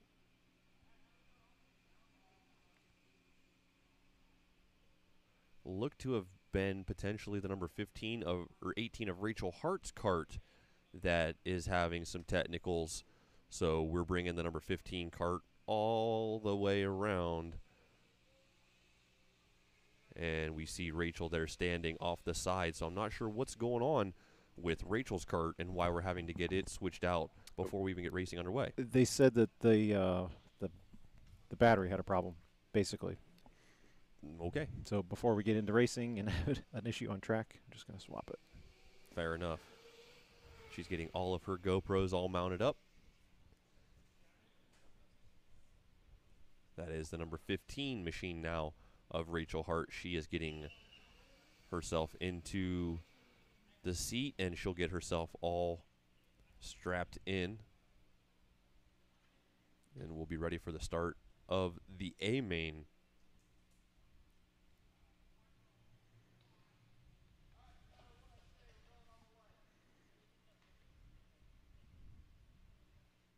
Just waiting for confirmation from the finish line that everybody is all good. And we'll get the final race of the evening underway.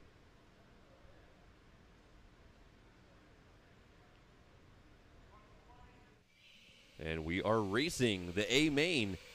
And into that first turn, Adam Weaver gets a great start. And we are already underpowered. Not underpower, underpowered out there on the race course. So the drivers looking like they will make their way back to the grid. And Don't we'll- stop on the start finish line. Keep moving.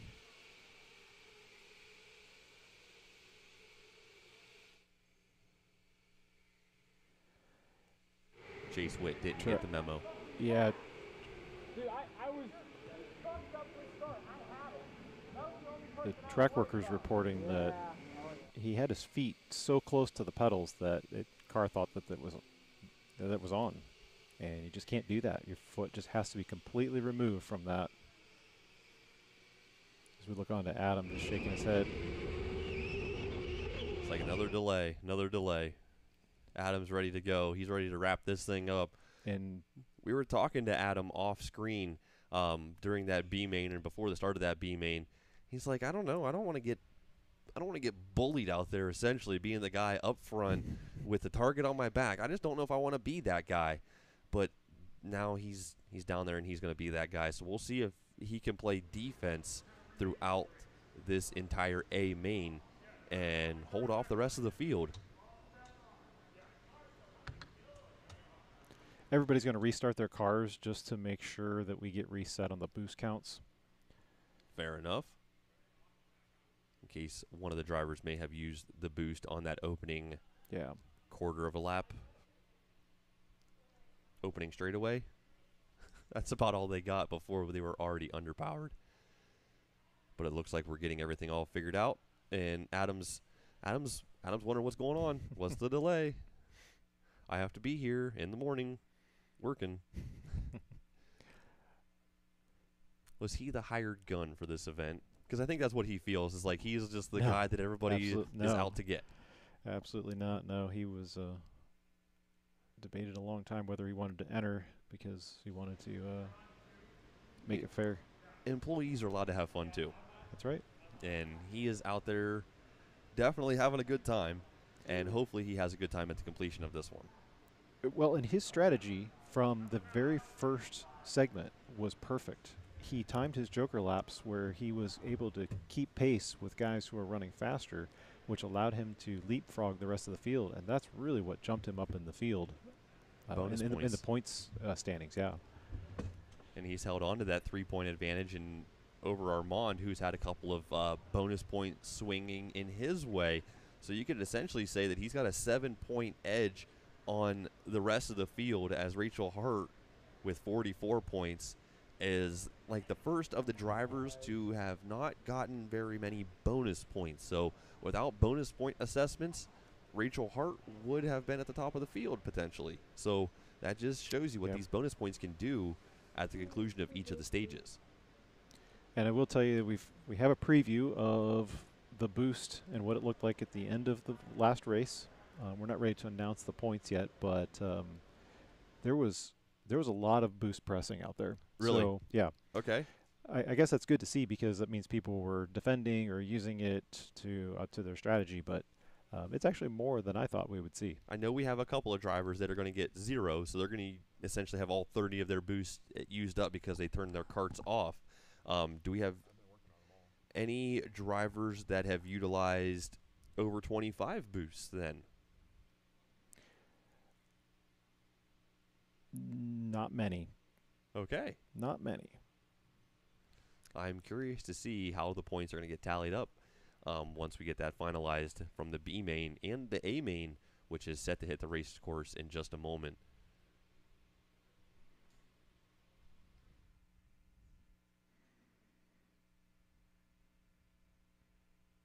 Adam Weaver's ready to go. He's just looking off to the side, looking into the pits, wondering what's going on. We have to reset the timer.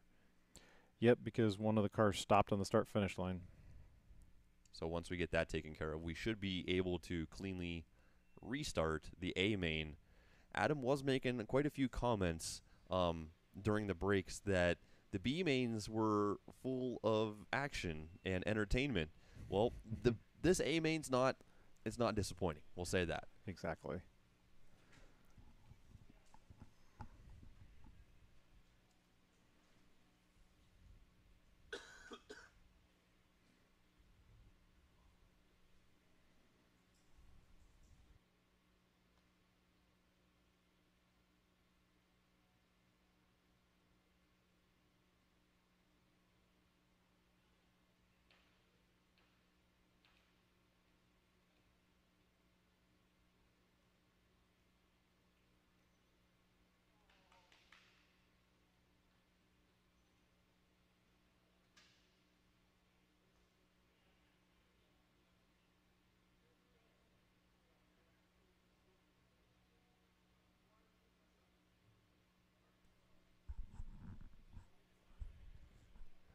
So we are just working on getting the timing and scoring reset.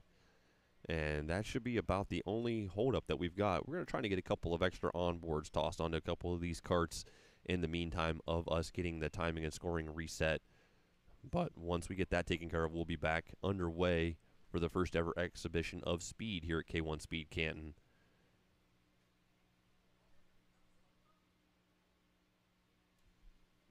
Well, we were originally going to do a six-hour race, and I think that's what we're going to get tonight.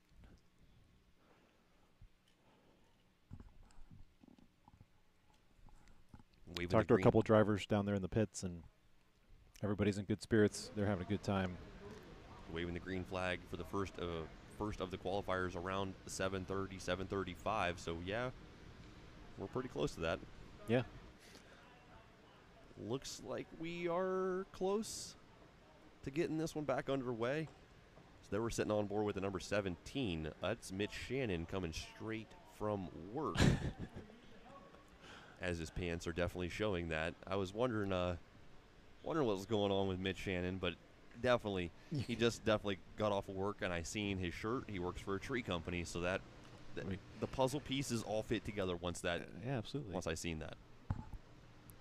No special uh, race outfits required in order to race these cars. Some drivers I do see have driving shoes, which gives them a better feel of the pedals. And I mean, it's not s- something that's mandatory. A lot of these drivers are just out there in hey dudes and vans. Yep. But some drivers have elected to put the extra investment into their footwear, which gives them better connection to the pedals and better car feel, better cart feel in the end. Uh, usually, when you check Tristan's on board, he's the one driving with the Hey Dudes. He says it's the perfect fit for his driving style. hey dude, whatever. I you do have some drivers uh, purchasing their own helmets. Some of these uh, drivers uh, have street bikes that they may enjoy riding in the fair weather.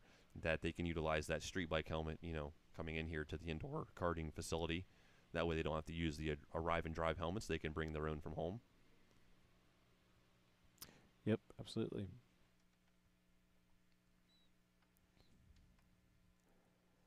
There, we're sitting on board with Adam Weaver. Is his helmet on, or is it ready to go on? In between. He, it's there.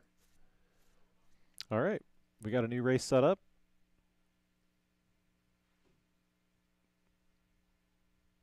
Don't think, just do. It's what Adam Weaver's uh, mantra is.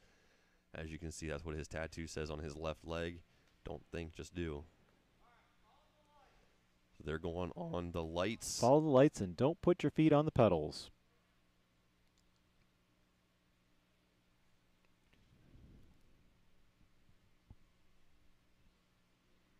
Will the drivers use the boost on the start? And will we get a clean start this time? This one's for all the marbles, so this is the one that's going to cause some chaos all throughout the race, as it looks like we've got a clean start. So far, so good. Single file, everybody. I think everybody wanted to make sure they got this race started just so we can get going. I think everybody wants to get done. Yeah. So they want to make sure it gets going. Um, and we see the number 30. That is going to be Adam Weaver making his way through turn number eight and back inside. And he will hold off Armand and Rachel, who has made a quick pass to put her into the number three position. Actually, that's where she started, so she didn't go anywhere. She's staying in the number three position right behind the Ghost. Corey Ricker back and forth, Marshall Miller in the number five position. So everybody is still in their starting positions. Not a whole lot of action going I on. I wish yet. our angle was a little bit lower um, because I'm pretty sure she didn't didn't hit the boost at all, and uh, she had the great opportunity to do that. And I just heard the, the coming out of turn four, it just sounded like regular acceleration. I'll bet her plan is to not use it at all. She's gonna stay on Armand's rear bumper, and if he has, if he gets away, she'll use it to stay with him. But I don't think she's gonna use it if she doesn't have to. Wouldn't it be interesting if we get to the end of this race and realize that all these guys held off on using boost because they just wanted that 30 bonus point? That very well could be the case, as it is consistent gaps. It is. at the top of Everybody's in field. single file. It's almost as if they're they're gonna take advantage of an opportunity to pass, but they're not gonna push the issue. They're not nose to tail like they've been all night. Just kind of feeling each other other out in the opening portions of this one. There we see some action going on deeper in the field, uh, just around the David Pons Marshall Miller area on the course. So around that top five, we've got some moves going down. But single file, Adam Weaver, Armand, Rachel, Corey, and Marshall wrapping out our top five, rounding out our top five. Chris Nanchoff being the first, I believe, in the 39s. in traffic to boot, so that one might be a boost lap. It sure looks like it. There we've seen Rachel doing the Marshall Miller foot, uh, letting the foot just kind of hang out there, not touching the brakes at all. But there's a good four driver battle around the number five position on on course. Let's see if we can find the gap for Adam at our leader. Rumor has it he's pulled away from the field. Let's see if we can tell. There it is. Yeah, very much so. one. Got about a straightaway edge over Armand.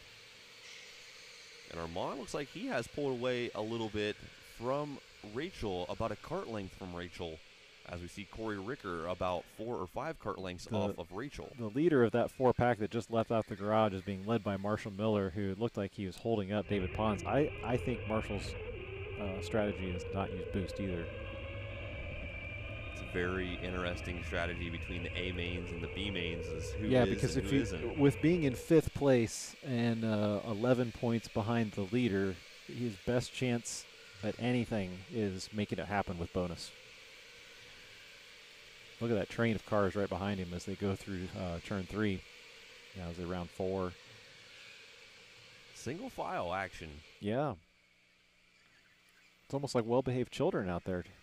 What are those? I don't know. as we still see Armand holding off Rachel. I think Rachel's going to start bumping Armand as they're making their way back indoors. They have lost lost touch with Adam Weaver, who is pretty well checked out at this point in time. But that mandatory competition yellow's coming out halfway through this. Yeah, and he's done it with 40 second lap times too. If we look down the scoreboard, everybody except for Mitch at the very bottom, which was almost a 40, is running 40. So to me, that tells me nobody's hitting that green button. Riding on board with Rachel Hart just behind the ghost of Armand Deligny kind of lost touch with the number 30 cart of Adam Weaver, who is still running a consistent gap over the rest of the field and just laying down laps, just lap after lap. Salerno still running in the number seven position. He is still just behind Pons. He's still just behind Miller. Ricker. Everybody is still unchanged inside of the top seven. It's outside of the top seven is where we've had a whole bunch of changes. So Nanchoff, he started in 10th, worked his way up to 8th. Tristan Hartong, he has stayed in 9th. Andy Cook has fallen from 8th to 10th. Then it's Chase Witt stayed in the number 11 position. Chad Squires actually fallen off the pace a little bit as he runs back in the number 14 position. I just saw Chad in the pits, and I looked at him. He looked kind of tired, and I said, "You kind of kind of a long day or tired?" I forget the comment I made to him, and he's like, "No, this is fun." So drivers still have motivated spirits out there. It's great to see. He's ready for it coming into this final A main as Rachel Hart keeps the pressure on Armand through five into six and coming into seven. And they'll make their way back inside of the building. So as they cross the timing line for lap nine, the pace car will be looking for the back of the field, making his entrance onto the track.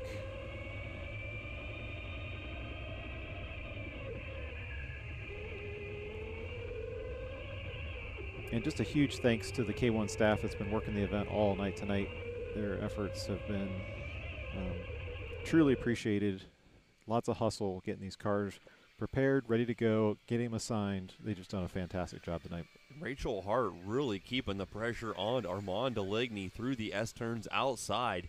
She is not giving him an inch as she pulls back up onto the rear bumper of Armand into turn number nine as the competition yellow has commenced.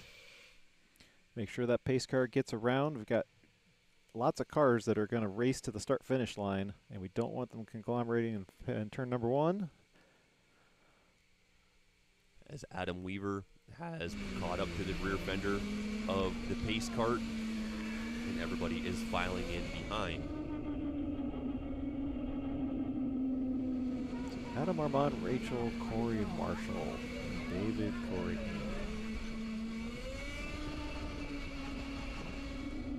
You have to run through the top seven to find somebody who has changed positions in this first half.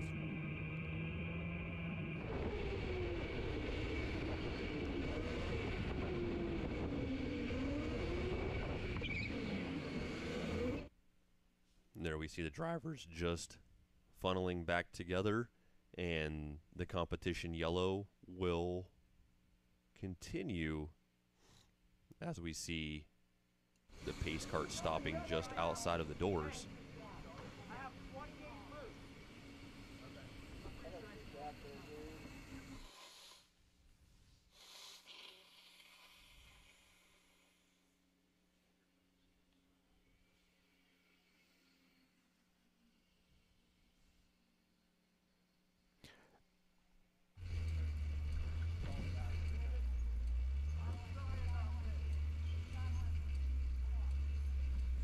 There we've got our drivers making their way back inside the building.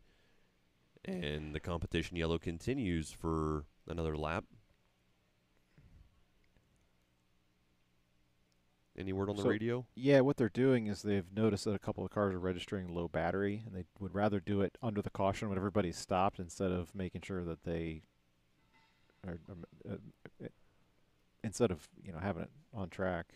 Right. This is a fair time to assess and switch carts if necessary. And it looks like we're going to bring out one, maybe two carts to replace a few of these machines. As we see the number 20 machine coming on course, that will replace one of the drivers. We'll figure out whenever we see somebody standing.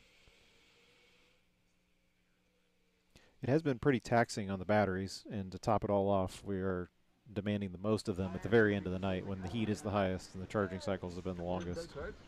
So looks like the number 13 cart is the one that we're going to have to switch out. David Pons switching into the number 20 machine. This was weird. Like when I turned left, it just stopped. Oh, I let off the gas and it keeps going through the turn. And I'm like, That's, that's You see a couple of our drivers just having some chatter there during this competition. Yellow.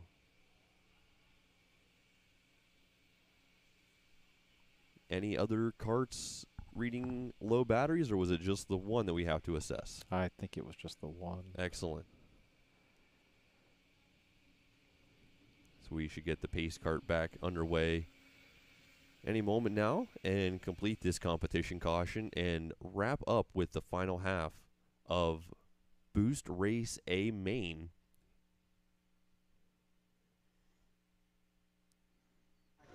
There we see Jason making his way back to the start finish line. We have one driver at the tail end of the field waving his hands in the air. We can't start like this.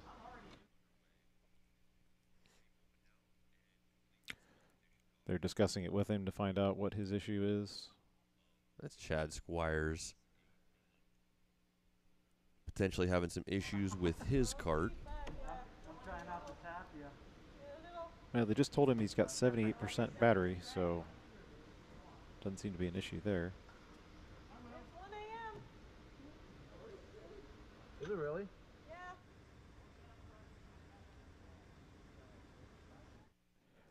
Well, like we said before, nothing tests the boundaries like the Crucible Motorsports. Yep. We'll put everything to its fullest use during race circumstances. We're just uh, assessing what's going on, but there it looks like our pace cart getting back underway. And we have 10 laps remaining of competition in the Boost Race A main.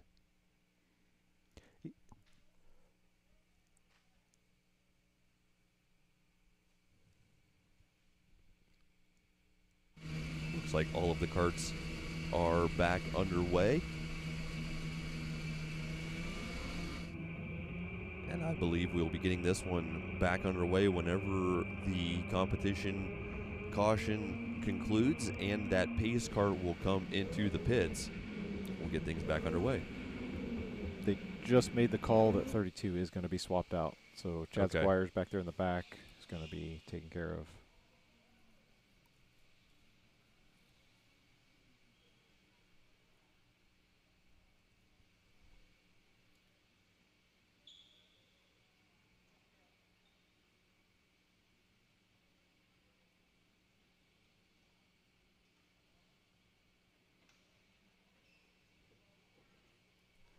Chad looks thrilled.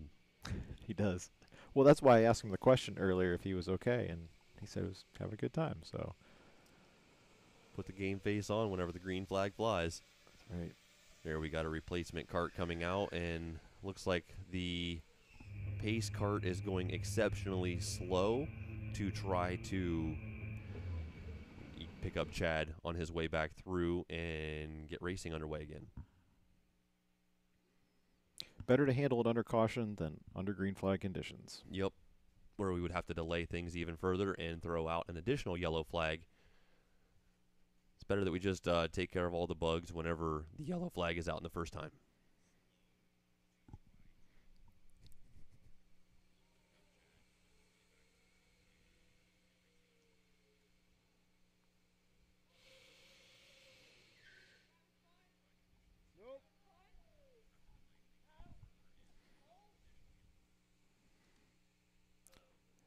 Well, hopefully everyone is enjoying their evening outside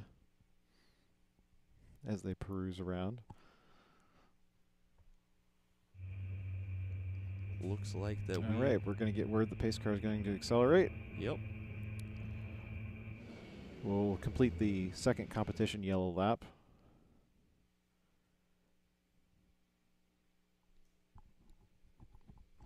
This gives everybody else's battery a chance to breathe as well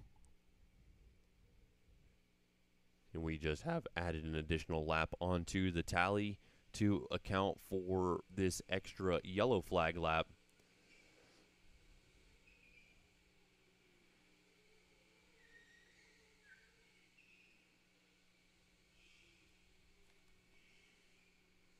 Looking for a clean restart in our Boost A main as we are concluding the final pace lap. And our pace cart will be pulling in to the stables at the conclusion of this lap, and we'll get racing back underway. No change in direction this time. So far, the leaderboard is unchanged through the top seven. Exactly. Everybody is where they started, and we're curious to know the boost count uh, as to how many boosts some of these drivers have used. I really think that we're going to be on the very low side of that count. But we'll see as the second half is now underway, as the leader's going to come back to start finish line. No passing until they pass the line and they make their way through green. And we are clean racing once again. Everybody's still single file up there inside the top seven with Adam Weaver starting to pull a little bit on Armand. I was talking to Rachel, and I think that she is going to try to hold off on using the boost until somebody starts pulling away from her or she starts getting bumped from behind. And both cases, she hasn't had to use aforementioned boost button. So Andy taking a look on the inside of uh, Mitch. Yeah, that's a that's an interesting strategy. If you don't have to use it, don't. But if you're the guy that starts that starts it, everybody else is going to use it then too. But clean laps for our top three as they have checked out from Corey Ricker, the number 36 cart. David Pons still hanging on to the number five position. He has actually improved a spot It- as Marshall Miller has gone backwards. They've gone back to the exact same gap. We've got Adam, who's several car lengths ahead, and we've got Rachel, who's right on the tail of Armand. So we've restarted, and we're back to the exact same. One change of position is Marshall Miller is going backwards, and Corey Ricker is going forwards. Well, Corey Ricker is also going backwards in the leaderboard as we see Corey Ricker falling back to eighth as Nanchoff making some moves up through the field. Looks like here in the second half, the boost buttons are coming out as drivers are making moves left and right on the field deeper in the pack. I would think Nanchoff's got to go for it. He's got to use that boost and get up in the points as far as he can, and not sit back and wait. And Nanchoff, he is he's back there in tenth place in the points. So he needs to salvage something here. Mitch is just having a casual conversation as he's uh, going past Tristan. Getting ready to make the move on Corey Ricker running just ahead. Got to put Mitch back up inside, the, well, back up, but inside the top 10 of the number nine spot. David Pons reeling in Rachel Hart, putting some pressure on our third place competitor. And I think with this, this is going to start to uh, pull the boost buttons out for our top drivers.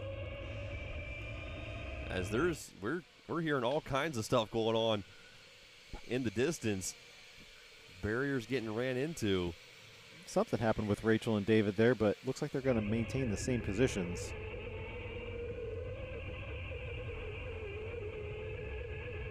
into three and coming into four. You can just tell the the sound of that car as it accelerates out of four that is not on boost. It was just she's- normal acceleration. She's going to hold really tight to the inside. How tight can, can, can she hold this She and stave off David as he charges from the back? Right back in. She's shaking her head. Come on, let's go. She's doing everything she can to hold off David Pons and try to keep Armand within striking distance. I just noticed that previous lap on Adam was a 39.8, I believe, and Mitch is going to dive down the inside, make the pass stick. Good job there. Anyway, Adam had done a 39 there, which was one of the few purple sectors we've seen, as Mitch lights it up with a 39.6. But based on his move right there, we can see why he's in the 39s. They're lined up like a freight train behind Marshall.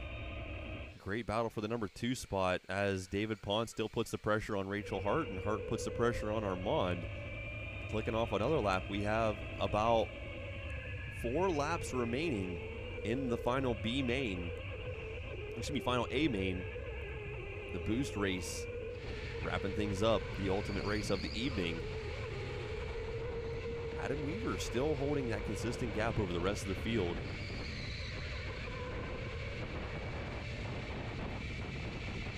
You see Rachel Hart breaking into the 39s with David Pons as well, so they may have pulled the trigger on the extra power. As we see David Pons has made the pass on Rachel Hart to put him into third as they're making their way across the finish line this time by Almost as if Armand is driving a dedicated camera car. It's a very good camera car.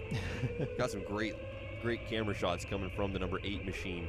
Still locking down the number two spot. But I just seen David Pons's thumb on the boost button, so he just utilized that boost button down the back straightaway and heading Got to put the pressure on him. Is he going to? Yeah, he's looking on the inside. Not. Oh, it's going to give Rachel an opportunity to come back at him. So we're seeing some of the drivers utilizing the boost button. So we had Pons up here, and he wasn't looking forward to the boost race.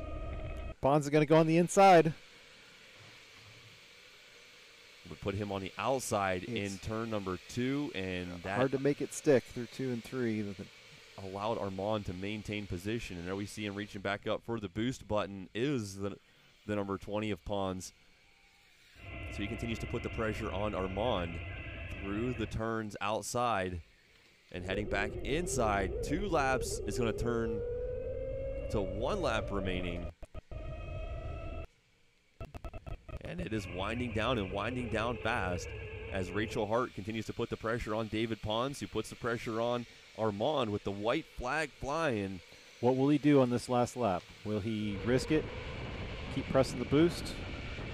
I got to think that Adam has not used the boost, if at all, and he's just going to maintain his position on track. I'll bet he used some early in the race because he did pull out that gap. But second half seems to be cruising to a somewhat easy victory. What will Armand do here? Armand will just hold it, Rachel and we'll put- be back in the same spot. putting the pressure on David Pons coming into the final David two look on the inside. Can he? Can he get him? Rachel unable There's just no room to the inside of that carousel. to make any moves, and the checkered flag. Checker flag will fly. Adam Weaver will get that race win. Armand will cross the stripe in second over David Pons and Rachel Hart in fourth. And Corey Salerno, Moving it up into fifth. heck yeah, man, moving up a couple of spots. Not assessing any bonus points for positions advanced in this final race, but moving up a couple of positions. Great drive for Salerno. Uh, making the move on Miller, Tristan Hartong in seventh, Mitch Shannon eighth, Corey Ricker ninth, and Chris Nanchoff unofficially rounding out our top 10. And these carts are coming back into the pits, and we will be assessing How many boosts did they use? yeah, the boost bonus points are going to be uh, tallied up. As these drivers are making their way back into the pits right now, and they're taking their helmets off for the final time, and they're just going to hang out for a little while until these results get tallied. Adam's anxious to figure out how many boosts did he use. No. Does that mean none? Does that mean none? Really? Interesting. I'm just staying quiet up here in the box trying to see if they talk about how many boosts they used. It's like the cooldown room in the F1. I could like see by like you guys got faster. Oh yeah. How many on that one? I was doing the same thing to Armand because I had more straightaway speed than he did. But anytime I turned left, the cart would like Great racing going on. Just trying to hear some uh, some racer chatter, as that is always a good perspective to hear.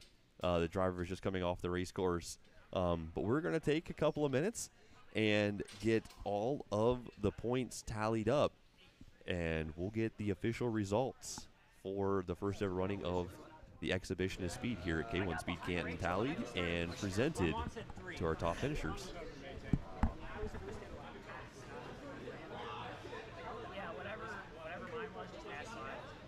Or I'm sorry, scrap whichever, whichever way you're gonna do it. I don't care. I don't care about the points.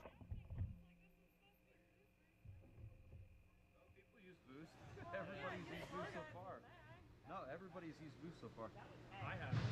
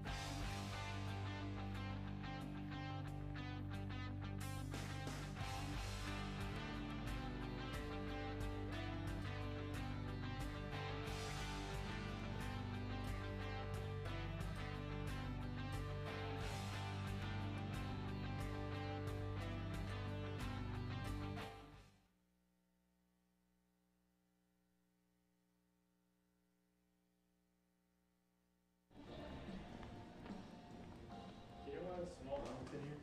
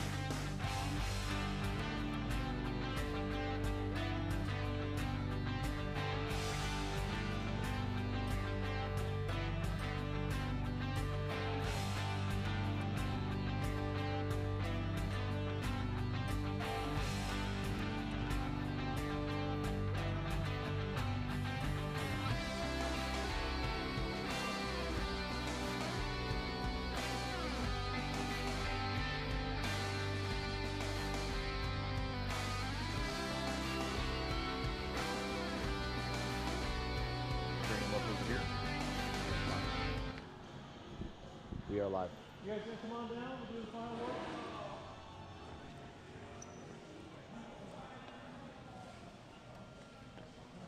I know this is way past your uh, bedtime.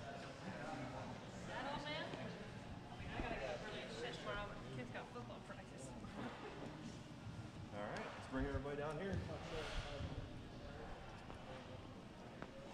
Mm-hmm. B main. That's who we need first. B main. Who was in the B main in the boost race? Uh, Yep. we, we have the we have the top three for the check for the ceremony, and then the final points will be uh, tabulated or they they are tabulated for you guys. Or if you want to look at them, you can look at them on the computer too. But All right, B main for the boost race. Our top three finishers. Finishing in third, we've got Katie. Great race there.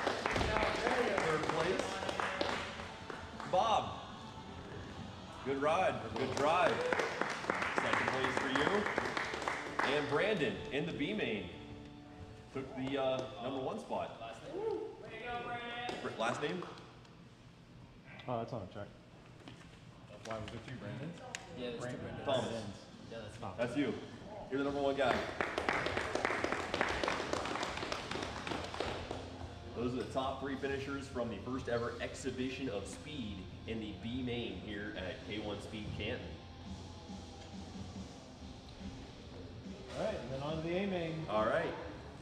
A main drivers, step forward. I gotta scope out this one. Doesn't have a name on it. Rachel. Rounding out the top three. Congratulations. Second place went to Armand. The Ghost takes the number two. And Adam. Hired gun, taking the number one spot. Not hired, but he just want to have some fun racing with us tonight. The race win in the in the boost. So congratulations, those are our top three finishers in the A main at the first ever exhibition of speed here at K1 Speed Canton. Yeah, I think we're good. Thank you all for participating. To probably be shorter next time, but thanks for sticking around. Um, if anybody wants to see their points and stuff like that, feel free to stop in. I'll show you what we got. We hope to see you another day. Thank you very much. Appreciate it. Thank you for doing this. Thanks, James. And we're out, Andy.